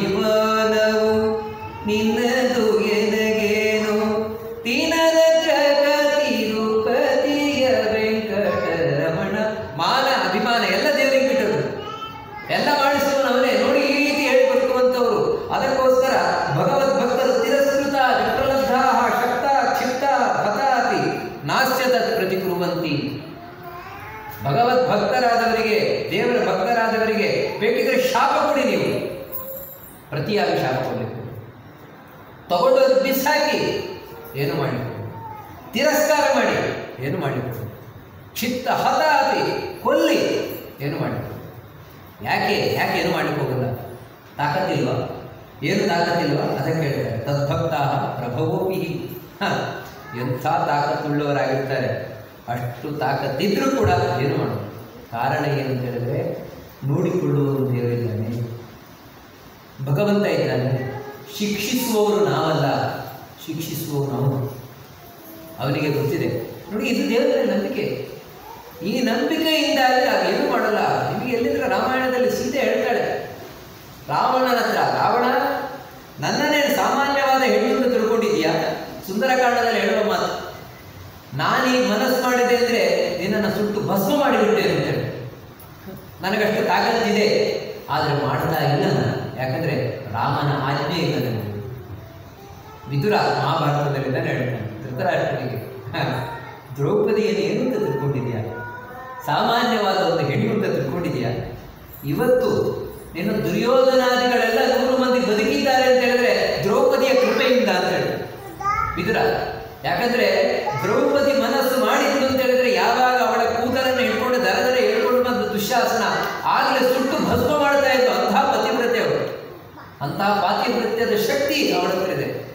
ಆದರೆ ಅವಳನ್ನು ಬಳಸ್ತಿಲ್ಲ ಯಾಕಂತ ಹೇಳಿದ್ರೆ ದುರ್ಯೋಧನಾದಿಗಳ ಮೇಲೆ ಇರುವಂತಹ ಕರುಣ ಇರೋ ಪಾಪ ಇವು ಸತೋತ್ತವಲ್ವ ಅಂತ. ಆದರೆ ಅದರ ದೌರ್ಬಲ್ಯ ಅಂತ ತಿಳ್ಕೊಂಡಿದ್ಯಾ? ಎಲ್ಲ ಕಡೆ ಅಷ್ಟೇ. ಭಗವದ್ ಭಕ್ತರು ಹೀಗೆ ತಾಕತ್ತಿದ್ದರೂ ಕೂಡ ತೋರಿಸ್ಲಿಕ್ಕೆ ಹೋಗಲ್ಲ.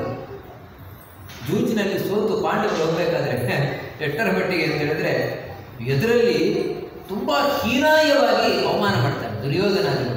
ಪಾಂಡವರು ನಡೆದಾಗ ಹೇಳೋದು ಏ, ನೋಡು, ದನಗಳು ಹೋಗ್ತಾ ಇದ್ದಾವೆ, ದನಗಳು ಹೋಗ್ತಾ ಇದ್ದಾವೆ ಅಂತ ಹೇಳೋದು. ಏನಿಲ್ಲ. ಧರ್ಮರಾಜ ತಲೆ ತಗ್ಗಿಸಿದವನು ಎತ್ತಿಲ್ಲ ಯಾಕೆ ತಲೆ ಎತ್ತಿಲ್ಲ ತಗ್ಗಿಸಿದವನು ಯಾಕಂದ್ರೆ ಮುಖ ತೋರಿಸ್ಲಿಕ್ಕೆ ಆಗೋಲ್ಲ ಅಂತ ಅವಮಾನದಿಂದ ಮುಖ ತೋರಿಸ್ಲಿಕ್ಕೆ ಆಗೋಲ್ಲ ಅಂತ ಹೀಗೆ ತಲೆ ತಗ್ಗಿಸಿದ ಅಲ್ಲ. ಮುಂದೆ ಹೇಳ್ತಾರೆ, ಒಂದೊಮ್ಮೆ ನಾನು ಈಗ ತಲೆ ಎತ್ತಿ ನೋಡಿದೆ ಅಂತ ಹೇಳಿದ್ರೆ ದುರ್ಯೋಧನಾದಿಗಳನ್ನ ಬರ್ತಾ ಇರುವ ಸಿಟ್ಟಿನಿಂದಾಗಿ ಆ ಕ್ರೋಧದ ಜ್ವಾಲೆ ಅವರ ಮೇಲೆ ಬಿಟ್ಟರೆ ಸುಟ್ಟು ಭಸ್ಮ ಆಗ್ಬಿಡ್ತಾರೆ ಆ ರೀತಿ ಆಗದೇ ಇದೆ. ಹೀಗೆ ಭಗವದ್ ಭಕ್ತರು ಎಂಥ ಸಂದರ್ಭದಲ್ಲಿಯೂ ಕೂಡ ಪ್ರತಿಯಾಗಿ ಮಾಡಲಿಕ್ಕೆ ಹೋಗಲ್ಲ ಮತ್ತೇನಂದ್ರೆ ದೇವರಿಗೆ ನೋಡ್ಕೊಳ್ಳು ಅವನಿಗೆ ಅವನೇನು ಮಾಡಬೇಕು ಅದನ್ನು ಮಾಡ್ತಾನೆ. ನೋಡಿ, ಇದನ್ನು ಇವಾಗ ನಾವಾದರೂ ಅಷ್ಟೇ. ನಾವಾದರೂ ನಿಜವಾದ ಭಗವದ್ ಭಕ್ತರಾಗಿದ್ರೆ ಯಾರ ಬಗ್ಗೆಯೂ ಕೆಡುಕನ್ನೇ ನಮ್ಗೆ ಆಗಲ್ಲ. ನಮಗೆ ಆಗದವರಿದ್ದಾರೆ ಅಂತ ಹೇಳಿದ್ರೆ ಅವನು ಒಳಗೆ ಹೋಗ್ಬೋದು ಅವನು ಒಳಗೆ ಹೋಗ್ಬೇಕು ಶಾಪ ಹಾಕ್ತಾರೆ. ಯಾಕೆ ಈ ರೀತಿ ಶಾಪ ಹಾಕ್ತಾರೆ? ನೋಡಿ, ಯಾವುದೇ ಒಬ್ಬ ವ್ಯಕ್ತಿ ಹಾಳಾಗಲಿಕ್ಕೆ ನಮ್ಮ ಶಾಪ ಬೇಕಾಗಿಲ್ಲ. ಅವ್ನು ಮಾಡಿರುವ ಅಧರ್ಮವೇ ಸಾಕು, ಅವ್ನು ಮಾಡಿರುವ ಪಾಪಗಳು ಸಾಕು. ನಾವ್ಯಾಕೆ ಶಾಪ ಹಾಕಬೇಕು. ಶಾಪ ಹಾಕಿದ್ರೆ ನಮ್ಮ ಪಾಪ ಬಂತಷ್ಟೇ, ನಮ್ಮ ತಪಸ್ಸು ಕಮ್ಮಿ ಆಯ್ತಷ್ಟೇ. ಇನ್ನೇನಾಗಲಿಲ್ಲ ನಮ್ಮ ತಪಸ್ಸು ಹೋಗ್ತದಷ್ಟೇ. ಅದಕ್ಕೆ ಯಾವತ್ತೂ ಶಾಪ ಆಗಬಾರದು ಕೆಲವರೇನಂದ್ರೆ, ಇದಲ್ಲೇ ಹೊರಗಿಂದ ಏನಿಲ್ಲ ಅದರ ಮನಸ್ಸಿನಿಂದ ಎನಿಸ್ತಾ ಇದೇ ರೀತಿ, ಅವ್ರು ಹಾಳಾಗಬೇಕು ಹಾಳಾಗಬೇಕು ಬಾಯಲ್ಲಿ ಹೇಳೋದು ಅದಕ್ಕೆ ಸರಿಯಾಗಿ ಅವ್ರಿಗೆ ಏನಾದರೂ ಹೆಚ್ಚು ಕಮ್ಮಿ ಆಯಿತು ಅಂದರೆ ಅವಾಗ ನೋಡಿದ್ರಲ್ವಾ? ನಾವು ಮಾಡಿದ್ದಕ್ಕೆ ಹೀಗಾಗಿ. ಯಾಕೆ ಹೀಗೆಲ್ಲ ಎಣಿಸ್ಬೇಕು ಯಾವತ್ತೂ ಈ ರೀತಿ ಇನ್ನೊಬ್ಬರ ಬಗ್ಗೆ ಕಡುಕನ್ನು ಎಣಿಸಬಾರ್ದು. ಯಾಕಂದರೆ ಅವರವ್ರು ಮಾಡಿದವರು ಅದನ್ನು ಅನುಭವಿಸ್ತಾರೆ ಇಷ್ಟೇ. ಅವರವ್ರು ಮಾಡಿದ ಕೆಟ್ಟದ್ದು ಮಾಡಿದರೆ ಕೆಟ್ಟದನ್ನು ಅನುಭವಿಸ್ತಾರೆ. ಒಳ್ಳೇದು ಮಾಡಿದರೆ ಒಳ್ಳೇದನ್ನು ಅನುಭವಿಸ್ತಾರೆ. ಯಾಕಂದರೆ ಕೆಟ್ಟದ್ದು ಒಳ್ಳೇದು ಅನ್ನೋದು ನಮಗೆ ಗೊತ್ತಿಲ್ಲ. ನನಗೆ ಕೆಟ್ಟದ್ದು ಮಾಡಿದ್ರು ಅಂತ ಹೇಳಿದ್ರು ಕೂಡ ಅವರು ಕೆಟ್ಟದ್ದು ಮಾಡಿದ್ರು ಅಂತ ಅರ್ಥ ಅಲ್ಲ ಅದರಿಂದಾಗಿ ಆ ಧರ್ಮದ ಸೂಕ್ಷ್ಮ ನಮಗೆ ಗೊತ್ತಿಲ್ಲ ಯಾವತ್ತಾ ಎಣಿಸಬಾರದು. ಇದು ಭಗವದ್ ಭಕ್ತರ ಲಕ್ಷಣ. ಇದು ಭಾಗವತದಲ್ಲಿ ಹೇಳ್ತದೆ. ಬಹಳ ಸುಂದರವಾಗಿ ಆ ಪ್ರಹ್ಲಾದನ ಕಥೆ ಹೇಳ್ಬೇಕು. ತುಂಬ ಇಷ್ಟವಾದ ವಿಷಯ. ನನಗಂತೂ ಕೂಡ. ಹಿರಣ್ಯಕಶಿಪು ಕೇಳ್ತಾನೆ ಪ್ರಹ್ಲಾದನ ಏನು ಮಾಡಿದ್ರು ಅವನನ್ನು ಕೊಲ್ಲಿಕ್ಕಾಗಲಿಲ್ಲ? ನಿನ್ನ ಯಾಕೆ ನನಗೆ ಕೊಲ್ಲಿಕ್ಕಾಗ್ತಾ ಇಲ್ಲ? ಅಂತ ಹೇಳ್ತೀನಿ ಪ್ರಹ್ಲಾದನ ಏನು ಮಾಡಿದ್ರು ನನಗೆ ಕೊಲ್ಲಿಕ್ಕಾಗ್ತಾ ಇಲ್ಲ ಯಾಕೆ? ಅದಕ್ಕೆ ಪ್ರಹ್ಲಾದ ಹೇಳ್ತಾನೆ ವಿಷ್ಣು ಪುರಾಣದಲ್ಲಿ ಬರುವ ವಿಷಯ, ಅಪ್ಪ, ನಾನು ಯಾರಿಗೂ ಕೆಡುಕನ್ನು ಎಣಿಸುವುದಿಲ್ಲ. ಅದಕ್ಕಾಗಿ ನನಗೆ ಯಾವತ್ತೂ ಕೆಡಕಾಗುವುದಿಲ್ಲ. ನೋಡಿ, ಎಂಥ ಒಳ್ಳೆ ಮಾತು. ಯಾವತ್ತೂ ನಾವೆಲ್ಲ ನೆನಪಿಟ್ಕೊಳ್ಬೇಕಾಗುತ್ತೆ ಇದನ್ನೇ ಹೇಳ್ತಾರೆ ಶಮೀಕರು. ಅದಕ್ಕೆ ಅಂತ. ಕೂಡಲೇ ಪರೀಕ್ಷಿತನಿಗೆ ಹೇಳಿ ಕಳಿಸಿದ. ಪರೀಕ್ಷಿತನ ಅದಕ್ಕೆ ಆ ಅಂತ ಹೇಳಿದ್ರೆ, ಇಲ್ಲಿ ಅನ್ನೋ ಸತ್ತ ಹಾವನ್ನ ಹಾಕಿದ? ಇನ್ನು ರಾಜ್ಯ ಸೇರ್ಕೊಳ್ಳಿಲ್ಲ. ಅದರೊಳಗೆ ಅವರಿಗೆ ಒಳಗಿನಿಂದ ಪಶ್ಚಾತ್ತಾಪ ಆಯಿತು. ಛೇ ನಾನು ಏನು ಮಾಡಿದೆ? ನನ್ನ ಜೀವನದಲ್ಲಿ ಇಲ್ಲಿವರೆಗೆ ಬ್ರಹ್ಮಜ್ಞಾನಿಗಳಿಗೆ ಈ ರೀತಿ ಅವಮಾನ ಮಾಡಿದ್ದಿಲ್ಲ. ಈಗ ಬ್ರಹ್ಮಜ್ಞಾನಿಗಳಿಗೆ ನಾನು ಅವಮಾನ ಮಾಡಿದ್ದೇನೆ. ಇನ್ನು ನಾನು ರಾಜನಾಗಿರಲಿಲ್ಲ ಅನರ್ಹ ಇನ್ನು ನಾನು ರಾಜನಾಗಿರಬಾರದು. ವೈಯಕ್ತಿಕವಾಗಿ ತಾನು ಅಪರಾಧಿ ತಾನೇ ಘೋಷಣೆ ನಾನು ಅಪರಾಧ, ನಾನು ರಾಜ್ಯ ಆಗಿರಬಾರದು. ಈ ಕೂಡಲೇ ನಾನು ರಾಜ್ಯವನ್ನೆಲ್ಲ ಬಿಡಬೇಕು ಅಂತ ಲೆಕ್ಕಾಚಾರ ಮಾಡಿದ್ದಾರೆ. ಅಷ್ಟು ಮಾತ್ರ ಅಲ್ಲ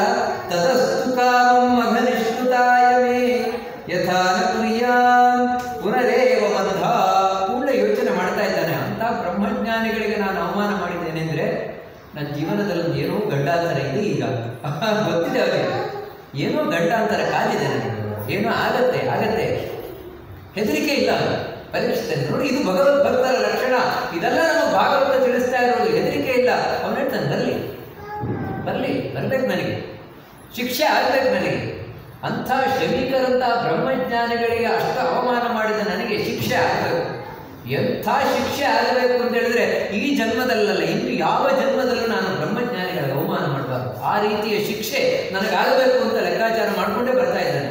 ಅದಕ್ಕೆ ಸರಿಯಾಗಿ ರಾಜ್ಯವನ್ನು ಮುಟ್ಟುವುದಕ್ಕಿಂತ ಮುಂಚೆಯೇ ಬಂದ ಋಷಿಕುಮಾರ. ರಾಜನ್ ನಿನ್ನ ಜೀವನದಲ್ಲಿ ಇನ್ನು ಉಳಿದಿರುವುದು ಏಳು ದಿನಗಳ ಮಾತ್ರ ಆ ಏಳು ದಿನಗಳನ್ನು ಸಾರ್ಥಕ ಮಾಡಿಕೋ ಅಂತ ಶಾಪದ ವಿಷಯವನ್ನು ಹೇಳಿದಾಗ ಪರೀಕ್ಷಿತನಿಗೆ ದುಃಖ ಆಗಿದೆ ಖುಷಿಯಾಗಿರುತ್ತೆ ಆಯಿತಂತೆ. ಸಕ್ತಸ್ಯ ಪ್ರಸಕ್ತಸ್ಯ ವಿರಕ್ತಿ ಕಾರಣ. ಹೌದು. ಈಗಾಗಲೇ ರಾಜ್ಯ ಬಿಡಬೇಕು ಅಂತ ಲೆಕ್ಕಾಚಾರ ಮಾಡಿದರೆ ಒಳ್ಳೆಯದಾಯಿತು ಅಂತ ಹೇಳಿ. ಆದದ್ದೆಲ್ಲ ಒಳ್ಳೆಯದೇ ಆಯಿತು.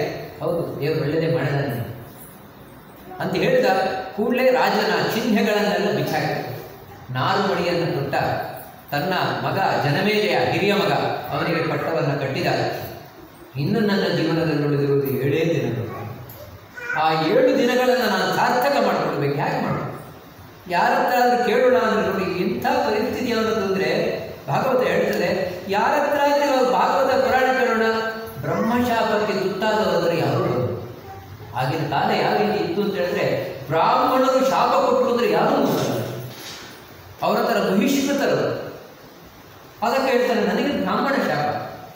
ಬ್ರಹ್ಮಶಾಪ ಅಂದರೆ ಇವರು ನನ್ನ ಹತ್ರ ಯಾರು ಬರೋದು ಏನು ಮಾಡೋಣ ಕಡೆಗೆ ಗಂಗೆಯ ತಡದಲ್ಲಿ ಅದನ್ನು ಕಾಣಬೇಕು ಯಾವ ಗಂಗೆ ಭಗವಂತನ ಪಾದದ ಅಡಿಯಿಂದ ಬರ್ತಾ ಇದ್ದಾಳೋ, ಭಗವಂತನ ಪಾದವನ್ನು ತೊಳೆದು ಆ ಭಗವಂತನ ಪಾದದಲ್ಲಿರುವ ತುಳಸಿಯನ್ನು ಹೊತ್ತು ಬರ್ತಾ ಇದ್ದಾಳೋ, ಆ ಗಂಗೆಯ ಗಾಳಿಯನ್ನು ಸೇವಿಸ್ತಾ ನಾನು ಪ್ರಾಣವನ್ನು ತ್ಯಾಗ ಮಾಡ್ತೇನೆ ಅಂತ ಹೇಳಿ ಆ ಗಂಗಾ ತೀರದಲ್ಲಿ ಒಂದು ಭವನವನ್ನು ಕಟ್ಟಿಸಿಕೊಂಡು ತಾನು ಕೂತನು. ಇದೇ ನನಗೆ ಇರುವುದು ಇನ್ನೇನಿಲ್ಲ ಅಂತ. ಆದರೆ ನಾವು ಮಾಡಿದ್ದು ಕಡೆಗೆ ಬರ್ತದೆ. ನಾವು ಏನು ಜೀವನದಲ್ಲಿ ಒಳ್ಳೇದು ಮಾಡಿರ್ತೇವೆ, ಅದರ ಫಲ ಬರುವುದೇ ಕಡೆಗೆ. ಒಬ್ಬೊಬ್ಬರೇ ಋಷಿಮುನಿಗಳು ಬರ್ತಾ ಇದ್ದಾರೆ. ಇವನ ಬಳಿಗೆ ಅಂತಿಂತವರೆಲ್ಲ ಸಾಮಾನ್ಯವಾದಲ್ಲ ಅಸಾಮಾನ್ಯ ಋಷಿಗಳು ಹಸಿತರು ದೇವರರು, ವ್ಯಾಸರು, ಪರಶುರಾಮರು, ಭರದ್ವಾಜರು, ಅತ್ರಿ, ವಸಿಷ್ಠರು ಅಗ್ನಿ ಎಲ್ಲ ಋಷಿಗಳು ಬರ್ತಾ ಇದ್ದಾರಂತೆ. ಪರೀಕ್ಷಿತನಿಗೆ ಸಂತೋಷವೋ, ಸಂತೋಷ. ಬ್ರಹ್ಮಶಾಪಕ್ಕೆ ತುತ್ತಾಗಿ ನನ್ನನ್ನು ಯಾರು ಮೂಸುವುದಿಲ್ಲ ಅಂತ ತಿಳ್ಕೊಂಡಾಗ ಇಂಥ ಋಷಿಮುನಿಗಳು ನನ್ನ ಬಳಿ ಬರ್ತಾ ಇದ್ದಾರಲ್ಲ ಅಂತ ಹೇಳಿ, ಬನ್ನಿ ಬನ್ನಿ ಎಲ್ಲರೂ ಬನ್ನಿ ಎಲ್ಲರೂ ಬನ್ನಿ ಎಲ್ಲರನ್ನು ಸ್ವಾಗತ ಮಾಡ್ತಾನೆ. ಎಲ್ರಿಗೂ ತಾನು ಅರ್ಘ್ಯ ಪಾದ್ಯಾದಿಗಳನ್ನು ಕೊಡ್ತಾನೆ, ಕೊಡುದು ಸತ್ಕಾರವನ್ನು ಮಾಡ್ತಾನೆ. ಎಲ್ಲರನ್ನ ಮಾಡಿ ಕೂಡಿಸಿ ಹೇಳ್ತಾನೆ ಬ್ರಹ್ಮಶಾಪಕ್ಕೆ ತುತ್ತಾದ ನನ್ನ ಹತ್ರ ಯಾರೂ ಬರೋಲ್ಲ ಅಂತ ತಿಳ್ಕೊಂಡಿದ್ದೀರಿ? ನೀವೆಲ್ಲ ಬಂದಿದ್ದೀರಿ. ಗಾಯದ ವಿಷ್ಣುಗಾಥ ಹಾಡಿ ದೇವರ ಬಗ್ಗೆ ಹೇಳಿ. ಅಂತ ಹೇಳಿದಾಗ ಆ ಎಲ್ಲ ಋಷಿಮುನಿಗಳು ಹೇಳ್ತಾರೆ, ರಾಜನ್, ನಾವು ಯಾಕೆ ಬಂದದ್ದು ಅಂತ ಹೇಳಿದರೆ ನಿನ್ನನ್ನು ಬಿಟ್ಟು ಹೋಗ್ಲಿಕ್ಕಲ್ಲ. ಮತ್ತೆ ಏಳು ದಿನಗಳ ಕಾಲ ನಿನ್ನೊಟ್ಟಿಗಿದ್ದು ನೀನು ಪ್ರಾಣ ತ್ಯಾಗ ಮಾಡಿದ ಮೇಲೆ ನಾವು ಹೋಗ್ತೇವೆ. ಅಂತ ಹೇಳಿದ್ರು. ಅದನ್ನು ನೋಡಿ ಕಡೇ ಕಾಲಕ್ಕೆ ಬೇಕಾದ ಭಗವದ್ ಭಕ್ತರು. ಪ್ರಾಣ ತ್ಯಾಗ ಮಾಡಬೇಕಾದ್ರೆ ಸುತ್ತ ಭಗವದ್ ಭಕ್ತರು, ಕೃಷ್ಣ, ರಾಮ, ಗೋವಿಂದ ಅಂತ ಹೇಳ್ತಾ ಇದ್ರೆ ಕಿವಿಗೆ ಬಿದ್ದರೂ ಸಾಕಂತೆ. ಮನುಷ್ಯ ಸ್ವರ್ಗಕ್ಕೆ ಹೋಗ್ತಾನೆ. ನೋಡಿ ಇದು ಪುಣ್ಯದ ಕಲ. ಅದು ಬಿಟ್ಟು ಯಾವುದೋ ಇಂಟೆನ್ಸಿವ್ ಕೇರಲ್ಲಿ ಕೇಳೋರಿಲ್ಲ, ಹೇಳೋರಿಲ್ಲ. ಆ ರೀತಿ ಪ್ರಾಣ ಬಿಡುವಂಥದ್ದೇನಿದೆ ಇಂತಹ ದುರ್ಯೋಗ ಯಾವುದು ಬರಬಾರದು. ಒಬ್ಬ ಪುಣ್ಯಾತ್ಮನಿಗೆ ಯಾವತ್ತೂ ಬರಬಾರದು. ನೋಡಿ ಅದಕ್ಕೆ ಅನಾಯಾಸೇನ ಮರಣಂ ವಿನಾ ದೈನ್ಯೇನ ಜೀವನ ದೇಹಿಮೆ ಕೃಪಯಾ ಕೃಷ್ಣ, ತ್ವಯಿ ಭಕ್ತಿ ಮಚಂಚಲ. ಹಿಂದಿನವರು ಪ್ರಾರ್ಥನೆ ಮಾಡ್ತಾ ಇದ್ದೆ ಇದನ್ನು. ಅನಾಯಾಸೇನ ಮರಣಂ. ನೋಡಿ ಅದೇ ಪರೀಕ್ಷಿತನಿಗೆ ಇಷ್ಟ ಆಗಬೇಕಾದ್ರೆ ಎಲ್ಲರೂ ಬಂದು ಕೂತಿದ್ದಾರೆ. ಇಷ್ಟ ಆಗಬೇಕಾದ್ರೆ ತತ್ರ ಭಗವದ್ ಭಗವಾನ್ ವ್ಯಾಸಪುತ್ರ ಮಾನಪೇಕ್ಷ ಆಗ ಎದುರಿಚ್ಛೆಯ ದೇವರಿಚ್ಛೆ ಬಂದಾಗ ಬರ್ತಾ ಇರ್ತಾರೆ. ಸಾಕ್ಷಾತ್ ಸುಖಾಚಾರ್ಯರು ಬರ್ತಾ ಇದ್ದಾರೆ ಹುಚ್ಚರಾಗಿರುವಂಥವ್ರು ಅಲಕ್ಷಲಿಂಗ ಏನು ಇವರು, ಏನು ನನಗೆ ಗೊತ್ತಾಗಲ್ಲ. ಹುಚ್ಚರಾಗಿರುವಂಥವ್ರು, ಬಟ್ಟೆ ಉಂಟೆ ಉಂಟು ಇದ್ದಿದ್ರಿಲ್ಲ ಮೈ ಮೇಲೆ ಏನಿಲ್ಲ, ತಲೆ ಎದುರುಕೊಂಡಿರ್ತಾರೆ, ನಗಾಡ್ತಾ ಇರ್ತಾರೆ, ಎಲ್ಲೋ ನೋಡ್ತಾ ಇರ್ತಾರೆ. ಅಟ್ಟು ಸಾಧ್ಯಲ್ಲ ಹಿಂದಿನಿಂದ ಹುಡುಗರೆಲ್ಲ, ಓ, ಹುಚ್ಚ ಹುಚ್ಚ ಹುಚ್ಚ ಹುಚ್ಚ ಅಂತ ಬರ್ತಾ ಇದ್ದಾರೆ. ಆದರೆ ನೋಡ್ಲಿಕ್ಕೆ ಅಷ್ಟೇ ಚಂದ. ಹದಿನಾರು ವರ್ಷದ ಯುವಕ, ನವ ಯುವಕ. ಒಳ್ಳೆ ಕಡು ನೀಲಿ ಬಣ್ಣ ಅಂತ ಶುಕಾಚಾರ್ಯರು ಪ್ರತಿಯೊಂದು ಅಂಗ ಅವಯವಗಳು ಅಷ್ಟು ಚೆನ್ನಾಗಿದೆಯಂತೆ. ಅಂತಹ ಶುಕಾಚಾರ್ಯರು ಪ್ರಕಾಶನ ಕೂಡಲೇ ಪರೀಕ್ಷಿತ ಬಂದ ಅವರನ್ನು ಸ್ವಾಗತ ಮಾಡಿದ ಮುಂದೆ ಅವರ ಬಳಿ ಪ್ರಶ್ನೆಯನ್ನು ಕೇಳ್ತಾನೆ ಇದೇ ಭಾಗವತಕ್ಕೆ ಬಹಳ ಪ್ರಮುಖವಾದ ಪ್ರಶ್ನೆ. ಅದರಿಂದ ಇನ್ನೊಂದು ನಾಲ್ಕು ಗಂಟೆ ಬಿಟ್ಟು ಸಂಜೆ ನೋಡೋಣ ಅಂತ ಹೇಳ್ತಾ ಉಪನ್ಯಾಸವನ್ನು ಮಧ್ವಾಂತರ